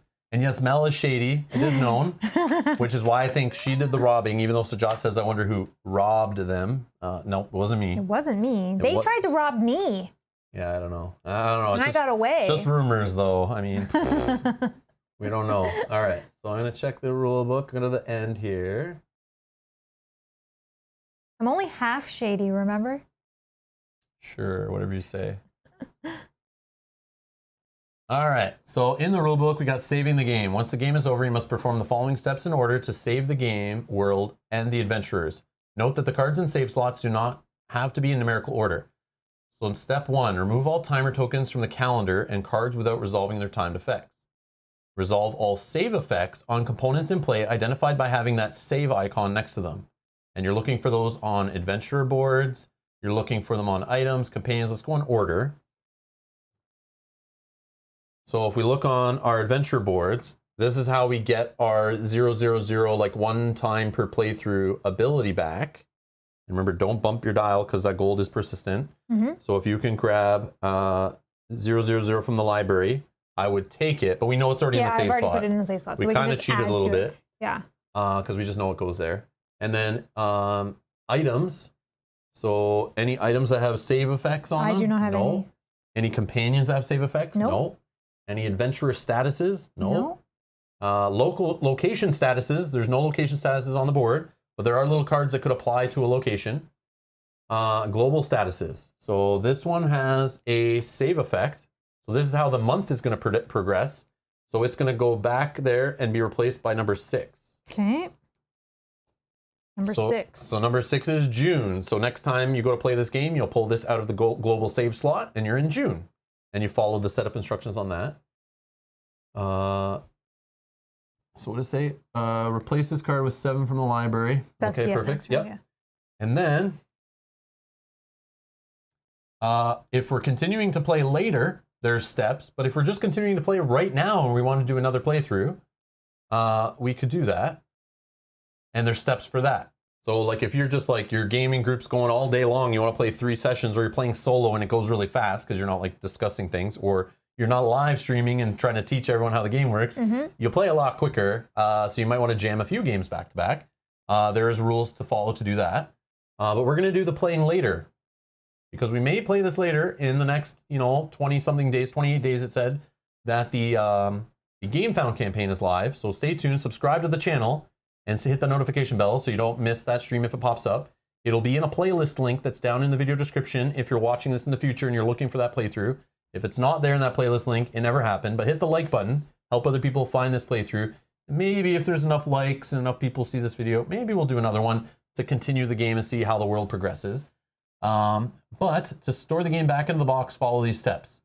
So we're going to place the cards each adventure has into each of their own save slot. So if we look, oops, if we look here in the back, so each, this would normally be in a separate tray, but I just threw them in here because they all fit. And it's easier on stream just to handle this. Uh, but every every adventurer has their own save slot, and we're just going to put it behind that. So I'll just grab all the quests I'm working on, all the items I'm working on, and they'll go behind Moore's little little tag with his ability and everything in there that we would have put there too. And this will go back behind Azala's slot here. So I'll just throw that in there. Okay. And then um, the quest, items, companions, adventure status go in. Then we're going to place all remaining cards in the global save slot. So all our our notice board, our uh, the mode that we're playing, the June card, the global status, all these locations, they're going to go back in there. And they just go back out on the board by number. So it'll just maybe on a different side if it was going into a different season. But I have a feeling June is going to be on the same side of the board. And these go with it. I can put them in order later. It doesn't matter. No, it's fine. So these will just go in the global save slot, which is the very back. Uh, easy peasy, all done. And like you saw, Oh, sorry, these as well. oh yeah, the event cards. Yeah, yeah, it makes sense. Makes sense. Uh, so as you saw in the setup today at the beginning of the stream, we literally just grabbed everything out of the global save slot and set it up based on what's there. So it's like super easy to save this game, super easy to set it up. Uh, you know, and then it's pack all components in the game box, making sure not to adjust the gold on the sheet. So this is prototype, but the dial is pretty stiff, like it's not going to turn. But anyone who's played any X-Wing or FFG game that uses dials in it, which we've seen many, Keyforge, all those kind of things, sometimes the dials can be loose. Even Gloomhaven uses dials like this. The original ones were like super loose. Um, they might wear down over time because it is paper rubbing against paper. So, you know, maybe you could just jot down on a little note or something or a notepad, worst case, uh, and just record. Make sure you know how much gold because it does matter that Moore has 15 gold in the start of the next playthrough. You know, so you just got to be careful with that. But there is a spot to put these in there and hopefully they don't get bumped around or anything. I do remember when we played Aftermath and we had dials like this. I just took a picture every time. Oh, Just taking a picture. Taking a picture. Just that in works case too. something moved around, I Yeah. just set them all up in all the dials and took a Yeah, picture. that takes that, So, that works too. yeah. But yeah, it does tell you be careful with them. But that's it. So like we could literally I'll just have the box here. and yeah, super quick. So And Sammy does say we do hope to make the dials differ for the final game. okay, cool, cool, cool. That's awesome. I mean, it's not life or Yeah, death, no. but like, you know, it's easily solvable by writing it down or taking a picture or whatever. But it's not gonna like ruin the game. But like, it does suck if you're a very competitive group and you're getting back to the next playthrough and you're like, wait, how come you have 20 goals and I have zero? What what, happened, here? Yeah. What the heck? You're cheating. All right, so then we're just gonna. Oh, Oh, we missed missed a card. Oh, Oh, no, we broke, we broke the even game. We broke the game Didn't even notice. Because the the art just blends in so good. Yeah. Uh, so yeah, so we just put it away in here. There's a little component for you know the slots in here, and you know your characters. We put all these back in the little baggies. Uh, but if, if you're sleeving the game or whatever, and the, and the, these are not all the cards that come in the final game. There's going to be like you know many many more, and there's some that we're not even using today that are in another baggie. But if you do sleeve everything, you could have you know your uh, save slot and your vaults and all that stuff on this side, and you can have your your uh, library all sleeved in one tray. Uh, but it comes with these little foam things. But again, this is just prototype and it's not finished.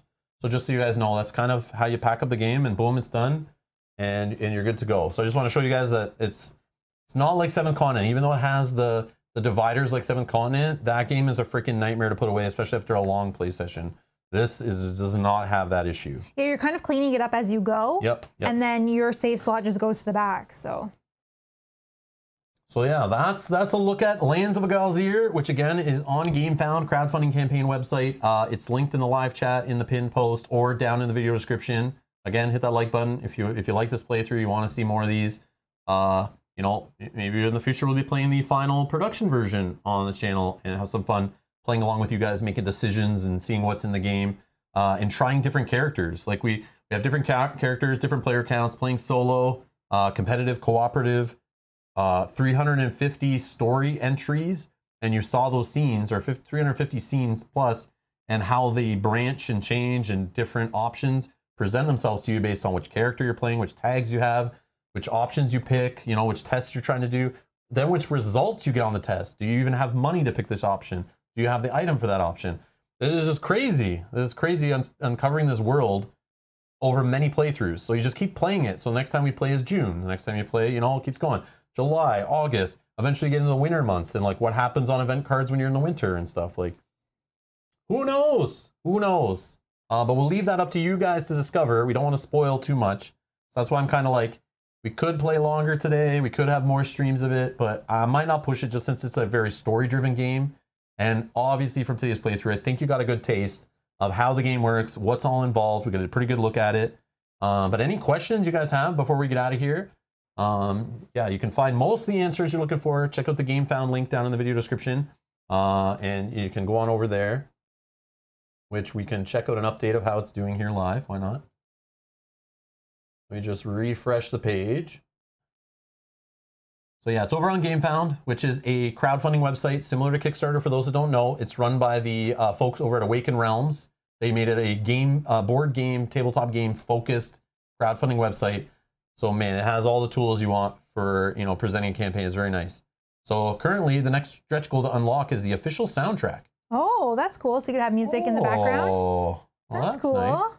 So it's 119% funded. Congratulations, Sammy, on that. Yeah, that's awesome. Uh, 28 days left on this at the time, 644 backers. So, yeah, you guys are interested. Again, this is just our thoughts, our opinions. We weren't paid to make this playthrough again. Full, full disclosure. We were just sent this prototype to play on the channel. I, I, I did look the game over uh, in a playthrough video and read some of what, what was it, what it was about before I accepted it. So, you know, look at that as you may. But it is a cool game. It definitely is in our wheelhouse of adventure, story driven. Um, normally, dice rolling and the dice mitigation, not having it at the beginning there, would normally frustrate me. But because it's a, a game I knew, I've played it a couple times, I know eventually you'll get the tools and things to help you and you can work together with your partner and fail less. And sometimes you just roll bad. It happens. Yeah, it You get a happens. reroll automatically. Some of that stuff, but it, it, in a game that's like the complexity level is like this and the play time is not that long, and it, it's just it's okay to fail sometimes and see random results happen and stuff and sometimes the luck doesn't go your way i'm totally okay with that in this kind of game totally fine totally fine yeah so there you go and you can recover in this kind of game, right? We saw Yeah, that I was yeah. shocked for those three Yeah. rounds and it didn't really hurt me too badly. I was still able to succeed on tests. So hmm Yeah. Yeah, if you want any more information, check out the link below. It's all here. You can read all about it. Check out the stretch goals, add-ons, the updates, the comments, the FAQ. See what people are saying about it. You know what they think. It's all on here. It's just like kind of like a Kickstarter page, but you know better, uh, in my opinion. And you guys saw this for the Hexplore campaign we we played the prototype for. Uh, I really like this stuff. Um, but yeah, let's see what the live chat is saying. Is there rough noises in the soundtrack? Dan, you're crazy, Dan. Uh, Cynthia will watch the stream back tomorrow, but it looks interesting so far. Yeah, it gives the vibes again. I'll mention this for those that weren't here at the start of the stream. This gives me vibes of Destinies that we played, except for Destinies is very heavy app driven. This is not. But again, the whole idea of you need an app, you're exploring a story, you don't know what's happening, you don't know what's where, you're kind of discovering the story as you move around and, and interact with story in the game. It feels on the same complexity level and kind of adventure of that. Of course, of course, that seems to have a much more mature, kind of dark fantasy theme to it. This is, I don't know, it's like got some dark stuff to it, but it's definitely more it's- it's- fun and family Yeah. friendly a bit. But it's still not like, you know, you see animal people. It's not like a kids game. Definitely not that. No. And I love the art in the game. I love watching Sammy draw this art on his streams and stuff. Oh, was amazing. Yeah, if you guys want to check that out, hit up Snowdale Design on YouTube. Go subscribe to Sammy's channel. He has um uh, he has upcoming streams scheduled for playthroughs from the designer. He has upcoming streams of of drawing art for the game. The game's not completed yet. All the cards aren't designed. All the story entries aren't designed yet. You can go see him like draw on a live stream uh, as he plays. He did it for uh, for this game. I watched him do it for before, but uh, he did it also for Dawn of the Peacemakers and stuff like that too. So uh, go check out his YouTube channel, um, uh, Snowdale Design, and uh, check that out later. Uh, he's got stuff scheduled. I saw a whole bunch of stuff pop up in my subscription feed. hmm And he says, "Thanks for uh, accepting to cover it, even in this prototype form." But this prototype No, was this awesome. is amazing. This is amazing. Yeah, we've played prototypes before, Sammy, that are like the minis we've had are like kind of falling apart. They're made out of resin. The rule book is two white pages stapled together They're and not printed complete. on a Yeah.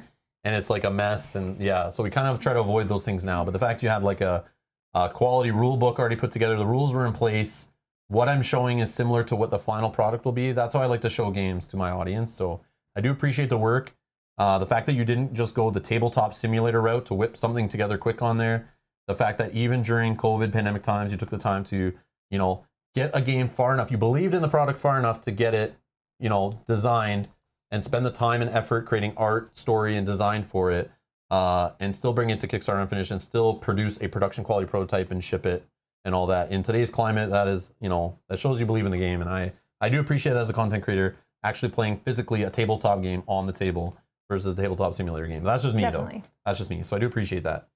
Uh, I like to see more of that, to be honest. uh, Frederick, you're welcome. And Cynthia says, yes, that comment about the app is exactly what I was feeling. I just mentioned it to Brian. It looks like an app driven game that has the balance, right? This is not an app driven game. Just so you guys know that we're here at the beginning, I ranted about it. Put your pitchforks away and your, your torches. This is all the app is here to do is replace a giant, thick storybook. So instead of fumbling around with a 400 page book and accidentally seeing what the results of a test are at the bottom of the page, or you know, you open to the wrong page and see something you shouldn't, uh, it just handles it in a web app. So it's not an app you find in the store, it's literally on a website. You can use it on anything with a modern web browser. You can cache it locally to play offline. So you do not need an internet connection once you've downloaded it. So you can take it on a boat or in the forest, like we were talking about before. You take it to a cottage or camping. Um, and yeah, but you do need it to to read your story scene entries. So th- yes, this is similar, Velco saying, to the Yeah. This War of Mine app, uh, or uh, kind of like the Tainted Grail app, right? Tainted Grail, you guys told us after we were done playing it that they created an app Yeah. that replaced that giant fumbly book that we had, where like sometimes things were accidentally spoiled on the same page and things um, that I see people complaining about. Um, but that is in this game. Also, there's you know you guys have seen it in our playthroughs before, and you know it. How many times have you backed a like $200, 300 dollar Kickstarter full of minis and a giant campaign book, and you're in the middle of playing it, and you get to a point and go, "Oh, that typo doesn't make sense. What do I do now? I don't know what to do."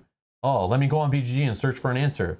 Oh, there's nothing. Let me go read the FAQ. Oh, let me email the publisher to find out if I broke the game or if this is a typo or something wrong. And now you're sitting there with this book that has issues. You got to like write in it or put post-it notes or something, and it's a mess. And then you're waiting for the next Kickstarter to get a reprint of a horribly translated book or a book with not play tested properly. We've all seen it before. It still happens to this day. But the fact that this is only available in a web app means that uh, you know Sammy can fix things and he can update things and correct typos and stuff on the fly and, and improve it, you know, more easily uh, with less cost, less time. It, it just makes sense. It's just the right way to do it, I think, uh, in this day and age. Like everyone has an access. Most people, right, who are playing in this hobby have, you know, if you're on the internet watching me right now, you have a device you can use this on. So no complaints from anyone watching the stream because I know you have a way to access this through the web. You have an internet connection. That's all you need to download it or or just open the website and see the app and it, will always be the latest version, which is kind of cool. Dan Roberts says, "How many times I backed a two to three hundred dollar Kickstarter? Uh, my lawyer told me not to answer. I yeah, I totally understand. I wouldn't answer that question either. Yeah, Uh, but yeah, it's confidential. And Daniel's asking if we have the Tainted Grail expansions. No, we don't. No. No, we don't. Uh, Voga said, never happened to me. Blessing of being a newbie board gamer. Well, I remember it happened, especially when we were playing Tainted Grail, and when we Yeah. emailed them, they specifically said like, "Oh, our playtesters never took this path or something," right? Yeah, and they said like we broke the game. Kind Kind of scared me. It And we were like, "Oh, yeah, it- okay." it kind of gave us signs that like Tainted Grail Wave One shipment was kind of rushed, and it probably was the pressure of people like, you know, in the Kickstarter comments demanding their game, which is why I take the stance of like, you know, if you need to delay this game beyond the release, take your freaking time and make the best game you can, because a rushed game, you know, that's bad is bad forever. Mhm. You can't correct that. As, as much as you'd like to say you can with future Kickstarter packs and stuff, it's too late. There's already people that have moved on and moved on to other things. For example, uh, what's that one Awaken Realms game with the dreams and all that stuff Oh, um, that I totally never care to play ever because of yeah, how they handled it. our. Yeah. Oh. I don't even remember. You guys will know. Someone in the chat will know. But the cool part is, so Sammy could release this game, uh, and you know the book maybe has some bugs in it, but at least you can fix it as quick as possible. So, um, but yeah, we've all been there. But Tainted Grail had that issue at first, and they told us like, "Oh, that thanks for catching that bug." Ether- Etherfields. You. Etherfields, was, that's a That was never going to come to my. But yeah, we experienced that with Tainted Grail, and we were able to email them and, and talk to the developers and figure out, you know, where the game was broken and where the book was not tested, uh, and where they were missing rules cues and stuff. Uh, but they told us they would add that to like the wave, second wave. They would send a like, uh, you know, a correction sheet to the players or something. Either way, it sounded like you know, it's like uh, it's too bad you didn't like, you know, But are publishers taking emails from just randoms? Like I know you uh, were they were able they to. were they were answering stuff on BGG. okay, Yeah, but like even- we were able to like personally email Yeah. because we have. Yeah, yeah. I gave them crap too for not answering some questions on BGG. Like I would find the same question I had, and there was like all these people also asking it, no answer. But then I see them answering other questions. So then I would send them the link and be like, hey, answer this. I need to know. We're in the middle of playing this game. Let's go. Oh. But yeah, so Jamie says, "How did you know my plan was to release it horribly broken?" Yeah, yeah. no, no, no. We know you're not. listen. That was amazing. What we No, saw. but it, it is could happen amazing. though. Yes, it with could a, happen. With a game with this many options and story entries and possible outcomes and who has this card and what card and which players and which characters and if they click on this or that, it, you have to go through full software testing like to make sure every button that you click goes to the right thing, right? yeah, that's a And, lot. and, and then you also have to correct all the text in there and make sure the options are correct and which tags are there and all that. That is a monumental task to not mess up something. So eh, you're allowed to have some bugs, you're allowed to have some mm, things missing and, and some errors and that kind of thing. But the cool part is the people who get it and play it can easily send an email, you know, and, and have it fixed like that. yeah. Not get frustrated that they're sitting with a big giant book full of mistakes that they have to throw away. You know, that's like useless and wait for the wait for the new edition to come out, you know? Yeah, and Brian saying, looking at the Reddit on Sleeping Gods, and I think Sleeping Gods was the one I was trying to think of. We literally went through and put put little taggies on Yeah. each one that that had, had something wrong with it, so we Yep. would remember. Yep, yep, yep. Yeah, and that's tough. So yeah, there's going to be an argument where some people see this game and might say, "Oh, there's an app. You need an app. I'm out." But please don't. Please don't. It, it, it you can try it. it. It's worth it. Trust me. Like there's the benefits uh, outweigh the negatives. i you know, from any any point of view. Like because you technically can disconnect from the internet. Like, what's the difference if it's on paper or on a screen? I guess I guess there's some argument there, but you know, staring at a screen for so long maybe can wear down, fatigue your eyes, and sometimes people want to just disconnect from looking at screens to play their tabletop games. But the cool part is, you have like 99% of other games that exist to go choose from and play. So there's always that option. So yeah, I, I think thi- it's pretty cool. I think having an app like this, I love in games because I love that hidden information and not being able to I- see something man, and I things pop up. And Yep. you can see as we played through, you could see our reactions as we were maybe expecting one thing, but something different happened. Yep. You can't do that in a paper book. Well, you could, but I mean, You it, could just fumble. it's You- fumble, you yeah. guys watch me playing Middara. I'm like I'm like fumbling with this giant, you know, Yeah. huge book, and I'm like trying to flip back. Oh, now I have to go back ten pages to find this and find that, and and the and, best. and I'm using the red decoder to try to read and find it. Yeah. It's cool that it's hidden, but it just could be so much better if it was in an app and you're just clicking and it's just exactly. smooth. Yeah. It's just smooth, and then you know you know where your progress was and that kind of stuff. I like that. I really like it. Yeah. Yeah. Yeah, good job so far. I, I think it's a good game. I, I, I like the where it's going. I'm excited to follow some of these quest lines. It, it does it does irk me not to find out where some of those quest lines went in all of our playthroughs we've done this game. It feels like I've just pushed every quest a little bit. I don't think I've taken any quest all the way to the end because I didn't want to see spoilers yet, and I knew I wasn't going to be spoiling stuff like that on stream. Purposely not taking any quests to the end Yeah. to leave stuff for you guys to discover. But I cannot wait to push this further and discover some of these things. I love this kind of stuff. You guys say it on Destinies when I'm playing. I love replaying the same scenario and poking different options and going different ways and seeing, you know, what the story writers had and what surprises they have for you based on passing tests, failing tests, making choices. So if you're into that kind of stuff, you like story driven, sandbox, open world kind of adventure games, take a look at this one. It might be worth the play, and especially if you have younger gamers or lighter gamers or gamers who don't want to play super long epic story games, fumbling around the book, and, and they take like three or four hours to play a session, which we all play those games. I love those games. I love those games. But sometimes it's nice just to like chill on an evening and play a you know a 90 minute fun story game, and you're all just discovering, and then get back together next week and just continue and see how the world changed and what else you discover. Uh, so it's really cool. Also, we've played now technically three sessions, but we played the opening session twice. It was very different Yep. in, the, Yep, in those yep. two playthroughs, which is great. And Snowdale Design saying we really wanted to make the physical book, but there were just too many upsides to going digital, so we made the leap. It just Yeah, makes sense. I love it. and, and if you start thinking environmentally, it, it's like, you know, if you make a book that's full of issues, and then you have to do it, uh, you know, a second on the second Kickstarter, you're giving a reprinted version, or it's, you know, you maybe missed a few things that people are demanding, uh, you know, a newer version. How much work and, and printing and shipping and wasted, you know, manufacturing and paper and all that stuff just to fix some issues. Like, I yeah, it's just not worth it. It just makes sense to do it digital. It, it, it makes complete sense. Yep, definitely. And uh, yeah, the cool part is with a book, if the print is super small, or you know, you you're stuck with it. You gotta you get some glasses, magnifying glasses, whatever.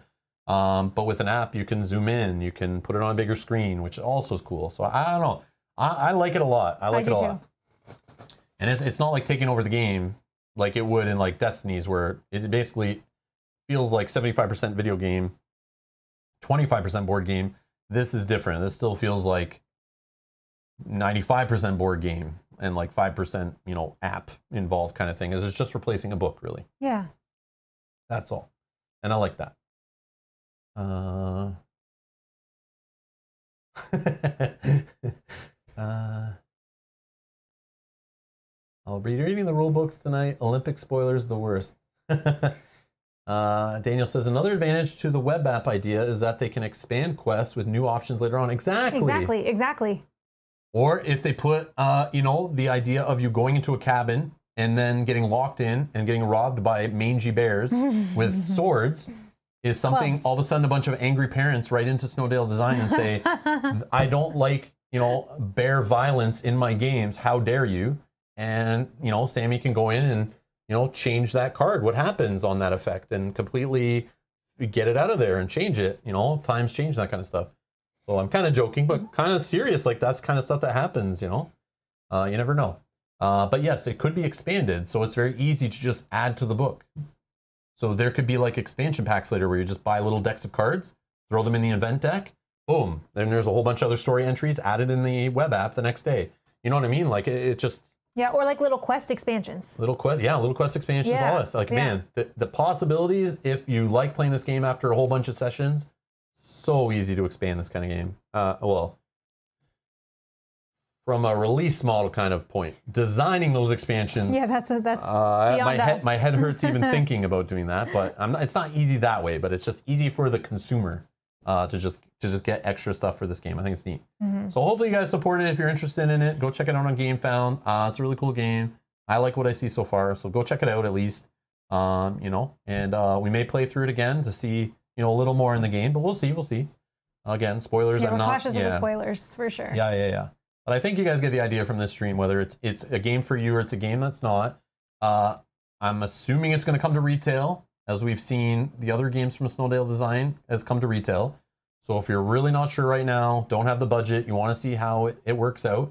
Hopefully we can get a copy from Sammy, or we'll get our own copy in the future and play the final version. I'm interested in doing Mhm, that Definitely. uh, and you guys can see the final product later. You might pay more at retail, maybe you don't. I don't know, but there it, it should come to retail later, assuming it it did fund. It did fun. Yeah, today. so yeah, so uh, you know you you can always wait. So if you're watching this in the future, there might it might already be in retail. So go check it out or see if we have a newer video on the channel or go look for a review or something uh, and look into it. But uh, from what Sammy was saying, this game's pretty far along. So what you see here is kind of what you'll see in the final product. So you know you get an idea of the quality and the content. So that's pretty good.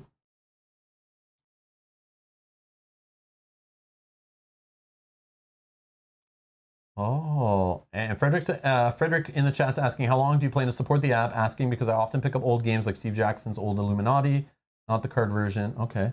Uh, and then Sammy says, you know, as long as humanly possible. If ever it's not supported or he can't do it, he'll just uh, release it as a open source software, like a zip package, you know, like a zip file of, you know, here you go. You can just open it up and run it and kind of, you know, click through it. So, yeah, that's cool. But to be honest, there's like games coming out every 10 seconds all the time. Your shelf's getting full of them. We're always buying new games, always trying new games. The industry is always advancing. So Frederick's situation is true. People do that. They go to try to find the old classics and stuff. But I mean, the odds are there's another story adventure game hmm. that you're now looking into, you know, and this one's whatever. So I don't know. We'll see. We'll see. It's it's, it's app driven and app required board games haven't been around that long yet for it really to matter. But we have seen publishers go out of business. And, and we have seen that kind of stuff get closed down and games not get picked up. So, you know. But hopefully you get it and have some fun with it. And then, you know, you feel the value. But you'll know at the time when you're making your decision. Anyways, we're to get out of here. Thank you all for watching. Thank you for supporting the channel. Thanks everyone for hanging out with us here live. Thanks for those hitting the like button. If you want to find your way back to the channel, make sure you subscribe. Thanks to those that support us on Patreon or those that have joined the YouTube channel by becoming members. If you want to support the channel financially, you can find links for that stuff down in the video description. Thanks again to Sammy from Snowdale Design for providing us with this prototype to check out for you guys on the channel. It was fun. Uh, And for being here for the whole Yeah, stream. yeah, that was amazing. Thank you. Yes, it's uh what is it, Sammy? Like uh eleven something your time probably right now. Uh so yeah, it's pretty late. But Yeah, thank and you, had a big day today. You Yeah, should, definitely you a should big day. sleep. uh and Sammy wants to say we poured uh we've poured so much love, sweat, and tears into the game that I'd hate people not being able to play it. So uh so I'll everything I'll do everything in my power to make it last as long as other games. That's cool. That's cool. And then Cynthia says, I'm definitely in the interested range. Good luck. Uh, but yeah, go check it out. Again, the campaign's going for 28 days. Links are in the video description if you want to find out more. Uh, and go ask uh, Sammy from Snowdale Design any questions. I recommend you go to the uh, Gamefound page or go check out his website. Um, but yeah, you can leave questions in the comments below. But again, I only know what we've seen here, so he might be able to answer that stuff for you. So I recommend going to the Gamefound page, uh, checking it out there. But thank you all for watching. Thank you for spending time with us here. Hope this was helpful. And we'll be back tomorrow where we start our Circle of Undone, or the Circle Undone, sorry, the Circle Undone uh, playthrough for Arkham Horror, the living card game, our blind playthrough of that. So if you want to come and watch us stumble through the world of Arkham Horror and the uh, Cthulhu mythos uh, in a card game, we'll be playing that tomorrow, starting that campaign. So come and join us. Uh, I believe it's 11 a.m. Eastern, and we'll see you for that. Bye-bye. Bye.